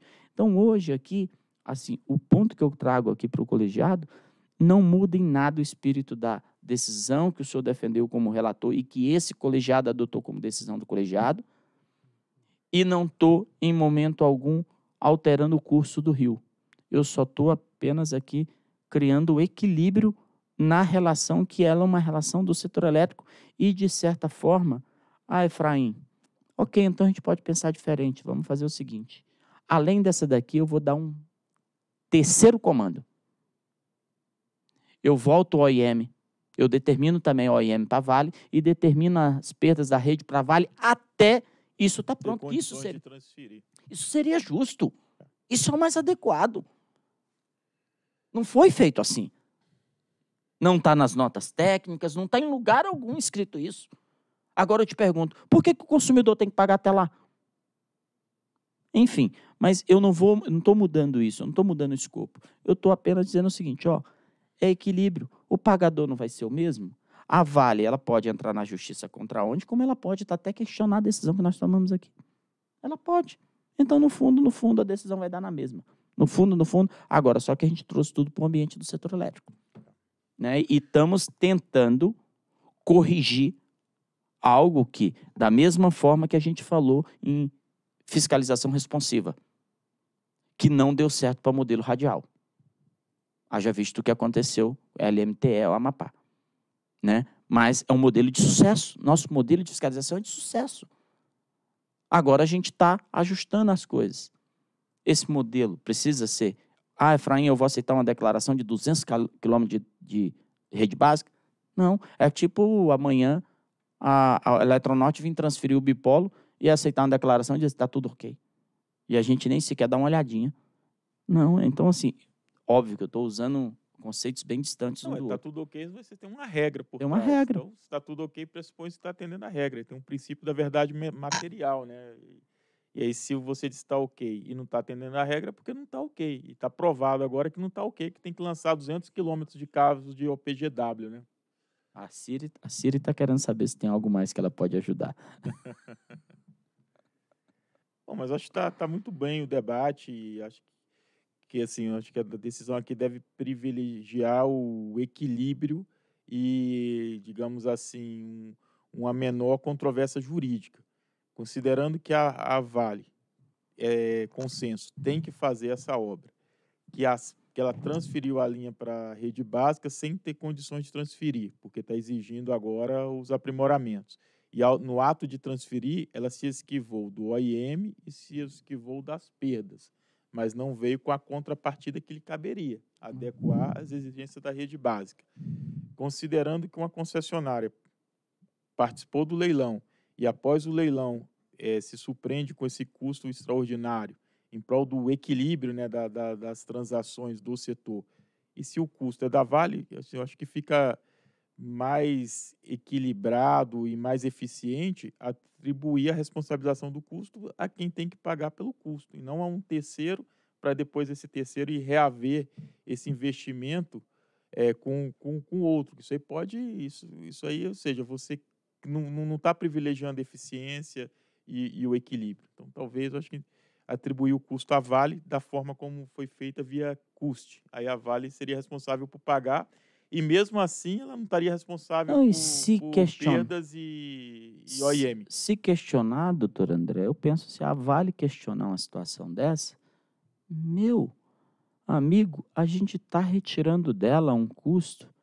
Eu lembro quando eu era diretor de distribuição, chegou um, um iluminado, né, que saiu pegando a procuração de todos os condomínios da cidade, que ele queria transferir as subestações dos condomínios para a concessionária, né? Por um simples fato, só para se livrar ali de ter um engenheiro assinando todo mês, só para se livrar de ter os custos ali de possíveis manutenção nos transformadores.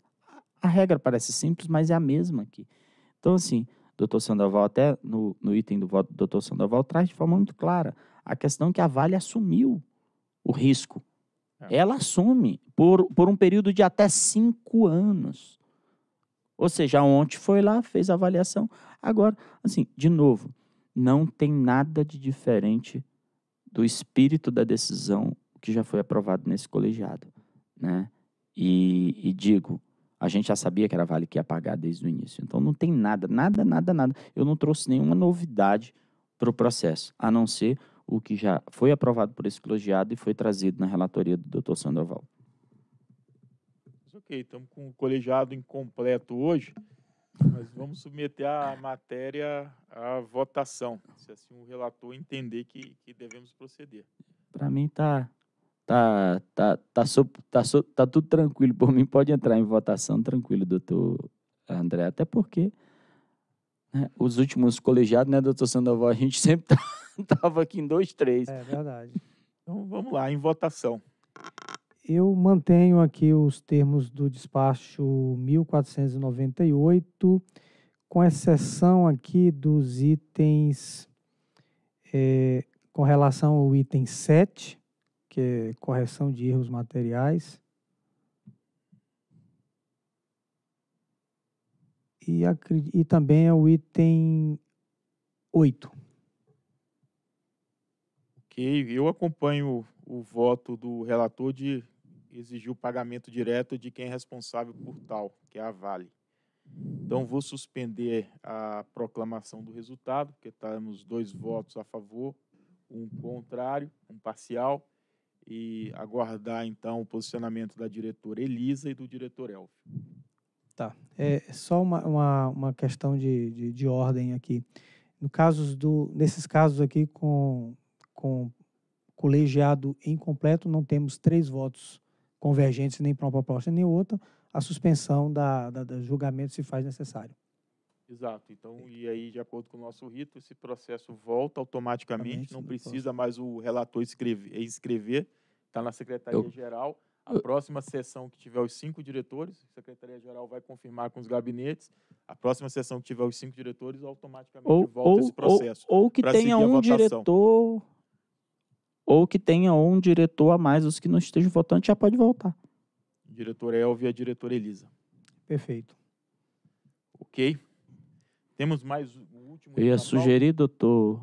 São três itens ainda. Três ainda. Eu ia sugerir a suspensão para a gente. Três itens que estão no bloco. É. Então vamos suspender aqui a, o julgamento e voltamos às 15 horas. 15?